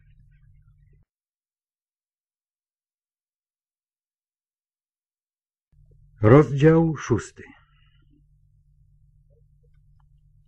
Pewnego razu rzekli uczniowie proroccy do Elizeusza. To miejsce, gdzie przy Tobie mieszkamy, jest dla nas za ciasne. Pozwól nam pójść nad Jordan i przynieść stamtąd każdy po jednej belce, abyśmy mogli wznieść sobie tutaj pomieszczenie dla siebie. A on rzekł, idźcie. A jeden z nich rzekł, racz i ty pójść ze swoimi sługami. A on odpowiedział, owszem, pójdę. I poszedł z nimi. A gdy doszli nad Jordan, zaczęli ścinać drzewa. A gdy jeden z nich obalał pień, siekiera wpadła do wody. Wtedy zawołał, ach, mój panie, ona była pożyczona. Wtedy rzekł mąż Boży, gdzie wpadła? A gdy on pokazał mu miejsce, uciął kij i rzucił go tam i sprawił, że siekiera wypłynęła. Potem rzekł, podnieś ją sobie. Ten zaś, sięgnąwszy ręką, pochwycił ją. Ilekroć król Aramu prowadził wojnę z Izraelem i po naradzie ze swoimi dostojnikami powiadał tym, a w tym miejscu stanę obozem, mąż Boży wysyłał do króla izraelskiego wiadomość. Wystrzegaj się, aby ciągnąć tamtędy, gdyż tam obozują Aramejczycy. Posyłał więc król izraelski na to miejsce, o którym mu oznajmiał mąż Boży, ostrzegając go nie raz i nie dwa, i miał się tam na baczności. Rzecz ta oburzała króla aramejskiego, zwołał więc swoich dostojników i powiedział do nich. Czy nie możecie mi donieść, kto z naszych trzyma z królem izraelskim? Wtedy jeden z jego dostojników rzekł. Nikt, panie mój, królu, lecz to prorok Elizeusz, który jest w Izraelu donosi królowi izraelskiemu słowa, które wypowiadasz w swojej komnacie sypialnej. On odpowiedział, idźcie, a wybadajcie, gdzie on przebywa, a ja wyślę ludzi i każę go pojmać. I doniesiono mu, oto jest on w Dotanie. Wtedy wyprawił tam konnicę i wozy wojenne i znaczny oddział wojska i ci, wyruszywszy nocą, otoczyli miasto. A gdy wczesnym rankiem sługa męża Bożego wstał i chciał wyjść, oto miasto otaczało wojsko, konnica i wozy wojenne. Rzekł więc jego sługa do niego. Biada, panie mój, jak postąpimy? A on odpowiedział, nie bój się, bo więcej jest tych, którzy są z nami, niż tych, którzy są z nimi. Elizeusz modlił się tymi słowy. Panie, otwórz jego oczy, aby przejrzał. I otworzył Pan oczy sługi i przejrzał, a oto góra pełna była koni i wozów ognistych wokół Elizeusza. A gdy Aramejczycy ruszyli przeciwko niemu, Elizeusz modlił się do Pana tymi słowy. Dotknij ten lud ślepotą. I dotknął ich ślepotą według słów Elizeusza. Wtedy Elizeusz rzekł do nich, to nie ta droga i nie to miasto. Pójdźcie za mną, a ja zaprowadzę was do męża, którego szukacie. I zaprowadził ich do Samarii. Gdy zaś weszli do Samarii, Elizeusz rzekł, Panie, otwórz ich oczy, niech widzą. Wtedy Pan otworzył ich oczy i ujrzeli, że są w samym środku Samarii. Gdy zobaczył ich król izraelski, zapytał się Elizeusza, czy mam kazać wyciąć ich w pień, ojcze? A on odpowiedział, nie wycinaj ich w pień. Czy wycinasz w pień tych, których bierzesz do niewoli swoim mieczem i swoim łukiem? Postaw raczej chleb i wodę przed nimi, niech jedzą i piją, a potem idą do swego Pana. Kazał więc przygotować dla nich wielką ucztę, a gdy się najedli i napili, odprawił ich, oni zaś poszli do swego Pana. I odtąd Aramejczycy już nie wyruszali na łupieszcze wyprawy do ziemi izraelskiej. Następnie Ben-Hadad, król Aramu, zgromadził całe swoje wojsko i wyruszywszy obległ Samarię. I nastał w Samarii wielki głód, gdy ją oblężono, tak że doszła cena łba oślego do osiemdziesięciu srebrników, a ćwierć wiadra gnoju gołębiego do pięciu srebrników. Gdy pewnego razu król izraelski przechodził po murze miejskim, zawołała na niego pewna kobieta, mówiąc Ratuj mnie, panie mój, królu! A on odpowiedział Jeżeli cię pan nie uratuje, jakże ja cię uratuję? Czy sklepiska, czy stłoczni? Król zapytał ją jeszcze, co ci jest? A ona odpowiedziała, ta oto kobieta rzekła do mnie, daj twego syna i zjemy go dzisiaj, a mojego syna zjemy jutro.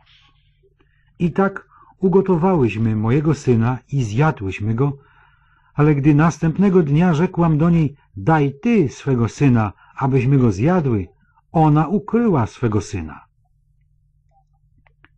Gdy król usłyszał słowa tej kobiety, rozdarł swoje szaty, a ponieważ przechodził po murze miejskim, lud zobaczył, że pod spodem na ciele miał wór pokutny. Wtedy rzekł, to niech mi Bóg uczyni i to niech doda, jeżeli dziś utrzyma się głowa Elizeusza, syna Szafata, na jego szyi. Elizeusz zaś przebywał w swoim domu, a przy nim siedzieli starsi. Król wysłał przed sobą posłańca, lecz zanim posłaniec doszedł, Elizeusz rzekł do starszych. Czy widzieliście, że ten syn mordercy posłał, aby mi ucięto głowę? Baczcie, gdy przyjdzie posłaniec, zamknijcie drzwi i podeprzyjcie je przed nim. Czyż nie słyszycie odgłosu kroków jego pana za nim? Gdy on jeszcze do nich mówił, oto już i król przystąpił do niego i rzekł. Oto nieszczęście to pochodzi od pana. Po cóż mam jeszcze na nim polegać? Rozdział siódmy Elizeusz rzekł Słuchajcie słowa pańskiego. Tak mówi Pan. Jutro o tym czasie miara przedniej mąki będzie za jednego sykla, a dwie miary jęczmienia również za jednego sykla w bramie Samarii. Na to adiutant, na którego ramieniu król się wspierał, odpowiedział mężowi Bożemu, mówiąc Choćby nawet Pan poczynił otwory w sklepieniu niebieskim, to czy ta rzecz mogłaby się stać? A on rzekł Oto zobaczysz to na własne oczy, lecz jeść z tego nie będziesz. A czterech mężów trędowatych znajdowało się wtedy u wejścia do bramy i mówili jeden do drugiego – po cóż my tutaj siedzimy, aż zginiemy? Jeżeli powiemy sobie, wejdziemy do miasta, a w mieście jest głód, to umrzemy tam. A jeżeli pozostaniemy tutaj, także pomrzemy. Przejdźmy więc do obozu Aramejczyków. Jeżeli pozostawią nas przy życiu, będziemy żyć, a jeżeli nas zabiją, zginiemy. Ruszyli więc o zmierzchu, ażeby przejść do obozu Aramejczyków. I doszli aż do końca obozu Aramejczyków, a oto nie było tam nikogo. Pan bowiem sprawił, że w obozie Aramejczyków usłyszano turkot wozów wojennych i tentent koni i zgiełk wielkiego wojska. To też rzekli jeden do drugiego. Oto król izraelski wynajął sobie przeciwko nam królów chetyckich i królów egipskich, aby na nas ruszyli. Zerwali się więc i o zmierzchu uciekli, pozostawiwszy swoje namioty, konie i osły, cały w ogóle obóz, tak jak był i uciekli, ratując życie. Doszli więc ci trędowaci aż do końca obozu i weszli do jednego namiotu, najedli się i napili oraz wynieśli stamtąd srebro, złoto i szaty, a wyszedłszy ukryli to. Potem wrócili, weszli do innego namiotu, a zabrawszy stamtąd też wynieśli i wyszedłszy ukryli. Lecz potem rzekł jeden do drugiego. Niedobrze robimy. Dzień dzisiejszy jest dniem radosnej wieści. Jeżeli to przemilczymy i będziemy zwlekać, aż zaświta ranek, spotka nas kara. Nurze więc, chodźmy teraz i donieśmy o tym w domu królewskim.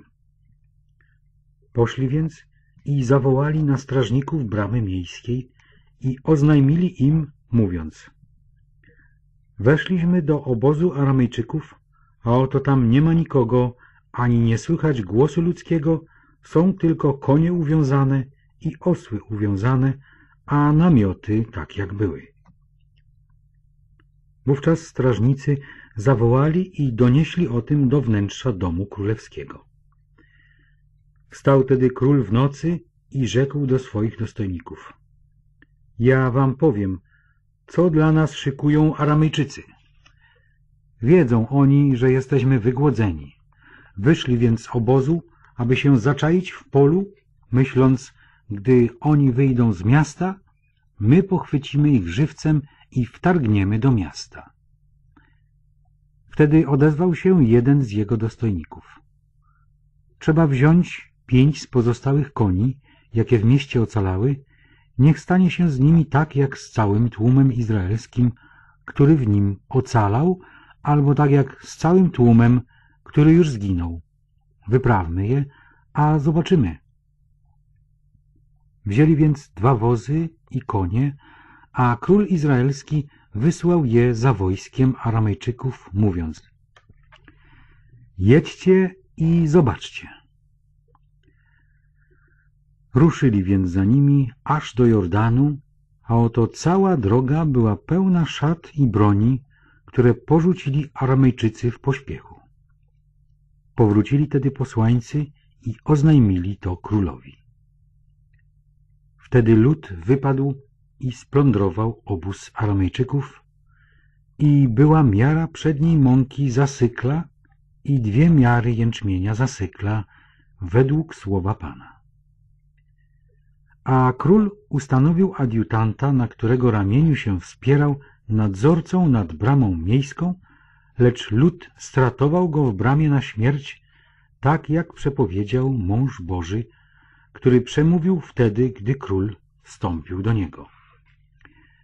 Gdy mianowicie mąż Boży mówił do króla, jutro o tym czasie będą w bramie Samarii dwie miary jęczmienia za sykla i miara przedniej mąki również za sykla, wtedy ten adiutant odezwał się do męża Bożego, choćby nawet Pan poczynił otwory w sklepieniu niebieskim, to czy rzecz ta mogłaby się stać?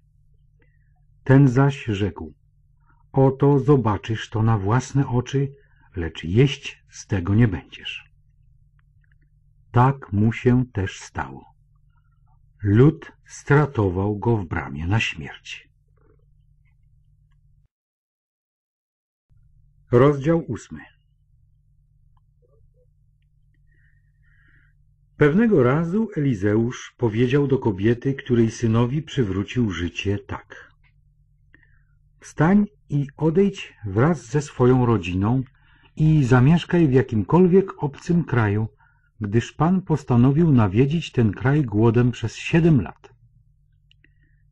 Wstała więc ta kobieta i postąpiła zgodnie ze słowem męża Bożego i wyruszyła wraz ze swoją rodziną i przebywała przez siedem lat w kraju Filistyńczyków. Po upływie siedmiu lat powróciła ta kobieta z kraju Filistyńczyków i poszła do króla, aby upomnieć się o swój dom i swoje pole. A król rozmawiał wtedy z Gehazim, sługą męża Bożego i rzekł do niego Opowiedz-że mi o wszystkich tych wielkich sprawach, jakich dokonał Elizeusz.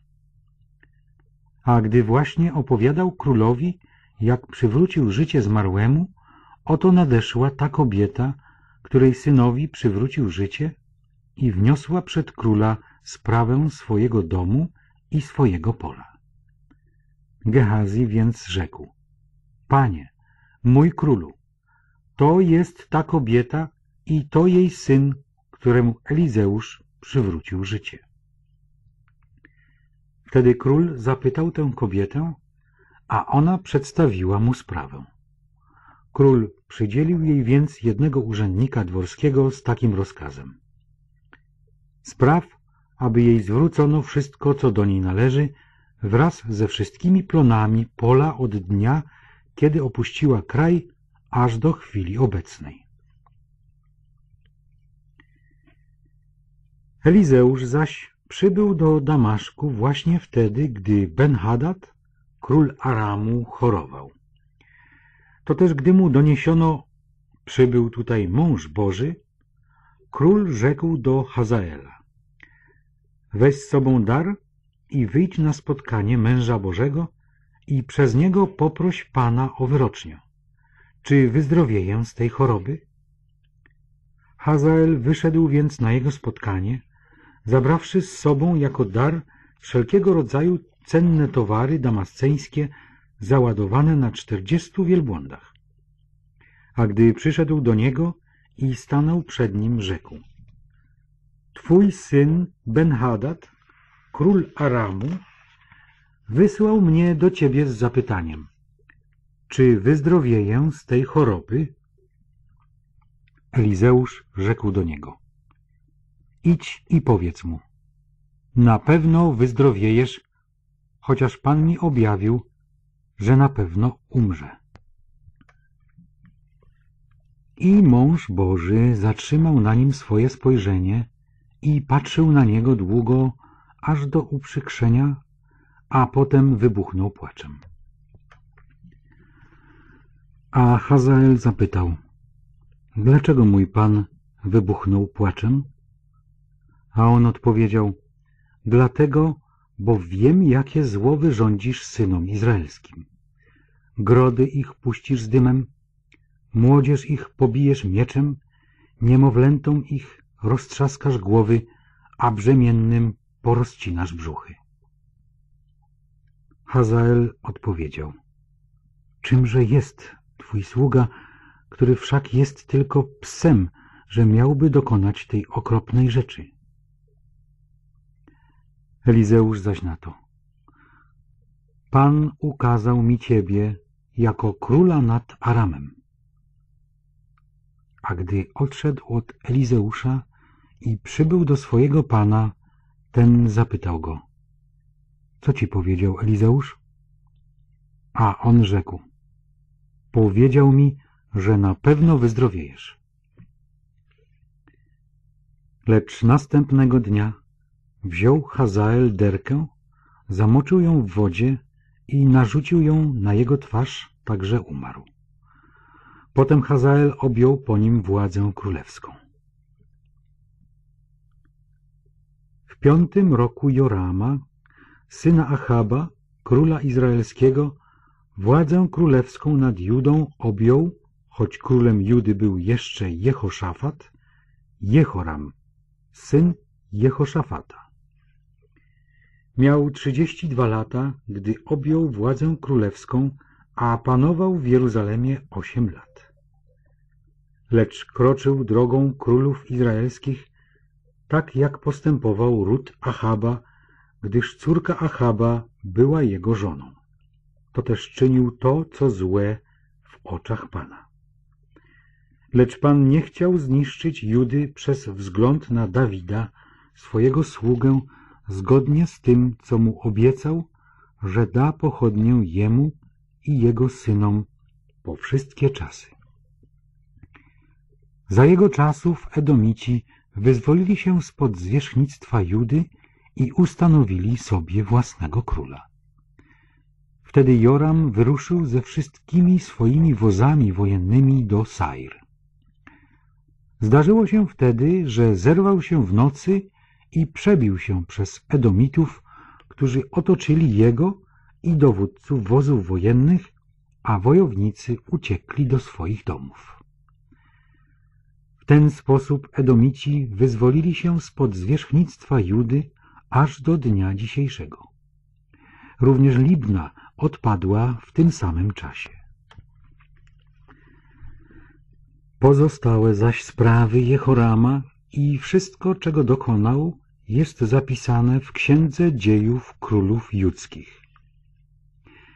I spoczął Jehoram ze swoimi ojcami i został pochowany obok swoich ojców w mieście Dawida, a władzę królewską po nim objął jego syn Achazjasz. W dwunastym roku Jorama, syna Achaba, króla izraelskiego, objął władzę królewską Achazjasz, syn Jehorama, króla judzkiego. Achazjasz miał dwadzieścia dwa lata, gdy objął władzę królewską, a panował jeden rok w Jeruzalemie. Matka jego zaś nazywała się Atalia, a była córką Omriego, króla izraelskiego. Lecz kroczył on drogą rodu Achaba i czynił to, co złe w oczach Pana, jak ród Achaba, ponieważ był zięciem rodu Achaba. Wyruszył on z Joramem, synem Achaba, na wojnę z Hazaelem, królem Aramu, pod Ramot Gileackie, lecz Aramejczycy zranili Jorama. Wobec tego król Joram wycofał się, aby się leczyć w Jezreel z ran, jakie mu zadali Aramajczycy pod Ramą, gdy walczył z Hazaelem, królem Aramu, a Hazjasz zaś, syn Jehorama, król judzki, przybył, aby odwiedzić Jorama, syna Achaba w Jezreel, ponieważ był chory. Rozdział dziewiąty Lecz prorok Elizeusz przywołał jednego z uczniów prorockich i rzekł do niego Przepasz swoje biodra i weź z sobą ten dzban z olejem i zajdź do Ramot Gileackiego. Gdy tam przybędziesz, rozejrzyj się za Jehu, synem Jehoszafata, syna Nimsziego. Zajdź do niego i wyprowadź go z grona jego towarzyszy i przeprowadź go poprzez izby. Potem weź dzban z olejem i wylej na jego głowę i powiedz. Tak mówi Pan. Namaściłem cię na króla izraelskiego. Potem otwórz drzwi i niezwłocznie umykaj. Poszedł więc ten młodzieniec, sługa proroka, do Ramot Gileackiego, a gdy tam przybył, oto przebywali tam właśnie dowódcy wojska. I rzekł, mam z tobą porozmawiać, wodzu. A Jehu rzekł, z kim z nas wszystkich? A on na to, z tobą, wodzu. Stał więc i wszedł do gmachu. Wtedy wylał olej na jego głowę i rzekł do niego. Tak mówi Pan, Bóg Izraela. Namaściłem Cię na króla nad ludem Pana, nad Izraelem. Wytępisz ród Achaba, Twego Pana, i tak pomszczę na Izabel krew moich sług, proroków i krew wszystkich czcicieli Pana. I zginie cały ród Achaba, bo wytracę u Achaba wszystkich męskich potomków, zarówno niewolnych, jak i wolnych w Izraelu. I uczynię z domem Achaba, jak z domem Jeroboama, synem Nebata, oraz z domem Baaszy, syna Achiasza. Izabel zaś pożrą psy na polu w Jezreel i nikt jej nie pogrzebie. Potem otworzył drzwi i uciekł. A gdy Jehu wyszedł do dostojników swego pana, zapytano go, czy wszystko w porządku? Po co ten szaleniec przyszedł do ciebie? A on im odpowiedział, wiecie wszak, kto to jest i co mówi. A oni na to, nieprawda, powiedz-że nam. Wtedy on rzekł, tak a tak powiedział do mnie. Tak mówi Pan, namaściłem cię na króla nad Izraelem. Wtedy oni szybko zdjęli swoje szaty i podłożyli je pod niego na samych stopniach, zadeli w trąby i zawołali Jehu jest królem! W ten sposób Jehu, syn Jehoszafata, syna Nimsziego, uknął spisek przeciwko Joramowi. Joram zaś wraz z całym Izraelem pilnował jeszcze wtedy Ramot Gileackiego przeciwko Hazaelowi, królowi Aram. Następnie jednak król Jehoram wycofał się, aby się leczyć w Jezreel z ran, jakie mu zadali Aramejczycy, gdy prowadził wojnę z Hazaelem, królem Aramu. Jehu zaś powiedział, jeżeli się na to zgadzacie, to niechaj żaden uchodźca nie wymknie się z miasta, aby pójść z tą wieścią do Jezreel. Po czym Jehu wsiadł na rydwan i pojechał do Jezreel, tam bowiem leżał Joram. Achazjasz zaś, król judzki, zjechał tam, aby odwiedzić Jorama. Gdy tedy strażnik stojący na wieży w Jezreel dostrzegł poczet Jehu, który nadciągał, dał znać.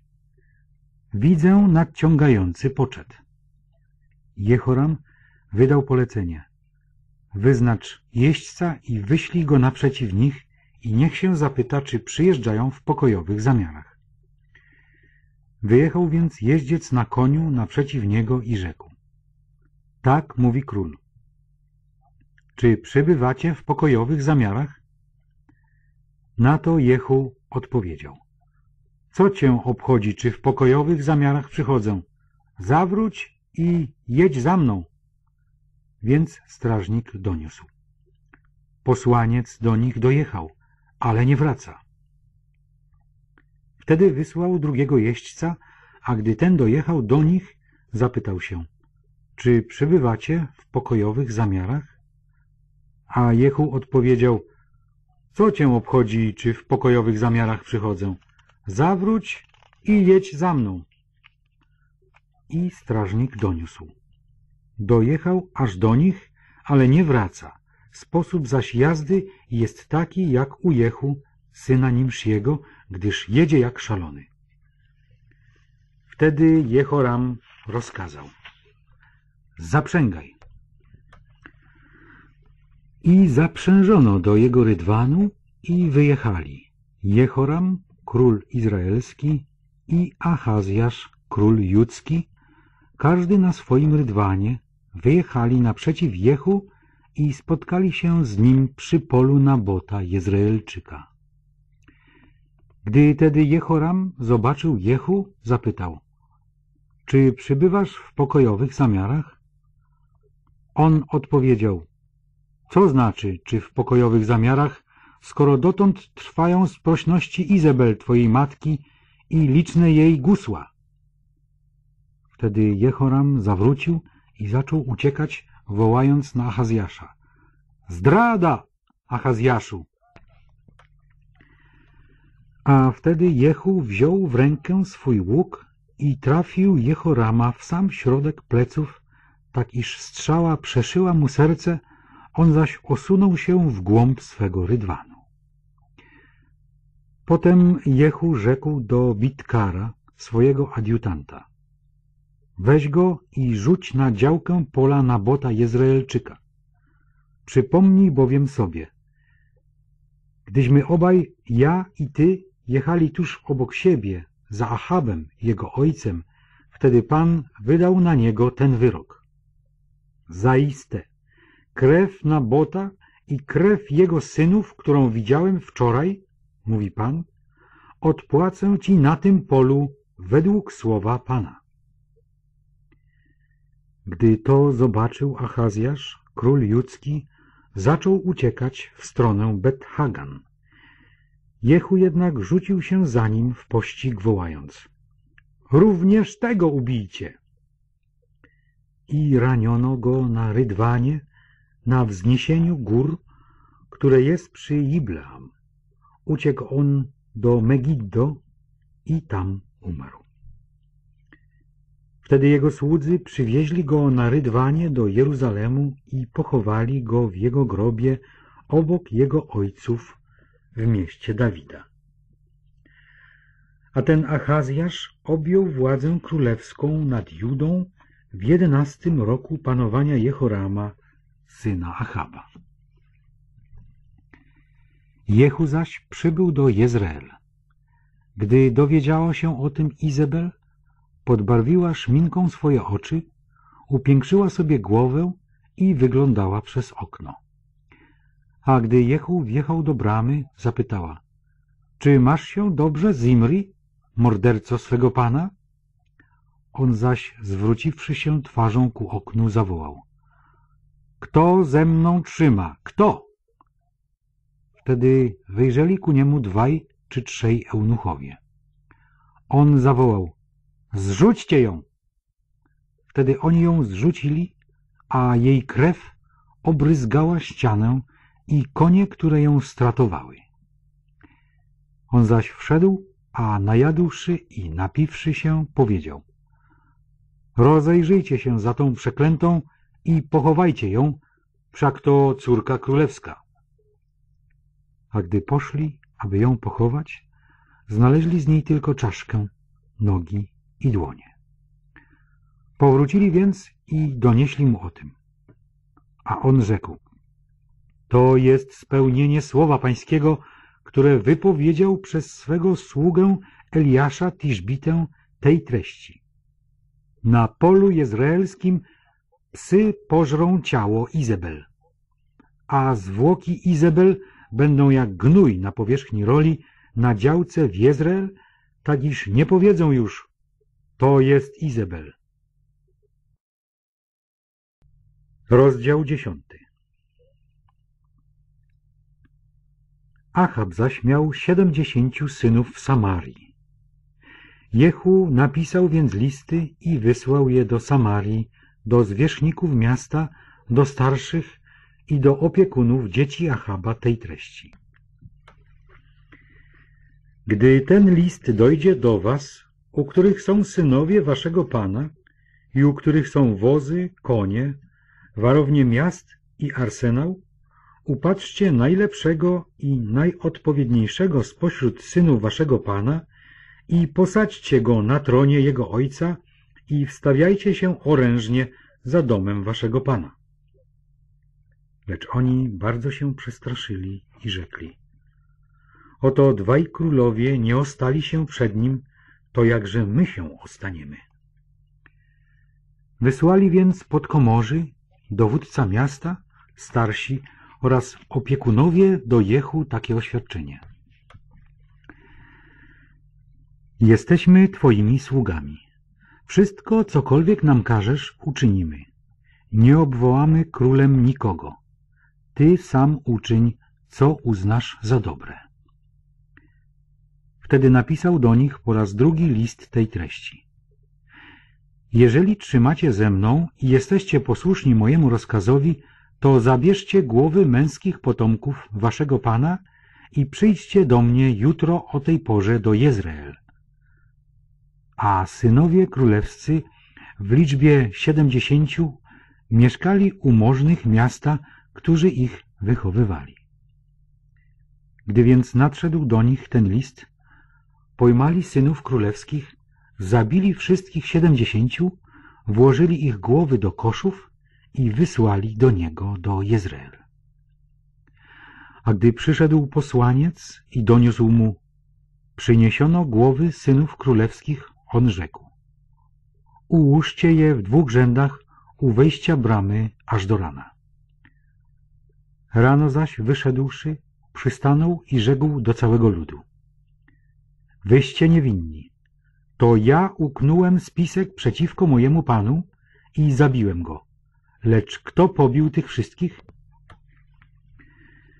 Wiedzcie więc, że nie pozostało niespełnione żadne ze słów, które wypowiedział Pan przeciwko rodowi Achaba i że to Pan uczynił to, co wypowiedział przez swego sługę Eliasza. Po czym Jehu kazał pozabijać wszystkich pozostałych jeszcze z domu Achaba w Jezreel oraz wszystkich jego dostojników, powierników i kapłanów, tak iż nie pozostawił z nich ani jednego przy życiu. Następnie wyruszył i udał się do Samarii. W drodze zaś, gdy był w Ben Eket Haroim, Jehu spotkał braci Achazjasza, króla judzkiego i zapytał ich, kto wy jesteście? A oni odpowiedzieli, jesteśmy braćmi Achazjasza i wybraliśmy się, aby pozdrowić synów królewskich i synów królowej matki. Wtedy rozkazał, pochwyćcie ich żywych. I pojmano ich żywcem, a on kazał ich zabić co do jednego przy studni Bet Eket w liczbie czterdziestu dwóch mężczyzn i nie pozostawił nikogo z nich przy życiu. A wyruszywszy stamtąd, spotkał Jonadaba, syna Rekaba, idącego mu naprzeciw. A gdy ten go pozdrowił, zapytał go – czy jesteś tak samo szczery wobec mnie, jak ja wobec ciebie? Jonadab odpowiedział, tak jest, tak jest. Podaj mi swoją rękę. I podał mu rękę i wciągnął go do siebie do rydwanu. Potem rzekł, jedź ze mną i przyjrzyj się mojej gorliwości dla Pana. I pozwolił mu jechać z sobą na swoim rydwanie. A gdy przybyli do Samarii, kazał wytracić wszystkich, którzy jeszcze pozostali z rodu Achaba w Samarii, aż wytępił ten ród doszczętnie według słowa Pana, jakie wypowiedział do Eliasza.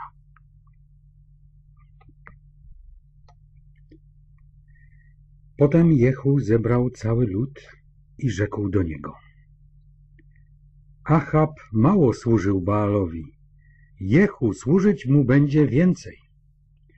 Zwołajcie więc teraz do mnie wszystkich proroków Baala, wszystkich jego czcicieli i wszystkich jego kapłanów, niechaj nikogo nie braknie, gdyż chcę złożyć wielką ofiarę dla Baala.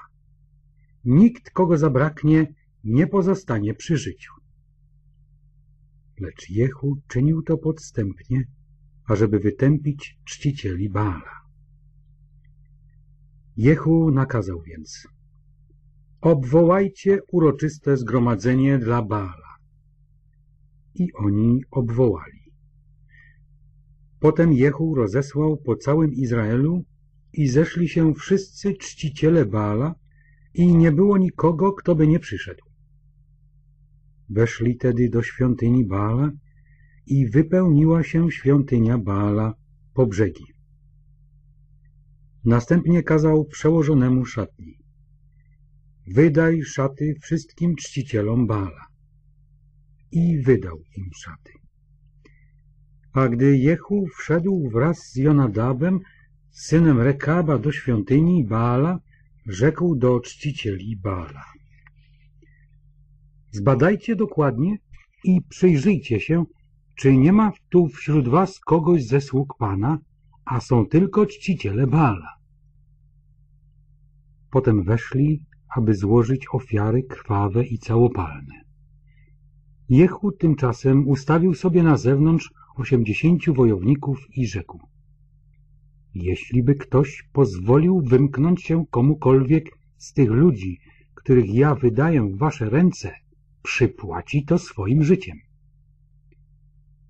Gdy tedy zakończono składanie ofiar całopalnych, rzekł Jehu do gońców i adiutantów. Wejdźcie tam i wybijcie ich. Niech nikt nie wyjdzie cało. Wtedy gońcy i adiutanci wybili ich ostrzem miecza i powyrzucali ich i doszli aż do baszty świątyni Baala, potem wynieśli bałwany z świątyni Baala i spalili je. Następnie rozbili posąg Baala, zburzyli też świątynię Baala i uczynili z niej kloaki i tak jest aż do dzisiaj. W ten sposób Jehu usunął Baala z Izraela. Jednakże od grzechów Jeroboama, syna Nebata, w które wciągnął on Izraela, Jehu nie odstąpił od złotych cielców, jakie były w Betelu i w Dan. Rzekł tedy Pan do Jehu. Ponieważ dobrze spełniłeś to, co prawe w moich oczach i uczyniłeś rodowi Achaba to wszystko, co było zgodne z moją wolą, twoi potomkowie będą zasiadać na tronie izraelskim do czwartego pokolenia. Jehu jednak nie starał się postępować z całego serca według zakonu Pana, Boga Izraela, nie odstąpił od grzechów Jeroboama, które wciągnął on Izraela. W tym czasie zaczął Pan po kawałku uszczuplać Izraela, mianowicie Hazael zadawał im klęski na całym pograniczu izraelskim. Od Jordanu ku wschodowi całą krainę gileacką należącą do Gadytów, Rubenitów i Manasesytów od Aroer, które leży nad rzeką Arnon oraz Gilead i Baszan. Pozostałe zaś sprawy Jehu i wszystko, czego dokonał oraz cała jego potęga są opisane w Księdze Dziejów Królów Izraelskich. I spoczął Jehu ze swoimi ojcami i pochowali go w Samarii, a władzę królewską po nim objął Jehoachaz, jego syn. Panował zaś Jehu nad Izraelem w Samarii dwadzieścia osiem lat. Rozdział jedenasty A gdy Atalia, matka Achazjasza, dowiedziała się, że jej syn nie żyje, postanowiła wytracić całą rodzinę królewską. Lecz Jehoszeba, córka króla Jorama, siostra Achazjasza, zabrała Joasza, syna Achazjasza, wykradła go spośród synów królewskich przeznaczonych na śmierć i umieściła go wraz z jego mamką w pokoju sypialnym i w ten sposób ukryto go przed Atalią, tak iż uniknął śmierci. Następnie ukrywał się wraz z nią w świątyni Pana sześć lat, podczas gdy Atalia sprawowała rządy nad krajem. Lecz w siódmym roku kapłan Jehojada rozesłał wezwanie, zebrał setników straży przybocznej i gwardzistów, sprowadził ich do siebie, do świątyni Pana i zawarł z nimi przymierze, odebrał od nich przysięgę w świątyni Pana i pokazał im królewicza, po czym dał im taki rozkaz. Taką rzecz macie wykonać. Jedna trzecia z was, którzy obejmujecie w sabat służbę, niech pilnuje domu królewskiego. Jedna trzecia przy bramie sur. Jedna trzecia przy bramie za gwardzistami. Trzymajcie straż przy domu kolejno. Dwa oddziały z was, wy wszyscy, którzy zdajecie w sabat służbę, pilnujcie przybytku pańskiego przy królu. Otoczcie króla, każdy z bronią w ręku. Ktokolwiek by podszedł do szeregów, zginie. Wy zaś bądźcie przy królu, gdy będzie wychodził i gdy będzie wchodził. I setnicy uczynili wszystko tak, jak im nakazał kapłan Jehojada, mianowicie każdy wziął swoich ludzi, zarówno tych, którzy obejmowali w sabat służbę, jak i tych, którzy w sabat zdawali służbę i przybyli do kapłana Jehojady. Potem wydał kapłan setnikom włócznie i tarcze króla Dawida, które znajdowały się w świątyni Pana. A gdy gwardziści ustawili się, każdy z bronią w ręku, od południowej strony świątyni do strony północnej w kierunku ołtarza i w kierunku świątyni wokoło króla, wyprowadził królewicza, włożył mu na skroń koronę i na ramię naramiennik i obwołali go królem i namaścili, klaskając w dłonie i wołając Niech żyje król! A gdy Atalia usłyszała okrzyk gwardzistów i zbrojnego ludu, przyszła do ludu do świątyni Pana. A zobaczywszy, że oto król zgodnie ze zwyczajem stoi przy kolumnie, przy królu zaś wodzowie i trębacze, lud prosty zaś weselący się i dmący w trąby, Atalia rozdarła swoje szaty i zawołała Zdrada! Zdrada! Lecz kapłan Jehojada dał rozkaz setnikom, dowódcom wojska i rzekł do nich Wyprowadźcie ją poza przedsionki, a ktokolwiek pójdzie za nią, tego zabijcie mieczem. Mówił bowiem kapłan, niech nie ginie w przybytku Pana. Wtedy pojmano ją, dowleczono do drogi, którędy wjeżdżają konie do domu królewskiego i tam ją zabito. Potem Jehojada zawarł przymierze między Panem a królem i ludem, że będą ludem Pana jak również między królem a ludem.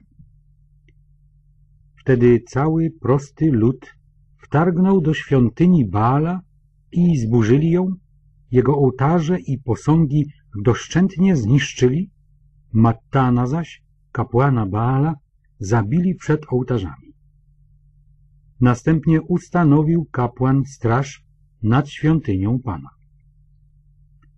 Potem wziął setników i straż przyboczną i gwardzistów i cały prosty lud i sprowadzili króla ze świątyni Pana drogą wiodącą poprzez bramę gwardzistów do domu królewskiego, gdzie król zasiadł na tronie królewskim. A cały prosty lud weselił się i w mieście nastał spokój, chociaż Atalię zabito mieczem w obrębie domu królewskiego. Rozdział dwunasty Joasz miał siedem lat, gdy objął władzę królewską. Objął zaś Joasz władzę królewską w siódmym roku panowania Jehu, a panował w Jeruzalemie czterdzieści lat. Matka jego nazywała się Sibia, a pochodziła z Berszeby. Joasz czynił to, co prawe w oczach Pana przez całe swoje życie, ponieważ pouczał go kapłan Jehojada. Jednakże świątynki na wzgórzach nie zostały zniesione. Lud w dalszym ciągu składał ofiary i spalał kadzidła na wzgórzach. Pewnego razu rzekł Joasz do kapłanów. Wszystkie pieniądze składane jako święty dar i przynoszone do świątyni Pana, pieniądze wyznaczone według oszacowania jako opłata osobista każdego i wszystkie pieniądze wnoszone dobrowolnie do świątyni Pana wezmą dla siebie kapłani, każdy od swojego znajomego, lecz za to będą naprawiać wszystkie uszkodzenia, jakie tylko wystąpią w świątyni. Lecz w ciągu 23 lat panowania Joasza kapłani nie naprawiali uszkodzeń świątyni. Wobec tego król Joasz wezwał kapłana Jehojadę i innych kapłanów i rzekł do nich Dlaczego nie naprawiacie uszkodzeń świątyni? Teraz więc nie pobierajcie pieniędzy od swoich znajomych, lecz oddawajcie je na naprawę świątyni. Kapłani na to przystali, że nie będą brać pieniędzy od ludu, ale też nie będą naprawiać uszkodzeń świątyni. Wtedy kapłan Jehojada wziął jedną skrzynię i zrobił w jej wieku otwór i ustawił ją obok ołtarza z prawej strony wejścia do świątyni Pana, kapłani zaś strzegący progu składali tam wszystkie pieniądze wnoszone do świątyni Pana. Ilekroć zaś zobaczyli, że w skrzyni jest dużo pieniędzy, przychodził pisarz królewski i arcykapłan, zgarniali i przeliczali pieniądze, które się znalazły w świątyni Pana, a po odliczeniu dawali pieniądze wykonawcom robót ustanowionym dla świątyni Pana, a ci przekazywali je cieślom i budowniczym, którzy pracowali w świątyni Pana i murarzom, i kamieniarzom, i na zakup drzewa i ciosanego kamienia, na naprawianie uszkodzeń świątyni Pana i na pokrycie kosztów tego, co mogło wyniknąć przy naprawie. Wszelako z pieniędzy, które wnoszono do świątyni Pana, nie sporządzano dla świątyni Pana srebrnych miednic, szczypiec, kropielnic, trąb, ani żadnych przyborów złotych, ani przyborów srebrnych, lecz oddawano je wykonawcom robót i ci naprawiali za nie świątynię Pana. Nie rozliczano się z tymi mężami, którzy przekazywali pieniądze do ich rąk, aby je wypłacali wykonawcom robót, gdyż ci postępowali uczciwie.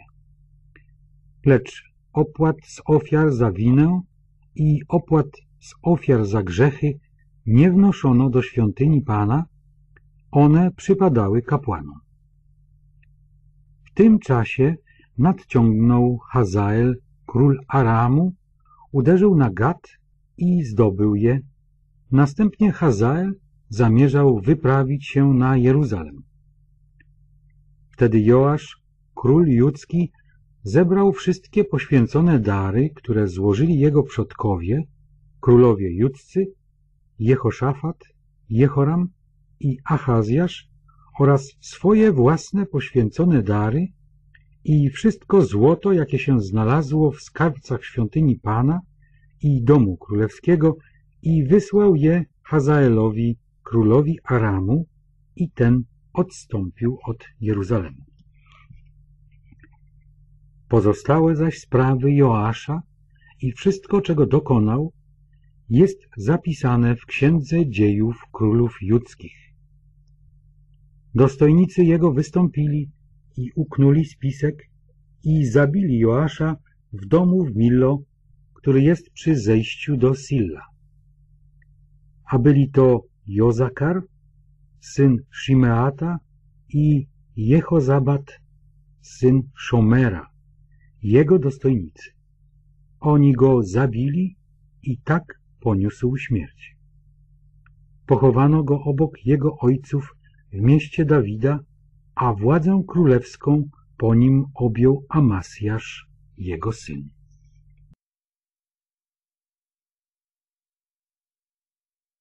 Rozdział trzynasty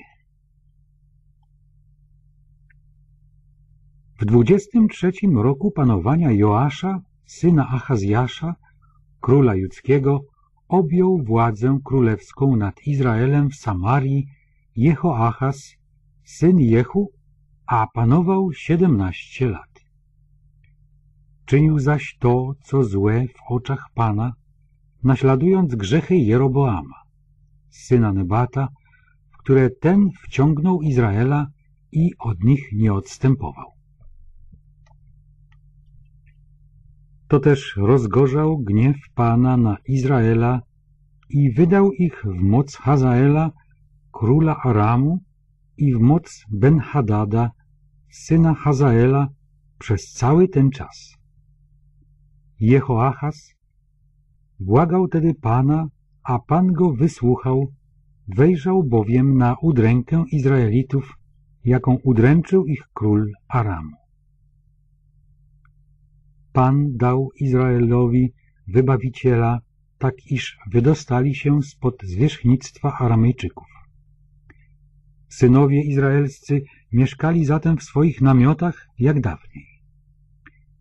Jednakże nie odstąpili od grzechów rodu Jeroboama, w które ten wciągnął Izraela. Owszem, trwali w nich, a nawet Ashera utrzymała się w Samarii. To też nie pozostało Jehoahazowi więcej ludu zbrojnego, jak tylko pięćdziesięciu jezdnych, dziesięć wozów wojennych i dziesięć tysięcy pieszych, wytracił ich bowiem król Aramu i uczynił z nich jakby proch do deptania. Pozostałe zaś sprawy Jehoahaza i wszystko, czego dokonał i cała jego potęga są opisane Księdze Dziejów Królów Izraelskich. I spoczął Jehoachaz ze swoimi ojcami i pochowali go w Samarii, a władzę królewską po nim objął Joasz, jego syn. W trzydziestym siódmym roku panowania Joasza, króla judzkiego, objął władzę królewską nad Izraelem w Samarii Jehoasz, syn Jehoachaza, a panował szesnaście lat. I czynił to, co złe w oczach Pana, nie odstępował od żadnego z grzechów Jeroboama, syna Nebata, które ten wciągnął Izraela, ale trwał w nich. Pozostałe zaś sprawy Joasza i wszystko, czego dokonał, i cała jego potęga, z jaką walczył przeciwko Amasjaszowi, królowi judzkiemu, są opisane w Księdze Dziejów Królów Izraelskich. I spoczął Joasz ze swoimi ojcami, a na jego tronie zasiadł Jeroboam. Joasz zaś został pochowany w Samarii obok królów izraelskich. Gdy Elizeusz zapadł na chorobę, na którą miał umrzeć, udał się do niego Joasz, król izraelski, i płacząc nad nim rzekł: Ojcze mój, ojcze mój, rydwanie Izraela i konnico jego. Wtedy rzekł do niego Elizeusz: Przynieś łuk i strzały. I przyniósł do niego łuk i strzały.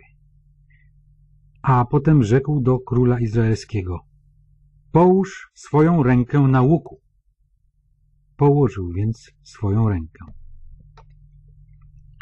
A wtedy Elizeusz złożył swoje ręce na rękach króla, potem rzekł, otwórz okno na wschód. A gdy otworzył, rzekł Elizeusz, strzelaj! I wystrzelił.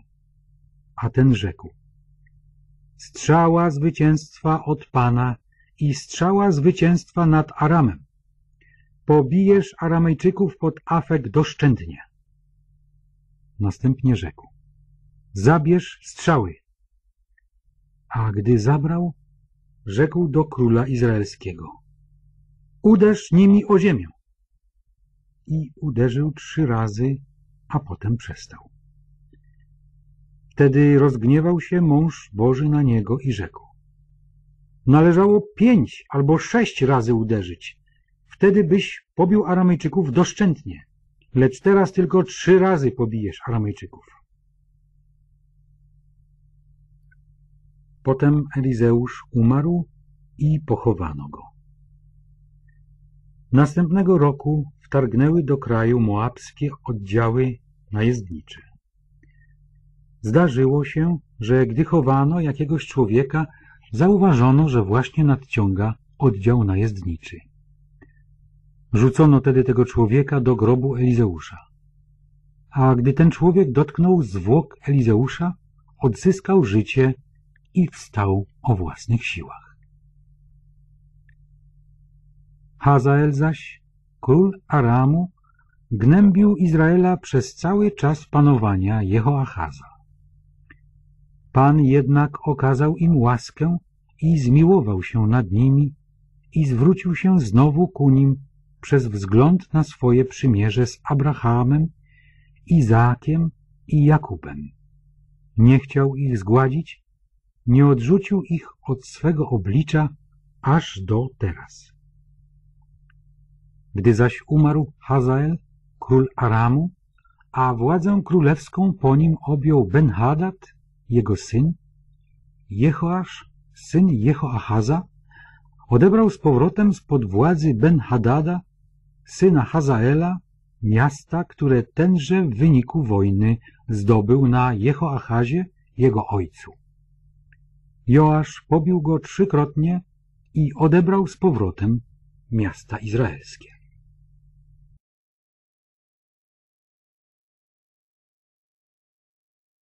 Rozdział czternasty W drugim roku panowania Joasza, syna Joachaza, króla izraelskiego, władzę królewską objął Amasjasz, syn Joasza, króla judzkiego. Miał dwadzieścia pięć lat, gdy objął władzę królewską, a panował dwadzieścia dziewięć lat w Jeruzalemie. Matka jego nazywała się Jehoadam, a pochodziła z Jeruzalemu. Czynił on to, co prawe w oczach Pana, chociaż nie tak jak Dawid, jego praojciec, postępował raczej we wszystkim tak, jak jego ojciec Joasz. Jednak świątynki na wzgórzach nie zostały zniesione i lud w dalszym ciągu składał ofiary na wyżynach i spalał kadzidła. Gdy wszakże władza królewska w jego ręku się wzmocniła, skazał na śmierć swoich dostojników, zabójców króla, swego ojca. Lecz synów zabójców nie skazał na śmierć zgodnie z tym, co jest napisane w Księdze Zakonu Mojżeszowego, gdzie Pan nakazał.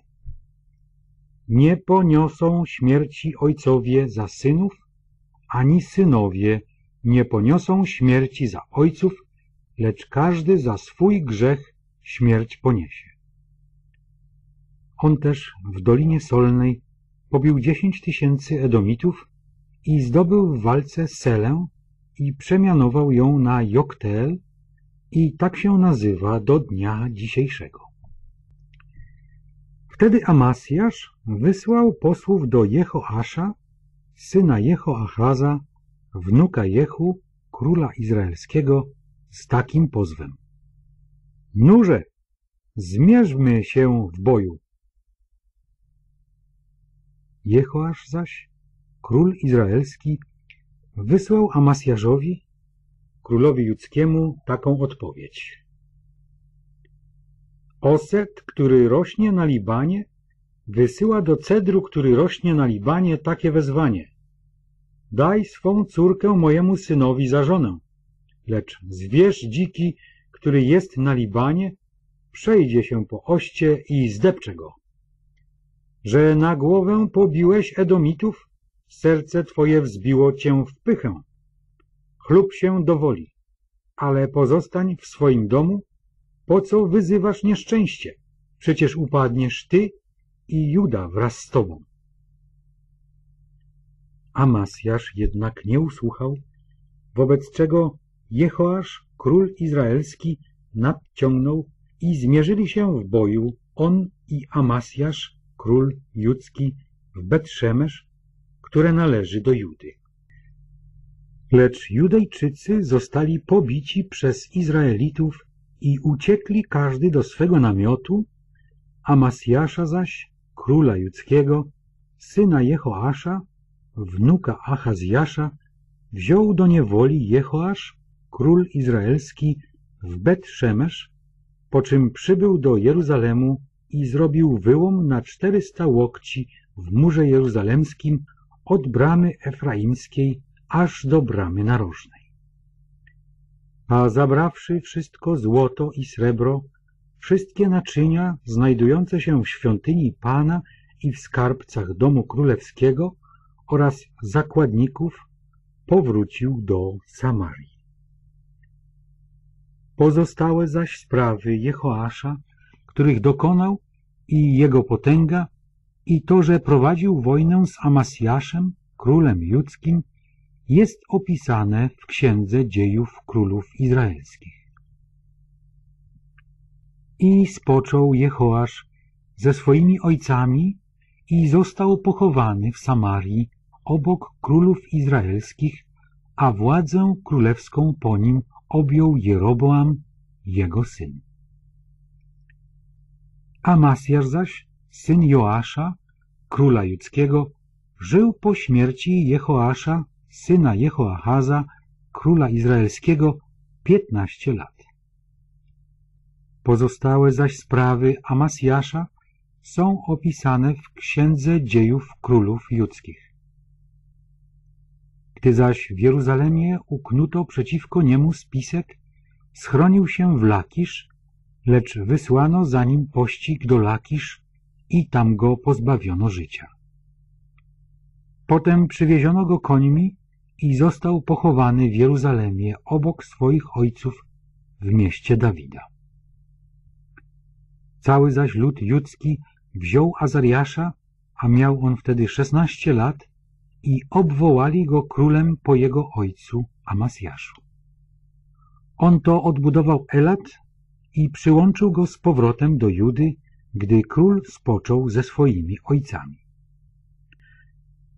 W piętnastym roku panowania Amasjasza, syna Joasza, króla judzkiego, objął władzę królewską w Samarii Jeroboam, syn Joasza, króla izraelskiego, a panował czterdzieści jeden lat. A czynił to, co złe w oczach Pana, nie odstąpił od żadnego z grzechów Jeroboama, syna Nebata, w które on wciągnął Izraela. Lecz przywrócił Izraelowi granice ciągnące się od wejścia do Hamat aż do Morza Stepowego, zgodnie ze słowem Pana, Boga Izraelskiego, które wypowiedział przez swojego sługę Jonasza, syna Amittaja, proroka z Gad, Hefer. Wejrzał bowiem Pan na niedolę Izraela niezwykle gorzką, tak iż nie było już ani niewolnego, ani wolnego, nie było, kto by Izraelowi przyszedł z pomocą. Lecz ponieważ Pan nie zamyślał wymazać imienia Izraela z powierzchni ziemi, przeto wyratował ich przez Jeroboama, syna Joasza. Pozostałe zaś sprawy Jeroboama i wszystko, czego dokonał, i jego potęga, z jaką prowadził wojny, i jak przywrócił Izraelowi Damaszek i Hamat, które należały do Judy, opisane jest w Księdze Dziejów Królów Izraelskich. I spoczął Jeroboam ze swoimi ojcami, królami izraelskimi, a władzę królewską po nim objął jego syn Zachariasz. Rozdział 15 W dwudziestym siódmym roku panowania Jeroboama, króla izraelskiego, objął władzę królewską Azariasz, syn Amasjasza, króla judzkiego. Miał szesnaście lat, gdy został królem, a panował w Jeruzalemie pięćdziesiąt dwa lata. Matka jego nazywała się Jekolia, a pochodziła z Jeruzalemu. Czynił on to, co prawe w oczach Pana, wszystko tak samo, jak jego ojciec Amasjasz. Jednak świątynki na wyżynach nie zostały zniesione i lud w dalszym ciągu składał na wyżynach ofiary i spalał kadzidła. Lecz Pan nawiedził króla trądem i był trędowaty aż do swojej śmierci, to też mieszkał w domu odosobnionym, zaś Jotam, syn króla, sprawował zwierzchnictwo nad domem i sądził lud pospolity. Pozostałe zaś sprawy Azariasza i wszystko, czego dokonał, jest opisane w Księdze Dziejów Królów Judzkich. I spoczął Azariasz ze swoimi ojcami i pochowano go obok jego ojców w mieście Dawida, a władzę królewską po nim objął Jotam, jego syn. W trzydziestym ósmym roku panowania Azariasza, króla judzkiego, objął władzę królewską nad Izraelem w Samarii Zachariasz, syn Jeroboama, a panował sześć miesięcy. Czynił zaś to, co złe w oczach Pana, tak samo jak to czynili jego ojcowie, nie odstąpił od grzechów Jeroboama, syna Nebata, w które on wciągnął Izraela. Przeciwko niemu uknął spisek Szalum, syn Jabesza, dokonał na niego zamachu w Ibleam, pozbawił go życia i sam został po nim królem. A pozostałe sprawy Zachariasza są opisane w Księdze Dziejów Królów Izraelskich. Na nim spełniło się słowo Pana, które wypowiedział do Jehu, mówiąc Do czwartego pokolenia zasiadać będą Twoi potomkowie na tronie Izraela. Tak się też stało. Szalum tedy, syn Jabesza, objął władzę królewską w trzydziestym dziewiątym roku panowania Uzjasza, króla judzkiego, a panował w Samarii miesiąc.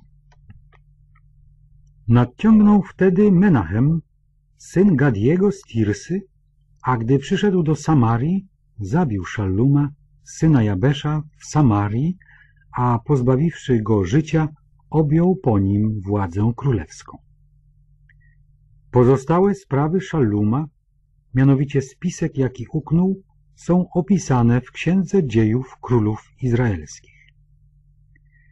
Wtedy to Menachem spustoszył Tapłach wraz ze wszystkim, co w nim było i cały jego okręg od strony Tirsy, dlatego że nie otworzono mu bram, zniszczył je całe, a niewiastom brzemiennym kazał porozcinać brzuchy. W 39 roku panowania Azariasza, króla judzkiego, objął władzę królewską nad Izraelem Menachem, syn Gadiego, a panował dziesięć lat w Samarii. Czynił zaś to, co złe w oczach Pana, nie odstąpił od grzechów Jeroboama, syna Nebata, w które on wciągnął Izraela. Gdy za jego czasów napadł kraj Pul, król asyryjski, Menachem dał Pulowi tysiąc talentów srebra, aby go popierał i utwierdził przez to władzę królewską w jego ręku. Menachem ściągnął te pieniądze od Izraelitów, od wszystkich zamożnych, aby móc je dać królowi asyryjskiemu po pięćdziesiąt sykli srebra od każdego. To też król asyryjski zawrócił i nie pozostał tam w kraju. Pozostałe zaś sprawy Menachema i wszystko, czego dokonał, jest opisane w Księdze Dziejów Królów Izraelskich. I spoczął Menachem ze swoimi ojcami, a władzę królewską po nim objął Pekachiasz, jego syn. W pięćdziesiątym roku panowania Azariasza, króla judzkiego, objął władzę królewską nad Izraelem Pekachiasz, syn Menachema, a panował w Samarii dwa lata. Czynił zaś to, co złe w oczach Pana, nie odstąpił od grzechów Jeroboama, syna Nebata, w które on wciągnął Izrael. Przeciwko niemu uknął spisek Pekach, syn Remaliasza, jego adiutant i zabił go w Samarii w warowni domu królewskiego z Argobem i Arią, mając przy sobie pięćdziesięciu ludzi z Gileadczyków. Pozbawiwszy go życia, objął po nim władzę królewską. Pozostałe zaś sprawy Pekachiasza i wszystko, czego dokonał, jest zapisane w Księdze Dziejów Królów Izraelskich.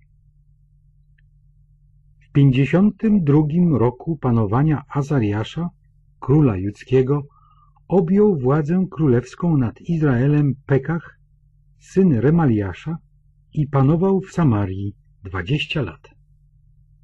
Czynił zaś to, co złe w oczach Pana, nie odstąpił od grzechów Jeroboama, syna Nebata, w które on wciągnął Izraela. Za czasów Pekacha, króla izraelskiego, nadciągnął Tiglat-Pileser, król asyryjski i zająwszy Ijon i Abel-Bet-Maakę, Janoach i Kadesz, Haser, Gilead i Galileę oraz całą ziemię Naftaliego uprowadził ludność do niewoli do Asyrii. Przeciwko Pekachowi, synowi Remaliasza, uknął spisek Hoszea, syn Eli i zabił go, a pozbawiwszy go życia, objął po nim władzę królewską w dwudziestym roku panowania Jotama, syna Uzjasza. Pozostałe zaś sprawy Pekacha i wszystko, czego dokonał, jest opisane w Księdze Dziejów Królów Izraelskich. W drugim roku panowania Pekacha, syna Remaliasza, króla izraelskiego, objął władzę królewską Jotam, syn Uzjasza, króla judzkiego. Miał dwadzieścia pięć lat, gdy objął władzę królewską, a panował szesnaście lat w Jeruzalemie. Matka jego nazywała się Jerusza, a była córką Sadoka. Czynił on to, co prawe w oczach Pana, wszystko tak, jak czynił Uzjasz, jego ojciec. Jednak świątynki na wyżynach nie zostały zniesione i lud w dalszym ciągu składał na wyżynach ofiary i spalał kadzidła. On to zbudował górną bramę świątyni Pana. Pozostałe zaś sprawy Jotama i wszystko, czego dokonał, opisane jest w Księdze Dziejów Królów Judzkich. W tych czasach Pan zaczął nasyłać na Judę Resyna, króla Aramu i Pekacha, syna Remaliasza.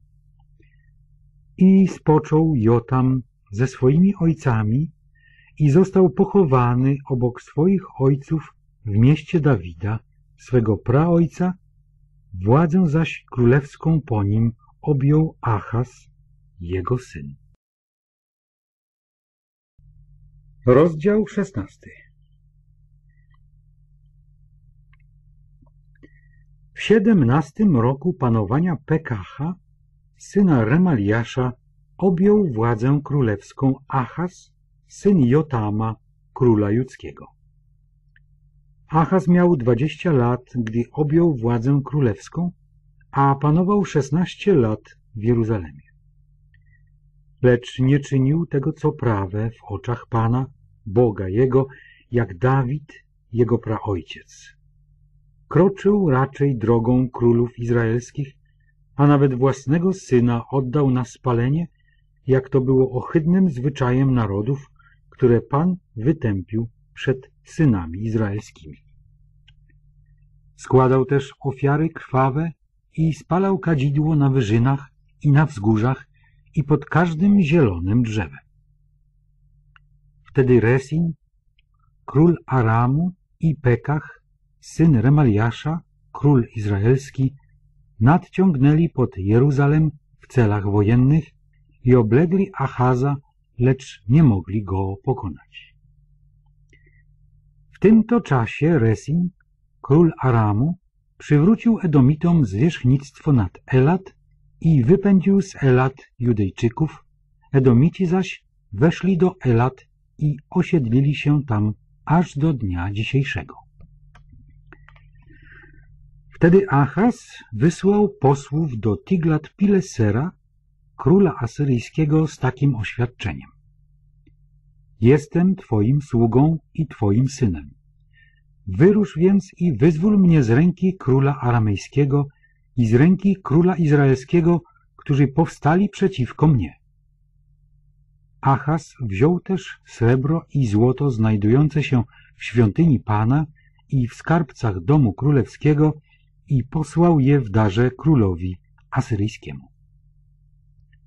Król asyryjski wysłuchał go i wyruszył pod Damaszek, zdobył go i uprowadził jego mieszkańców do Kir. Resina zaś pozbawił życia. A gdy król Achaz wyruszył do Damaszku, aby się spotkać z Tiglat Pileserem, królem asyryjskim, zobaczył ołtarz, który był w Damaszku. Przesłał więc król Achaz do kapłana Uriasza podobiznę tego ołtarza wraz z planem całej jego budowy.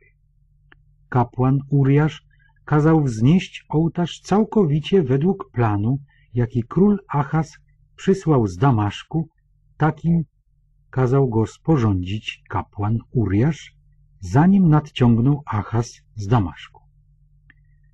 A gdy król przybył z Damaszku i zobaczył ołtarz, zbliżył się do ołtarza i wstąpił nań, następnie puścił z dymem swoją ofiarę całopalną i ofiarę z pokarmów, wylał swoją ofiarę z płynów i pokropił ołtarz krwią swoich ofiar pojednania. Ołtarz miedziany zaś, który stał przed Panem, kazał usunąć z przedniej części świątyni, z miejsca pomiędzy nowym ołtarzem a między świątynią Pana i ustawić po stronie północnej tego ołtarza. Król Achaz dał też kapłanowi Uriaszowi taki rozkaz. Na ołtarzu wielkim puszczaj z dymem poranną całopalną ofiarę i wieczorną ofiarę z pokarmów, całopalną ofiarę króla i jego ofiarę z pokarmów i całopalną ofiarę całego ludu pospolitego oraz ich ofiarę z pokarmów i ich ofiary z płynów. Będziesz go też skrapiał wszelką krwią z ofiar całopalnych i wszelką krwią z ofiar krwawych. Sprawę zaś ołtarza miedzianego rozpatrzę osobiście. Kapłan Uriasz uczynił wszystko tak, jak mu rozkazał król Achaz. Następnie król Achaz kazał poprzeżynać listwy podstawek i usunąć z nad nich umywalnię. Kazał też zdjąć kać na wodę z ponad miedzianych wołów, które były pod nią, i postawić ją na posadzce kamiennej. Kazał również przebudować krytą halę sabatową, którą zbudowano przy świątyni i zewnętrzne przejście dla króla przy świątyni przez wzgląd na króla asyryjskiego. Pozostałe zaś sprawy Achaza, których dokonał, opisane są w Księdze Dziejów Królów Judzkich. I spoczął Achaz ze swoimi ojcami i został pochowany obok swoich ojców w mieście Dawida, a władzę królewską po nim objął Hiskiarz, jego syn. Rozdział 17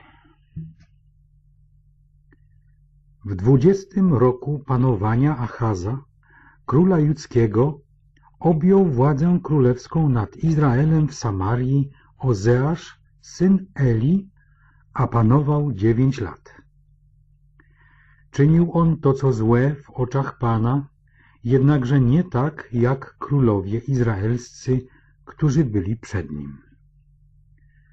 Przeciwko niemu nadciągnął Salmanasar, król asyryjski i Ozeasz został jego lennikiem i płacił mu daninę. Gdy jednak król asyryjski wykrył spisek Ozeasza, polegający na tym, że wysłał on posłów do króla egipskiego So i przestał płacić rokrocznie daninę królowi asyryjskiemu, kazał go król asyryjski pojmać i wtrącił go w kajdanach do więzienia. Po czym król asyryjski najechał cały kraj, ruszył na Samarię i oblegał ją przez trzy lata. W dziewiątym roku panowania Ozeasza król asyryjski zdobył Samarię, uprowadził Izraela do Asyrii i osadził ich tam w Halach i nad Haborem, rzeką Gozanu i w miastach medyjskich. A stało się tak, ponieważ synowie izraelscy grzeszyli przeciwko Panu, Bogu swemu, który ich wyprowadził z ziemi egipskiej spod władzy Faraona, króla egipskiego, a czcili obcych bogów. A postępowali według zwyczajów tych narodów, które Pan wypędził sprzed oblicza synów izraelskich oraz tych, jakie wprowadzili królowie izraelscy. Wymyślili też synowie izraelscy rzeczy niewłaściwe o Panu, Bogu swoim, pobudowali sobie świątynki na wzgórzach we wszystkich swoich miejscowościach, począwszy od baszty strażniczej aż do grodu warownego. I nastawiali sobie słupów i posągów Aszery na każdym wyniosłym pagórku i pod każdym zielonym drzewem i spalali tam we wszystkich świątynkach na wyżynach kadzidła, jak ludy, które Pan uprowadził przed nimi do niewoli. Popełniali złe czyny, pobudzając Pana do gniewu. Czcili też bałwany, o których powiedział im Pan, nie czyńcie tego. A chociaż Pan ostrzegał Izraela i Judę przez wszystkich swoich proroków, przez wszystkich jasnowidzów, mówiąc Zawróćcie ze swoich błędnych dróg i przestrzegajcie moich przykazań i ustaw zgodnie z całym zakonem, jaki nadałem waszym ojcom i przekazałem wam przez moje sługi, proroków. Oni jednak nie słuchali i stwardniał ich kark, jak kark ich ojców, którzy nie zaufali Panu, Bogu swemu. Owszem, wzgardzili Jego ustawami i Jego przymierzem, jakie zawarł z ich ojcami i przestrogami, jakimi ich ostrzegał i poszli za marnością i sami stali się marnością, jak ludy okoliczne, o których nakazał im Pan, aby nie postępowali tak jak one odrzucili wszystkie przykazania Pana, Boga swego i sporządzili sobie dwa odlewane cielce, sporządzili sobie posąg Aszery i oddawali pokłon całemu zastępowi niebieskiemu i służyli Baalowi. Oddawali też na spalenie swoich synów i swoje córki i uprawiali czarodziejstwo i wróżbiarstwo i całkowicie się zaprzedali, czyniąc to, co złe w oczach Pana i pobudzając go do gniewu. Oburzył się więc Pan bardzo na Izraela i odrzucił ich sprzed swego oblicza, tak iż pozostało tylko samo plemię judzkie. Ale i Judejczycy nie przestrzegali przykazań Pana, Boga swego, a poszli za zwyczajami Izraela, jakie ten wprowadził. To też Pan wzgardził całym rodem Izraela i upokorzył ich i wydał ich w moc grabieżców, odrzuciwszy ich całkiem od siebie. Gdy bowiem Izrael oderwał się od domu Dawidowego i obwołali królem Jeroboama, syna Nebata, tenże Jeroboam popchnął Izraela do odstępstwa od Pana i wciągnął go w wielki grzech. Chodzili tedy synowie izraelscy we wszystkich grzechach Jeroboama, które ten popełniał, nie odstąpili od nich, aż Pan usunął Izraela sprzed swego oblicza, jak zapowiedział przez wszystkie swoje sługi proroków. I został Izrael uprowadzony do niewoli ze swojej ziemi do Asyrii aż po dzień dzisiejszy. Król asyryjski zaś sprowadził z Babilonu, z Kuty, z Awwy, z Hamatu, z Sefarwaim ludzi i osiedlił ich zamiast synów izraelskich w miastach samaryjskich. I objęli oni w posiadanie Samarię i zamieszkali w jej miastach. Gdy na początku ich zamieszkania tamże nie oddawali czci Panu, nasłał Pan na nich lwy, które rozszarpywały ich. Wtedy doniesiono królowi asyryjskiemu tak. Ludy, które zagarnąłeś i osiedliłeś w miastach samaryjskich, nie znają sposobu oddawania czci Bogu tej ziemi. To też nasłał on na nich lwy, które pozbawiają je życia, gdyż one nie znają sposobu oddawania czci Bogu tej ziemi. Wobec tego król asyryjski wydał taki rozkaz. Wyprawcie tam jednego z kapłanów, których stamtąd uprowadziliście, niech uda się i zamieszka tam i nauczy je sposobu oddawania czci Bogu tej ziemi. Udał się więc tam jeden z kapłanów, których uprowadzono z Samarii i zamieszkał w Betel i on nauczył je, jak mają oddawać cześć Panu. Tworzył sobie jednak każdy z tych ludów własnych bogów i wstawiał ich do świątynek na wyżynach, jakie pobudowali Samarytanie, każdy w swoich miastach, w których się osiedlił. I tak Babilończycy stworzyli sobie Sukkot Benota, Kutejczycy stworzyli sobie Nergala, Hamatczycy stworzyli sobie Ashimę. Awwejczycy stworzyli sobie Nibchaza i Tartaka. Sefarwejczycy zaś spalali swoje dzieci dla Adrammeleka i Anammeleka, bogów sefarwejskich. Oddawali też cześć Panu i ustanawiali spośród siebie kapłanów dla świątynek na wyżynach i ci sprawowali dla nich obrzędy w świątynkach na wyżynach. Czcili więc Boga, ale służyli także swoim bogom według zwyczaju tych ludów, z których zostali uprowadzeni do niewoli i aż po dzień dzisiejszy postępują według dawnych zwyczajów.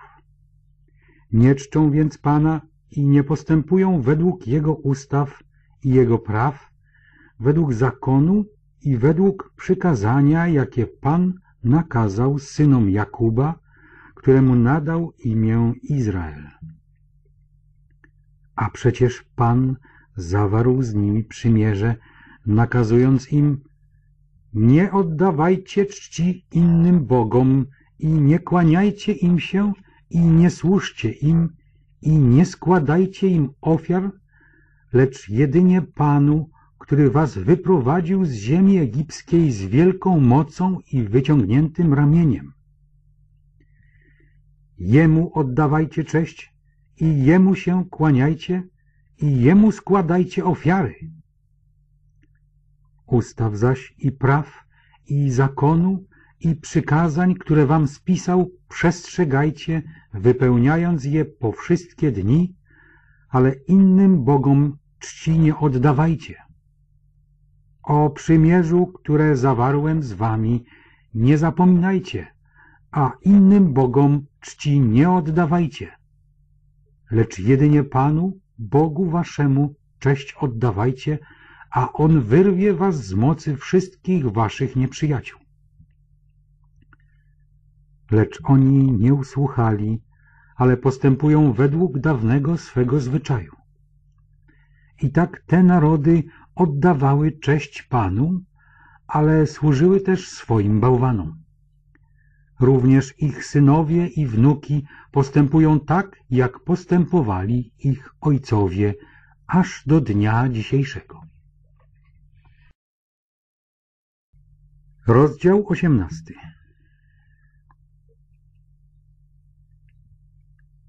W trzecim roku panowania Ozeasza, syna Eli, króla izraelskiego, objął władzę królewską Hiskiasz, syn Achaza, króla judzkiego.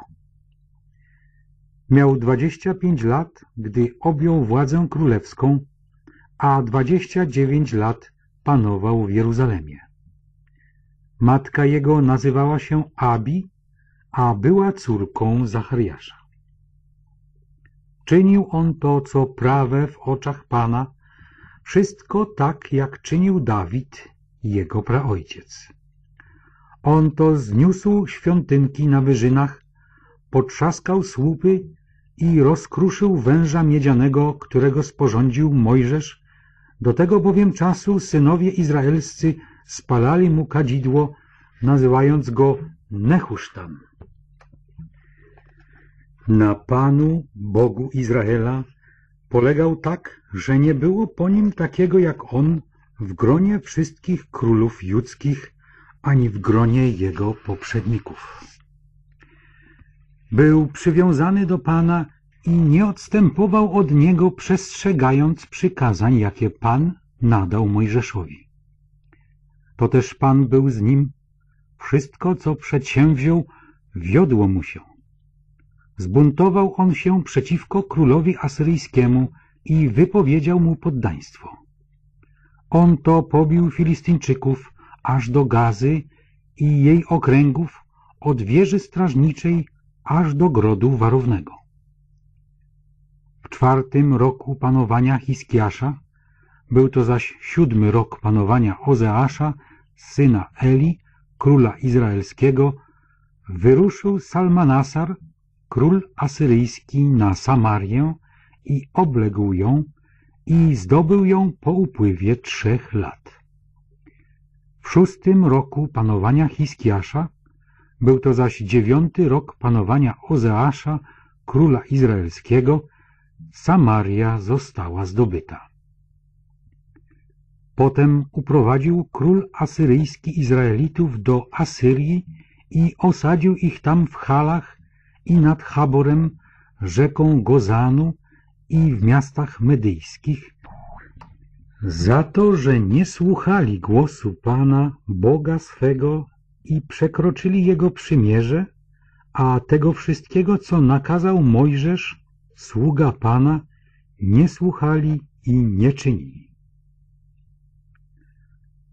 W czternastym roku panowania króla Hiskiasza wyruszył Sancheryb, król asyryjski, przeciw wszystkim warownym grodom judzkim i zdobył je. Wtedy król judzki Hiskiasz wysłał do króla asyryjskiego do Lakisz takie oświadczenie. Zgrzeszyłem, lecz odstąp ode mnie, a ja przyjmę na siebie wszystko, co na mnie nałożysz. I nałożył król asyryjski na Hiskiasza, króla judzkiego, haracz w wysokości trzystu talentów srebra i trzydziestu talentów złota. Oddał więc Hiskiasz całe srebro znajdujące się w świątyni Pana i w skarbcach domu królewskiego. W tym to czasie kazał Hiskiasz zdjąć obicia z drzwi przybytku Pana i ze słupów, które król judzki Hiskiasz pokrył złotem i posłał to królowi asyryjskiemu. Mimo to król asyryjski wysłał z Lakisz przeciwko królowi Hiskiaszowi Tartana i Robsarisa i Rapszakę z potężną armią do Jeruzalemu i ci, nadciągnąwszy i przybywszy do Jeruzalemu, zatrzymali się przy wodociągu górnego stawu przy drodze na pola pilśniarzy i kazali przywołać króla. Wtedy wyszli do nich Eliakim, syn Hilkiasza, przełożony domu Szebna, pisarz oraz Joach, syn Asafa, kanclerz. I rzekł do nich Rapszakę. Powiedzcie Hiskiaszowi, tak mówi wielki król, król asyryjski. Na czym opierasz swoją ufność? Czy mniemasz, że samo słowo warg już starczy za radę i pomoc w walce? Na kimże to teraz polegasz, że zbuntowałeś się przeciwko mnie? Oto oparłeś teraz swoją ufność na tej nadłamanej lasce trzcinowej na Egipcie, która wbija się w dłoń każdego, kto się na niej opiera.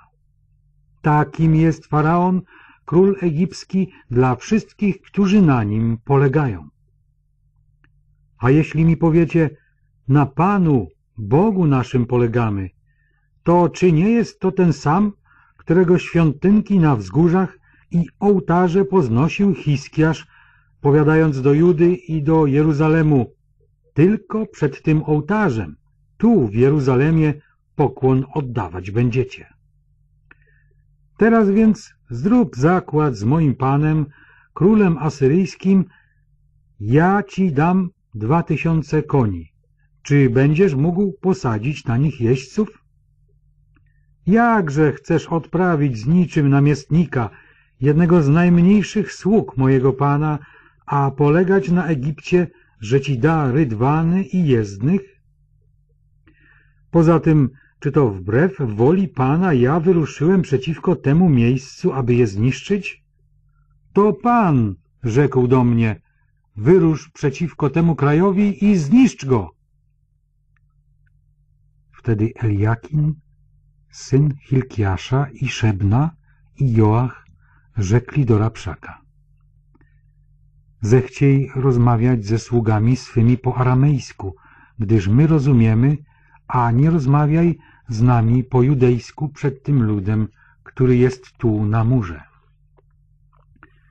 Lecz Rapszakę odpowiedział im. Czy to do Twego Pana i do Ciebie posłał mnie mój Pan, abym wypowiedział te słowa? Czy nie raczej do ludzi, którzy siedzą na murze, aby wraz z Wami żywić się swoim kałem i pić swój mocz? Po czym Rapszakę stanął i donośnym głosem zawołał po judejsku. Słuchajcie słowa wielkiego króla, króla asyryjskiego. Tak mówi król. Niech was nie zwodzi Hiskiasz, gdyż nie zdoła wyrwać was z mojej ręki. Niech nie doradza wam Hiskiasz polegać na Panu, powiadając, na pewno wyrwie nas Pan i miasto to nie będzie wydane w ręce króla asyryjskiego. Nie słuchajcie Hiskiasza, gdyż tak mówi król asyryjski. Zawrzyjcie ze mną pokój i przejdźcie do mnie, a będziecie pożywać każdy ze swojej winorośli i ze swojego figowca i pić każdy ze swojej krynicy, aż przyjdę i zabiorę was do ziemi podobnej do waszej, ziemi zboża i moszczu, ziemi chleba i winnic, ziemi oliwników, oliwy i miodu i będziecie żyć, a nie umierać. Tylko nie słuchajcie Hiskiasza, gdy was zwodzi powiadając Pan wyrwie nas. Bo czy bogowie narodów wyrwali każdy swoją ziemię z ręki króla asyryjskiego? Gdzie są bogowie Hamatu i Arpadu? Gdzie bogowie Sefarwaim, Heny i Iwwy? Czy wyrwali Samarię z mojej ręki? Któryż spośród wszystkich bogów ziem wyrwał swoją ziemię z mojej ręki, że Pan miałby wyrwać Jeruzalem z mojej ręki? A lud milczał i nie odpowiedział mu ani słowa, gdyż taki był rozkaz królewski. Nie odpowiadajcie mu. I przyszedł Eliakim, syn Hilkiasza, przełożony domu i Szebna, pisarz, i Joach, syn Asafa, kanclerz, do Hiskiasza, mając szaty rozdarte i oznajmili mu słowa Rapszakę.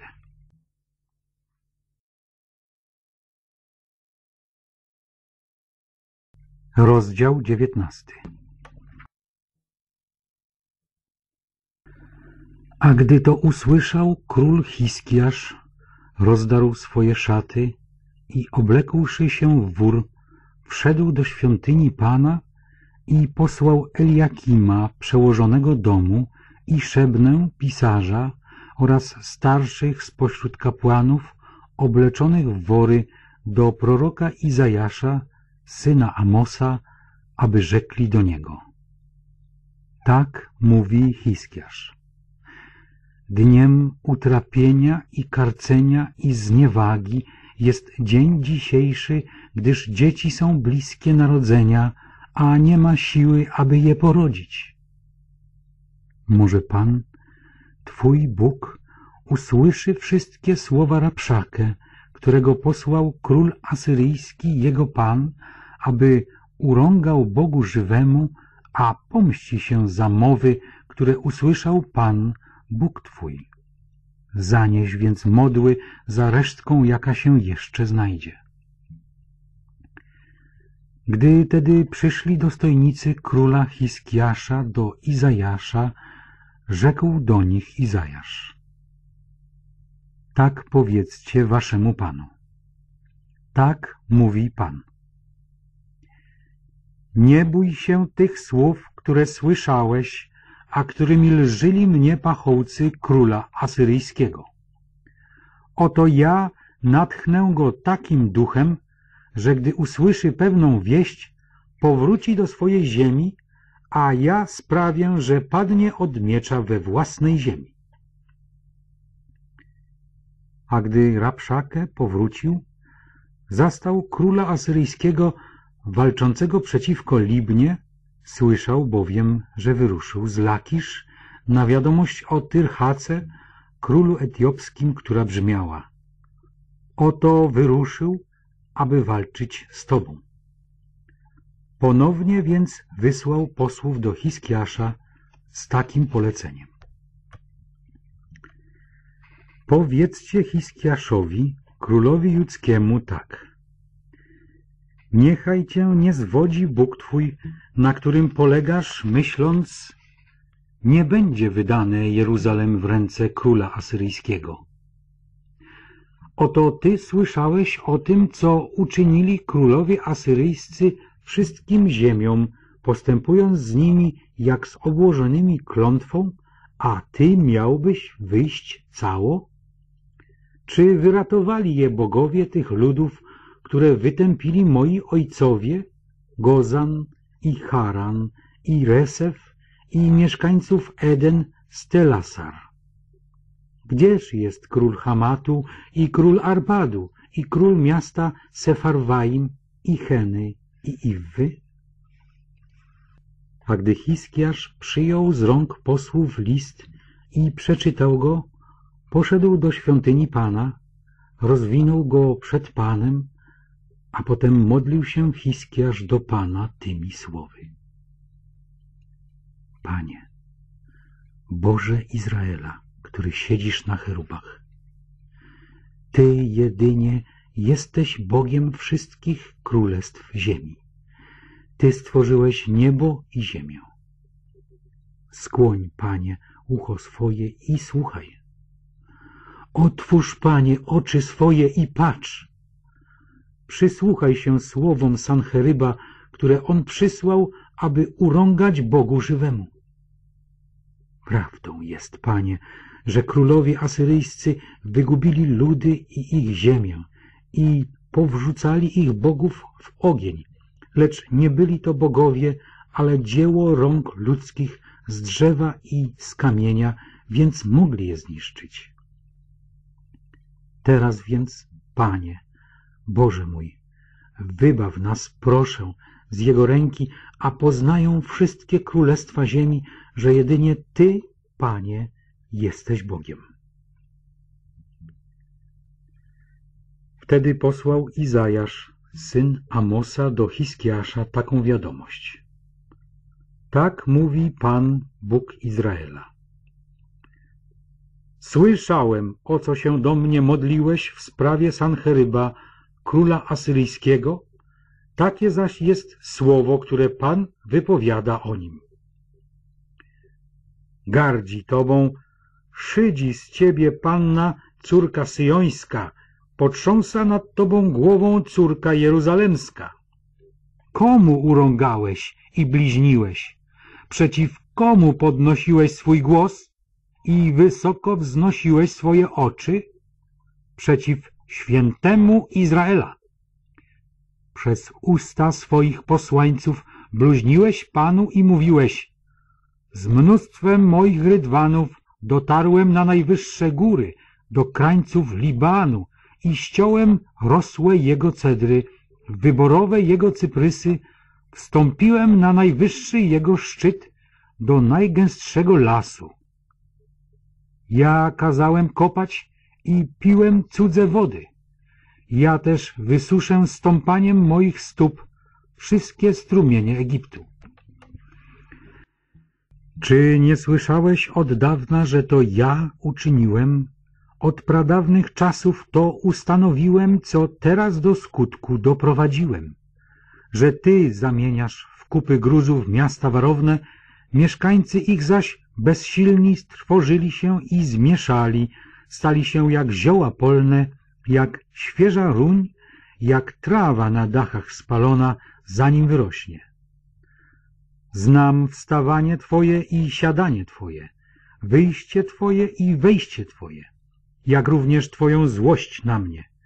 A ponieważ Twoja złość na mnie i Twoje zuchwalstwo doszło do moich uszów, przeto wprawię mój pierścień do Twoich nozdrzy, a moje wędzidło do Twoich ust i skieruję Cię z powrotem na drogę, którą przyszedłeś. A to będzie dla Ciebie znakiem. Tego roku wyżywieniem będzie zboże samorodne. W przyszłym roku zboże dziko wyrosłe, a w trzecim roku siejcie i żnijcie, sadźcie winnice i spożywajcie ich owoc. A pozostała przy życiu resztka domu Judy zapuści korzeń w głąb i wyda owoc w górze. Bo z Jeruzalemu wyjdzie resztka, a z góry Syjon poczet ocalonych. Dokona tego gorliwość Pana zastępów. Przeto tak mówi Pan o królu asyryjskim. Nie wkroczy on do tego miasta, ani nie wypuści na nie strzały, ani nie wystąpi przeciwko niemu starczą, ani nie usypie przeciwko niemu szańca.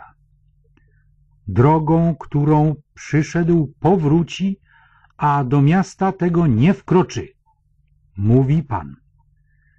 I osłonię to miasto i ocalę przez wzgląd na Ciebie i przez wzgląd na Dawida, mojego sługę. I stało się tej samej nocy, że wyszedł anioł pański i pozbawił życia w obozie asyryjskim 185 tysięcy. Następnego dnia rano oto wszyscy oni, same trupy, pomarli. To też Sancheryb, król asyryjski, zwinął obóz i wyruszywszy powrócił i zamieszkał w Niniwie.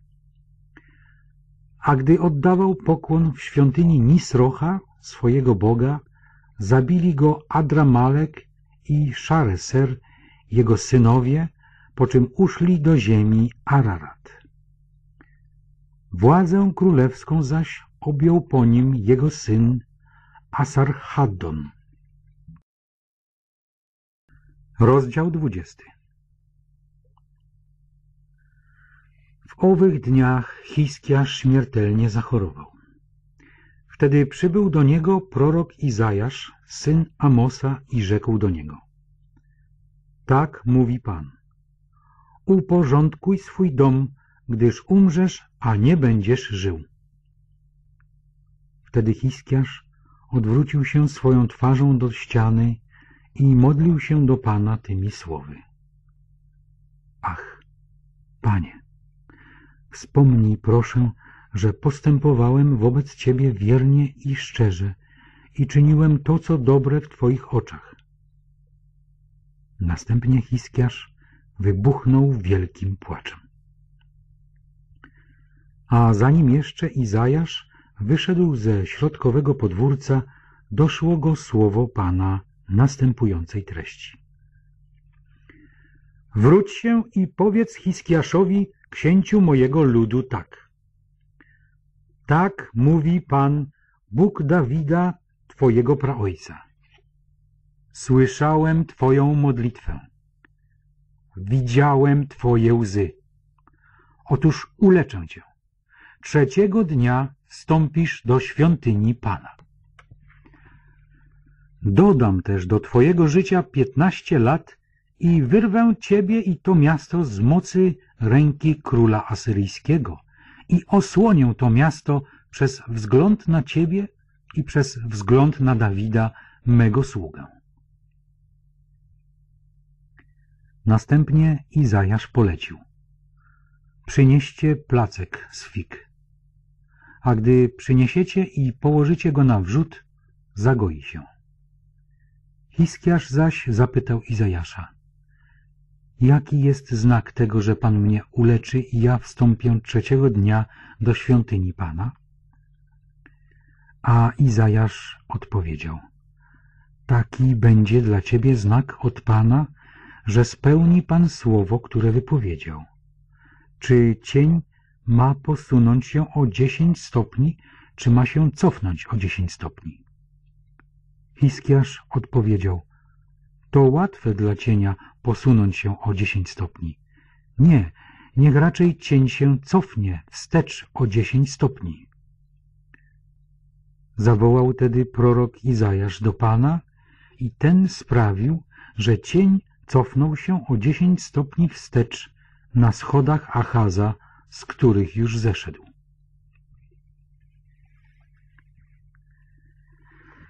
W tym czasie wysłał Merodach Baladan, syn Baladana, król babiloński, do Hiskiasza list wraz z upominkiem, ponieważ słyszał, że Hiskiasz chorował.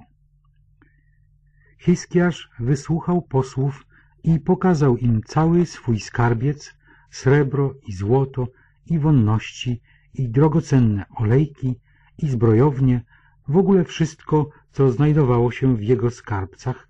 Nie było takiej rzeczy, której by Hiskiasz nie pokazał w swoim domu i w całym swoim władztwie. Wtedy przyszedł prorok Izajasz do króla Hiskiasza i zapytał go Co powiedzieli ci mężowie i skąd przyszli do ciebie? A Hiskiasz odpowiedział Przyszli z dalekiej ziemi, z Babilonu. Pytał tedy dalej A co widzieli w twoim domu? Hiskiasz odpowiedział Wszystko, co jest w moim domu widzieli. Nie było takiej rzeczy, której bym im nie pokazał w moich skarbcach.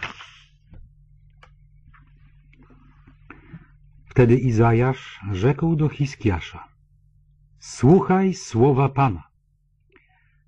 Oto idą dni, że wszystko, co jest w Twoim domu i wszystko, co nagromadzili Twoi ojcowie do dnia dzisiejszego, zostanie zabrane do Babilonu, a tu nic nie pozostanie, mówi Pan a z Twoich wnuków którzy od ciebie będą pochodzić, z ciebie zrodzonych, wybiorą niektórych, aby zostali podkomorzymi w pałacu króla babilońskiego. Wtedy Hiskiasz rzekł do Izajasza. Dobre jest słowo Pana, które wypowiedziałeś. Pomyślał bowiem, czemu nie? Wszak za moich dni będzie panował pokój i bezpieczeństwo. Pozostałe zaś sprawy Hiskiasza i cała jego potęga i to, że zbudował zbiornik na wodę i wodociąg i że doprowadził wodę do miasta, zapisane jest w Księdze Dziejów Królów Judzkich. I spoczął Hiskiasz ze swoimi ojcami, a władzę królewską po nim objął Manasses, jego syn.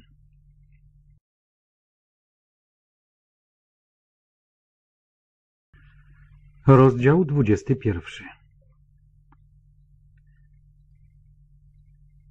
Manases miał dwanaście lat, gdy objął władzę królewską, a panował pięćdziesiąt pięć lat w Jeruzalemie.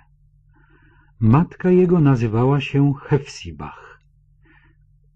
Czynił zaś to, co złe w oczach Pana, według ohydnych zwyczajów narodów, które Pan wypędził przed synami izraelskimi. Z powrotem pobudował świątynki na wyżynach, które zburzył Hiskiasz, jego ojciec, wznosił też Baalowi ołtarze i sporządził Aszery, jak to czynił Achab, król izraelski, oddawał pokłon całemu zastępowi niebieskiemu i służył mu. Zbudował także ołtarze w świątyni Pana, o której powiedział Pan. W Jeruzalemie umieszczę moje imię. Zbudował też ołtarze dla całego zastępu niebieskiego na obydwu podwórcach świątyni Pana. Również swego syna oddał na spalenie, uprawiał wróżbiarstwo i czary i ustanowił zażegnywaczy i wróżbitów i wiele złego czynił w oczach Pana, drażniąc go. Postawił też posąg Aszery, który kazał sporządzić w świątyni, o której Pan powiedział do Dawida i do Salomona jego syna tak. W tej świątyni i w Jeruzalemie, które wybrałem spośród wszystkich plemion Izraela, umieszczę moje imię na wieki.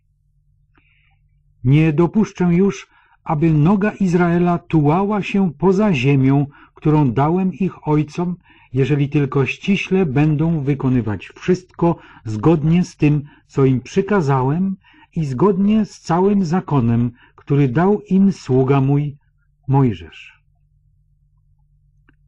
Lecz oni nie słuchali, a Manasses zwiódł ich, aby postępowali gorzej niż narody, które Pan wypędził przed synami izraelskimi. Wtedy Pan przemówił przez swoje sługi proroków tak.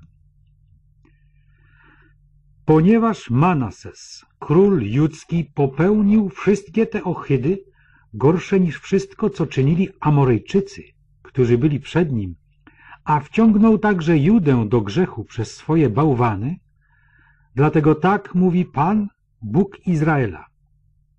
Oto ja sprowadzę na Jeruzalem i na Judę takie nieszczęście, że każdemu, kto o tym usłyszy, w obu uszach zadzwoni i rozciągnę nad Izraelem mierniczy sznur Samarii i pion rodu Achaba i wytrę Jeruzalem, jak się wyciera misę, a po wytarciu obraca się dnem do góry. I odrzucę resztę mojego dziedzictwa, i wydam ich w moc ich wrogów, staną się łupem i zdobyczą dla wszystkich swoich wrogów, za to, że czynili to, co złe w moich oczach i drażnili mnie od dnia, w którym ich ojcowie wyszli z Egiptu, aż do dnia dzisiejszego. Również krwi niewinnej przelał Manases bardzo wiele tak iż napełnił nią Jeruzalem po brzegi, poza tym swoim grzechem do którego wciągnął Judę, czyniąc to, co złe w oczach Pana. Pozostałe zaś sprawy Manassesa i wszystko, co czynił, i grzech, jakiego się dopuścił, jest zapisane w Księdze Dziejów Królów Judzkich. I spoczął Manases ze swoimi ojcami i został pochowany w ogrodzie swojego domu, w ogrodzie Uzzy, a władzę królewską po nim objął Amon, jego syn. Amon miał dwadzieścia dwa lata, gdy objął władzę królewską, a panował dwa lata w Jeruzalemie. Matka jego nazywała się Meszulemyt, a była córką Harusa z Jotby. Czynił on to, co złe w oczach Pana, podobnie jak Manases, jego ojciec. Kroczył całkowicie drogą swojego ojca, oddawał cześć bałwanom, które czcił jego ojciec i kłaniał się im. Porzucił natomiast Pana, Boga swoich ojców, a drogą Pana nie kroczył.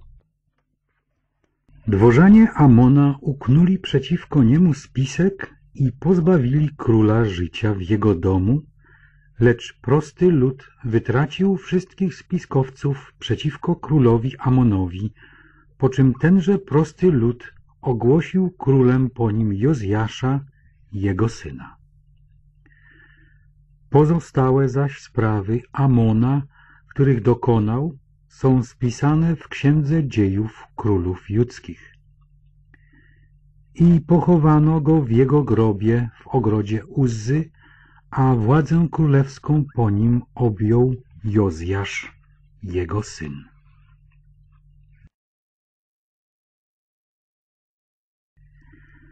Rozdział dwudziesty drugi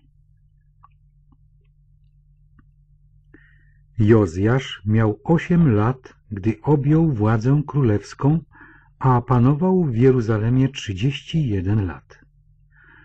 Matka jego nazywała się Jedida, a była córką Adajasza z Boskat. Czynił on to, co prawe w oczach Pana, kroczył we wszystkim drogą Dawida, swojego praojca, nie odstępując od niej ani w prawo, ani w lewo.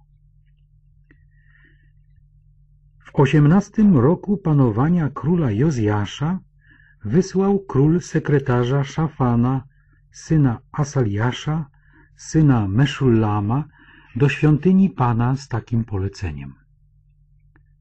Wstąp do arcykapłana Hilkiasza, niech wyda pieniądze przyniesione do świątyni Pana, jakie odźwierni zebrali od ludu, i niech je przekaże do rąk kierowników robót, mających nadzór nad świątynią Pana, a ci niech wypłacą je wykonawcom robót dokonującym naprawy uszkodzeń w świątyni, cieślom, budowniczym i murarzom oraz na zakup drzewa i ciosanego kamienia do naprawy świątyni.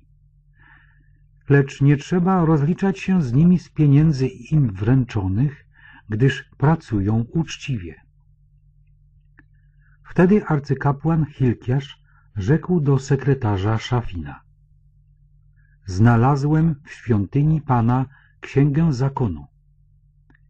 I wręczył Hilkiasz księgę Szafanowi, który ją przeczytał.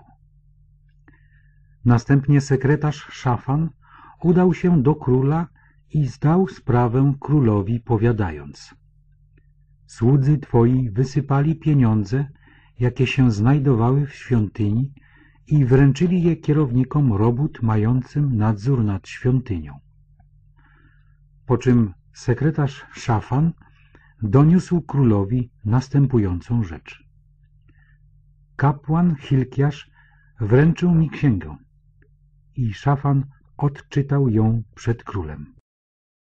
I dał taki rozkaz kapłanowi Hilkiaszowi, Achikamowi, synowi Szafana, Akborowi, synowi Michajasza, sekretarzowi Szafanowi oraz dworzaninowi królewskiemu Asajaszowi.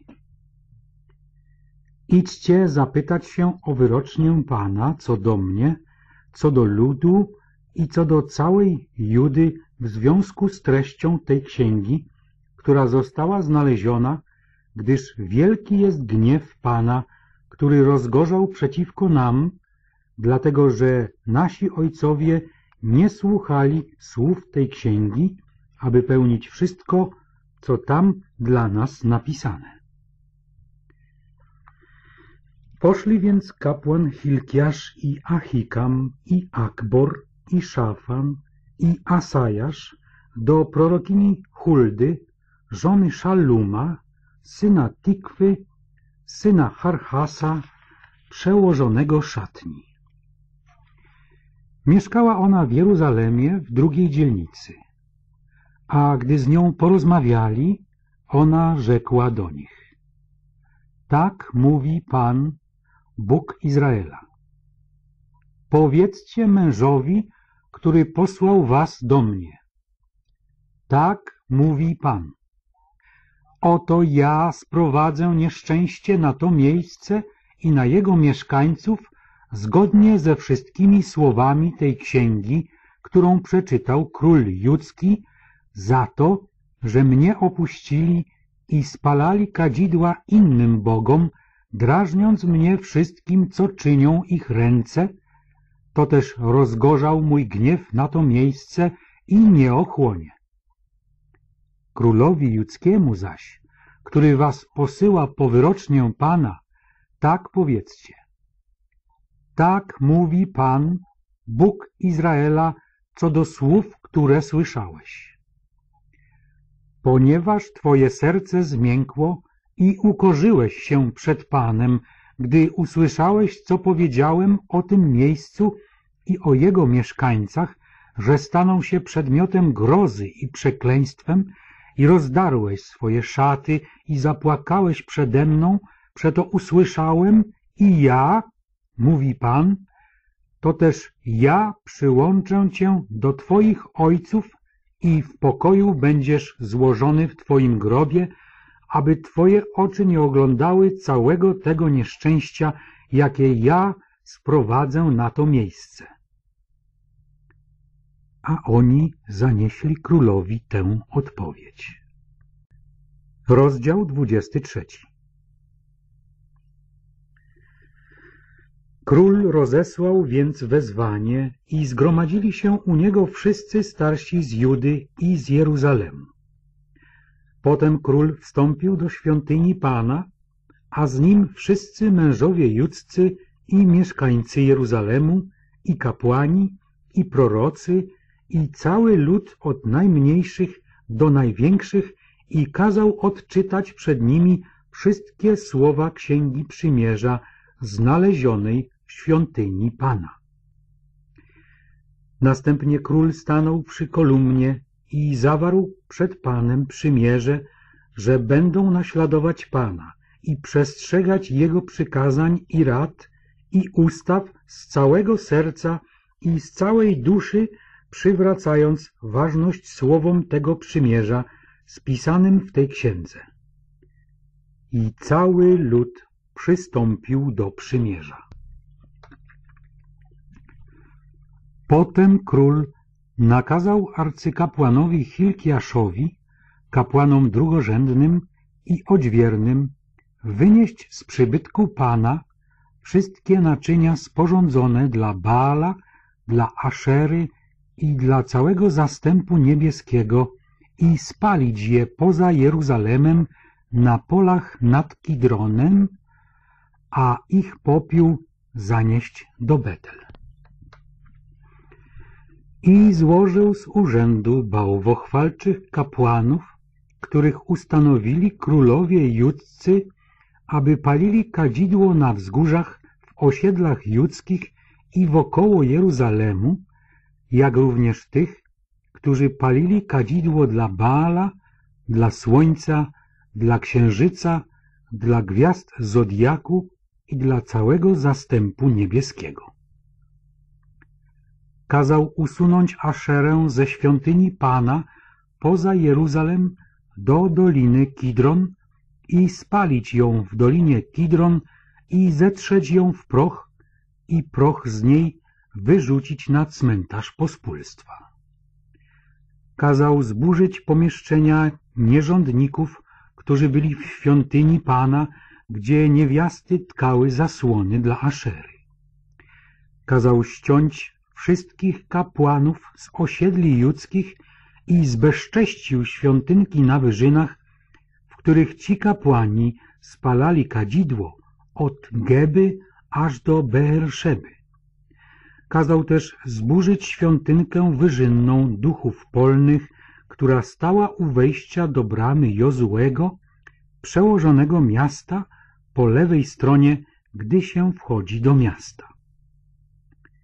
Wszakże kapłanom z świątynek na wyżynach nie wolno było składać ofiar na ołtarzu Pana w Jeruzalemie, wolno im jednak jeść było przaśny chleb w gronie braci. Kazał też zbezcześcić palenisko znajdujące się w dolinie synów Hinnoma, aby już nikt nie oddawał swego syna czy swojej córki na spalenie dla Molocha. Kazał usunąć konie, które królowie judzcy postawili na cześć Boga Słońca u wejścia do świątyni Pana w pobliżu komnaty eunucha Natan Meleka, która była przy arkadach, a rydwan Boga Słońca spalić. Ołtarze zaś, które były na dachu górnej komnaty Achaza, zbudowane przez królów judzkich, oraz ołtarze, które kazał sporządzić Manasses w obu podwórcach świątyni Pana, kazał król zburzyć i zetrzeć na proch, a proch z nich wyrzucić do doliny Kidronu. Świątynki na wyżynach, które stały naprzeciw Jeruzalemu na południe od góry Zatracenia, które Salomon, król izraelski, zbudował dla Aszery ohydy Sydończyków, dla Kamosza ohydy Moabitów i dla Milkoma obrzydliwości Ammonitów król kazał zbezcześcić. Kazał też potrzaskać posągi i powycinać święte gaje i zapełnić ich miejsce kośćmi ludzkimi. Również i ołtarz w Betel w świątynce wyżynnej który kazał sporządzić Jeroboam, syn Nebata, przez co wciągnął w grzech Izraela, również ten ołtarz w świątynce wyżynnej kazał zburzyć, świątynkę zaś spalić i zetrzeć na proch oraz spalić posągi Aszery. A gdy Jozjasz odwrócił się, ujrzał groby, które tam były na górze, kazał więc zebrać kości z grobów i spalić je na ołtarzu, bezczeszcząc go w ten sposób, zgodnie ze słowem Pana, które wyrzekł mąż Boży, zapowiadający te rzeczy. Następnie zapytał, co to za pomnik, który tu widzę? Odpowiedzieli mu ludzie z tego miasta. Jest to grobowiec męża Bożego, który przybył z Judei i zapowiedział te rzeczy, których Ty dokonałeś z ołtarzem w Betel. Wtedy on rzekł, pozostawcie go, niech nikt nie rusza jego kości. Zachowali więc te kości wraz z kośćmi proroka, który przybył z Samarii. Także wszystkie świątynki na wzgórzach, które wznieśli królowie izraelscy, we wszystkich miejscowościach Samarii, drażniąc Pana, Jozjasz usunął i postąpił z nimi zupełnie tak samo, jak postąpił w Betel. Kazał też wyrżnąć do nogi wszystkich kapłanów wyżynnych, którzy tam byli przy ołtarzach i kazał palić na nich kości ludzkie, po czym powrócił do Jeruzalemu. Następnie rozkazał król całemu ludowi. Obchodźcie paschę ku czci Pana, Boga waszego, jak jest przepisane w księdze tego przymierza. Nie obchodzono bowiem takiej paschy od czasów sędziów, którzy sądzili Izraela przez cały okres królów izraelskich i królów judzkich, aż dopiero w osiemnastym roku panowania króla Jozjasza obchodzona była ta pascha ku czci Pana w Jeruzalemie. Jozjasz usunął też wróżbitów i czarodziejów, i bożki domowe, i bałwany, i wszystkie obrzydliwości, jakie pojawiły się w ziemi judzkiej i w Jeruzalemie, aby przywrócić ważność słowom zakonu zapisanym w księdze, którą znalazł kapłan Hilkiasz w świątyni Pana. Nie było przed nim takiego króla jak on, który by wrócił do Pana z całego swego serca i z całej swojej duszy i ze wszystkich sił swoich ściśle według zakonu mojżeszowego. Po nim też już nikt nie wystąpił taki jak on. Pan jednak nie wyzbył się zawziętości swojego wielkiego gniewu, który rozgorzał na Judę za wszystkie zniewagi, jakimi znieważył go Manasses. To też Pan rzekł, Również i Judę usunę sprzed swego oblicza, jak usunąłem Izraela i odrzucę to miasto, które wybrałem, Jeruzalem i świątynię, o której powiedziałem, tam będzie imię moje. Pozostałe zaś sprawy Jozjasza i wszystko, czego dokonał, zapisane jest w Księdze Dziejów Królów Judzkich. Za jego czasów wyruszył faraon Necho, król egipski, przeciwko królowi asyryjskiemu nad rzekę Eufrat. Gdy król Jozjasz wyprawił się, aby się z nim potykać, ten, gdy go zobaczył, pozbawił go życia pod Megiddo. Dworzanie jego wywieźli go na wozie już umarłego z Megiddo i sprowadzili do Jeruzalemu i pochowali w jego grobie. Prosty lud zaś wziął Jehoachaza, syna Jozjasza i namaściwszy go, obwołali go królem w miejsce jego ojca. Jehoachaz miał dwadzieścia trzy lata, gdy objął władzę królewską, a w Jeruzalemie panował trzy miesiące. Matka jego nazywała się Hamutal, była córką Jeremiasza, a pochodziła z Libny. A czynił on to, co złe w oczach Pana, we wszystkim tak, jak czynili jego praojcowie. Faraon Necho uwięził go w Ribli w ziemi Hamat, usuwając go od sprawowania władzy królewskiej w Jeruzalemie i nałożył na kraj jako haracz sto talentów srebra i talent złota. W miejsce Jozjasza ustanowił faraon Necho królem Eliakima, syna Jozjasza, zmieniając jego imię na Jehojakim, Jehoachaza zaś zabrał z sobą. Lecz gdy przybył do Egiptu, umarł tam. Jehojakim płacił faraonowi srebrem i złotem, lecz nałożył na kraj podatek, aby móc te pieniądze dostarczyć według nakazu faraona. Od każdego według oszacowania pobierał srebro i złoto od prostego ludu, aby móc spłacić faraona Necho. Jehojakim miał dwadzieścia pięć lat, gdy objął władzę królewską, a panował jedenaście lat w Jeruzalemie. Matka jego nazywała się Zebudda, była córką Pedajasza z Rumy a czynił on to, co złe w oczach Pana we wszystkim tak, jak czynili jego praojcowie. Rozdział 24 Za jego czasów wyruszył Nebukadnesar, król babiloński i Jehojakim był jego lennikiem przez okres trzech lat, potem jednak znów się zbuntował przeciwko niemu.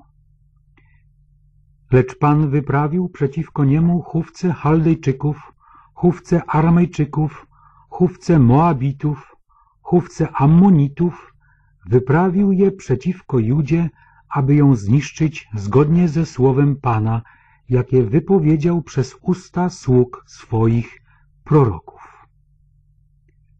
Doprawdy, zgodnie ze słowem Pana spotkało to Judę, aby usunąć ją sprzed oblicza Jego za grzechy Manassesa, za to wszystko, co uczynił, a także za krew niewinną, którą przelał, napełniając Jeruzalem niewinną krwią.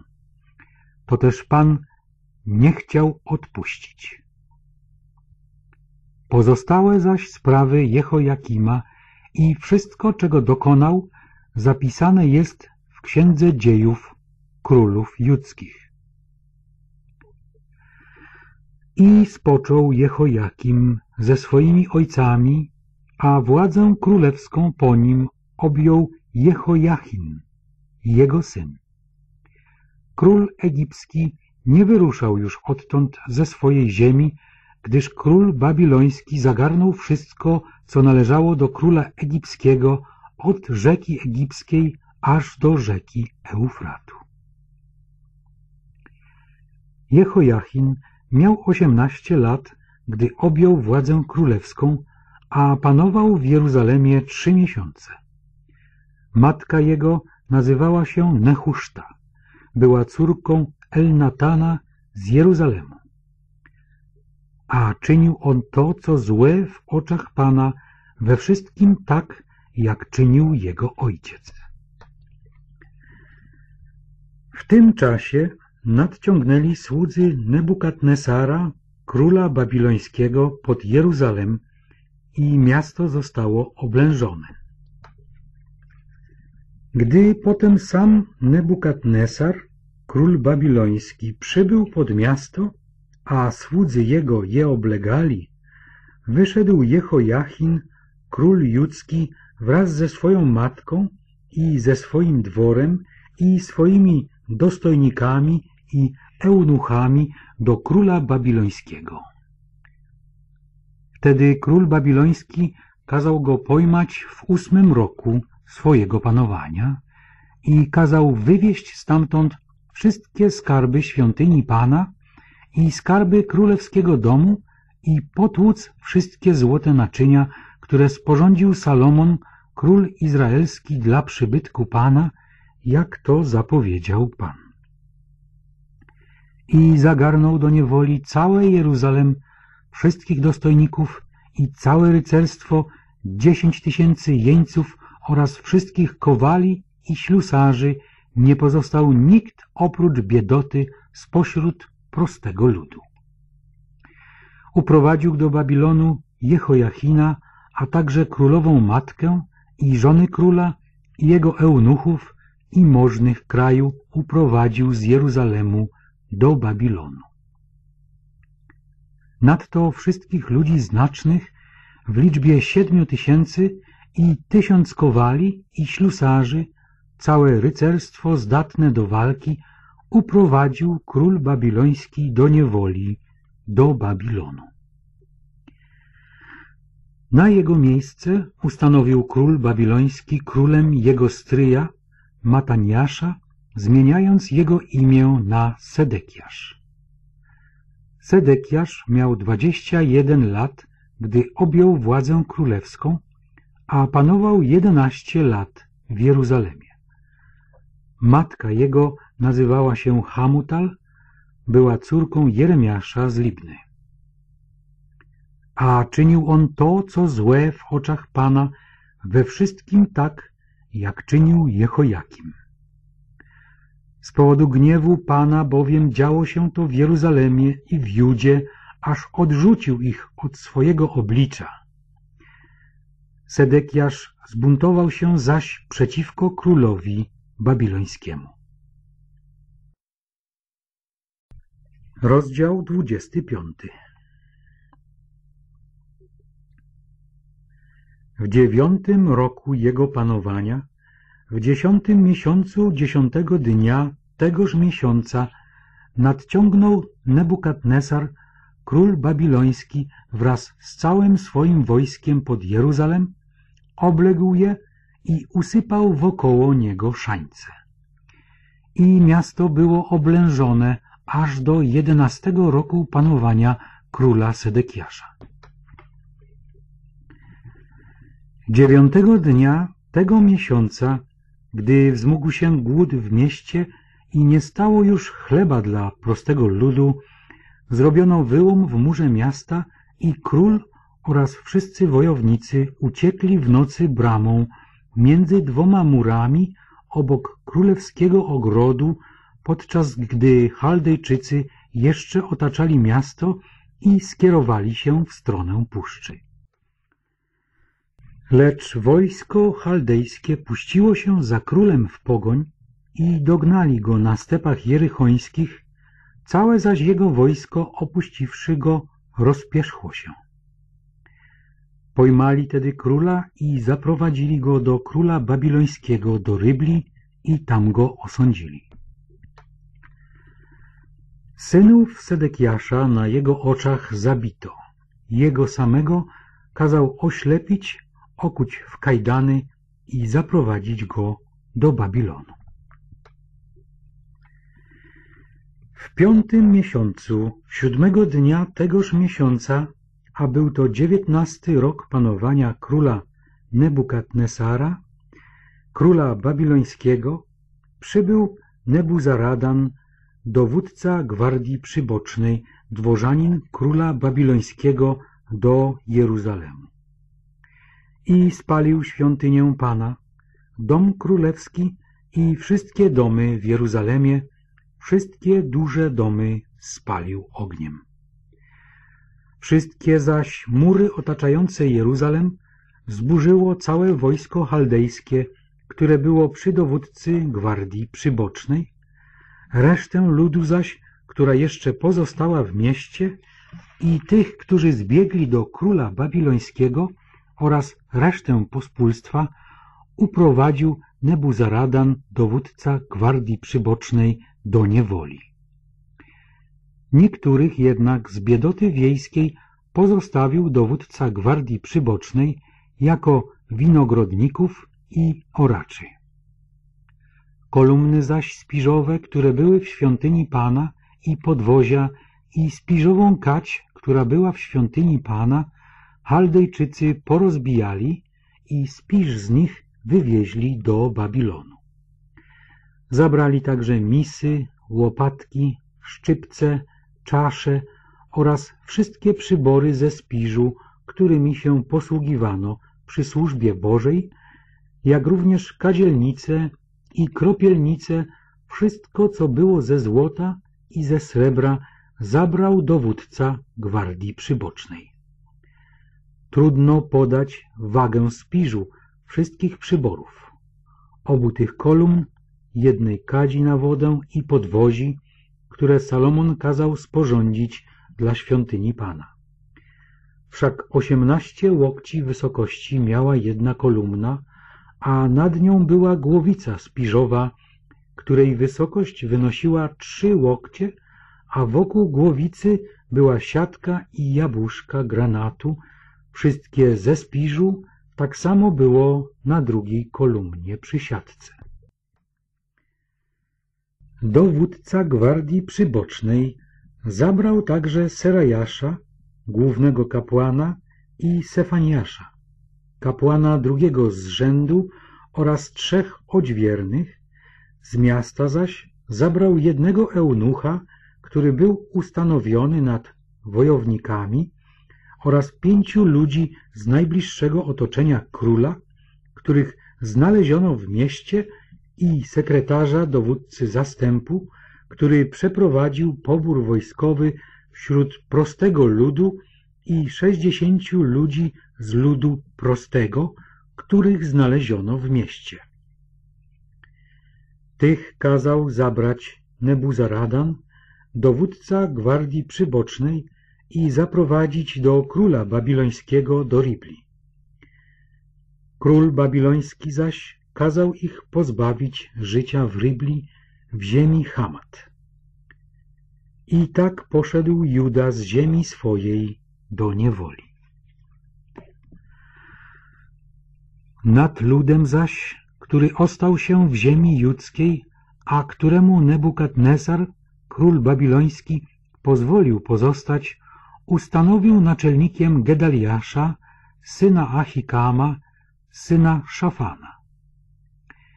Gdy zaś wszyscy dowódcy wojska i ich ludzie dowiedzieli się, że król ustanowił Gedaliasza naczelnikiem, udali się do Gedaliasza, do Mispy, a byli to Ismael, syn Netaniasza, Johanan, syn Kareacha, Serajasz, syn Tanhumeta z Netofy i Jaazaniasz, syn Maalatczyka wraz ze swoimi ludźmi. Wtedy Gedaliasz przysiągł im i ich ludziom. Nie obawiajcie się poddanych Chaldejczyków. Pozostańcie w kraju i służcie królowi babilońskiemu, a będzie się wam dobrze powodziło. W siódmym miesiącu przybył Ismael, syn Netaniasza, syn Eliszamy, z rodu królewskiego wraz z dziesięcioma mężami i zabili Gedaliasza oraz Judejczyków i Chaldejczyków, którzy byli z nim w Mispie. Wówczas cały lud, od najmniejszego do największego oraz dowódcy wojskowi zerwali się i udali się do Egiptu, gdyż bali się Chaldejczyków. W trzydzieści siedem lat po uprowadzeniu do niewoli Jehojachina, króla judzkiego, w dwunastym miesiącu, dwudziestego siódmego dnia tegoż miesiąca wypuścił Ewil Merodach, król babiloński, w roku objęcia przezeń władzy królewskiej Jehojachina, króla judzkiego z więzienia. I zaczął z nim przyjaźnie rozmawiać i postawił jego krzesło wyżej niż krzesła królów, którzy byli u niego w Babilonie. I zdjął swoje szaty więzienne i jadał stale w obecności króla przez resztę swojego życia. A utrzymanie jego było utrzymaniem stałym, na które król łożył dzień w dzień przez resztę jego życia.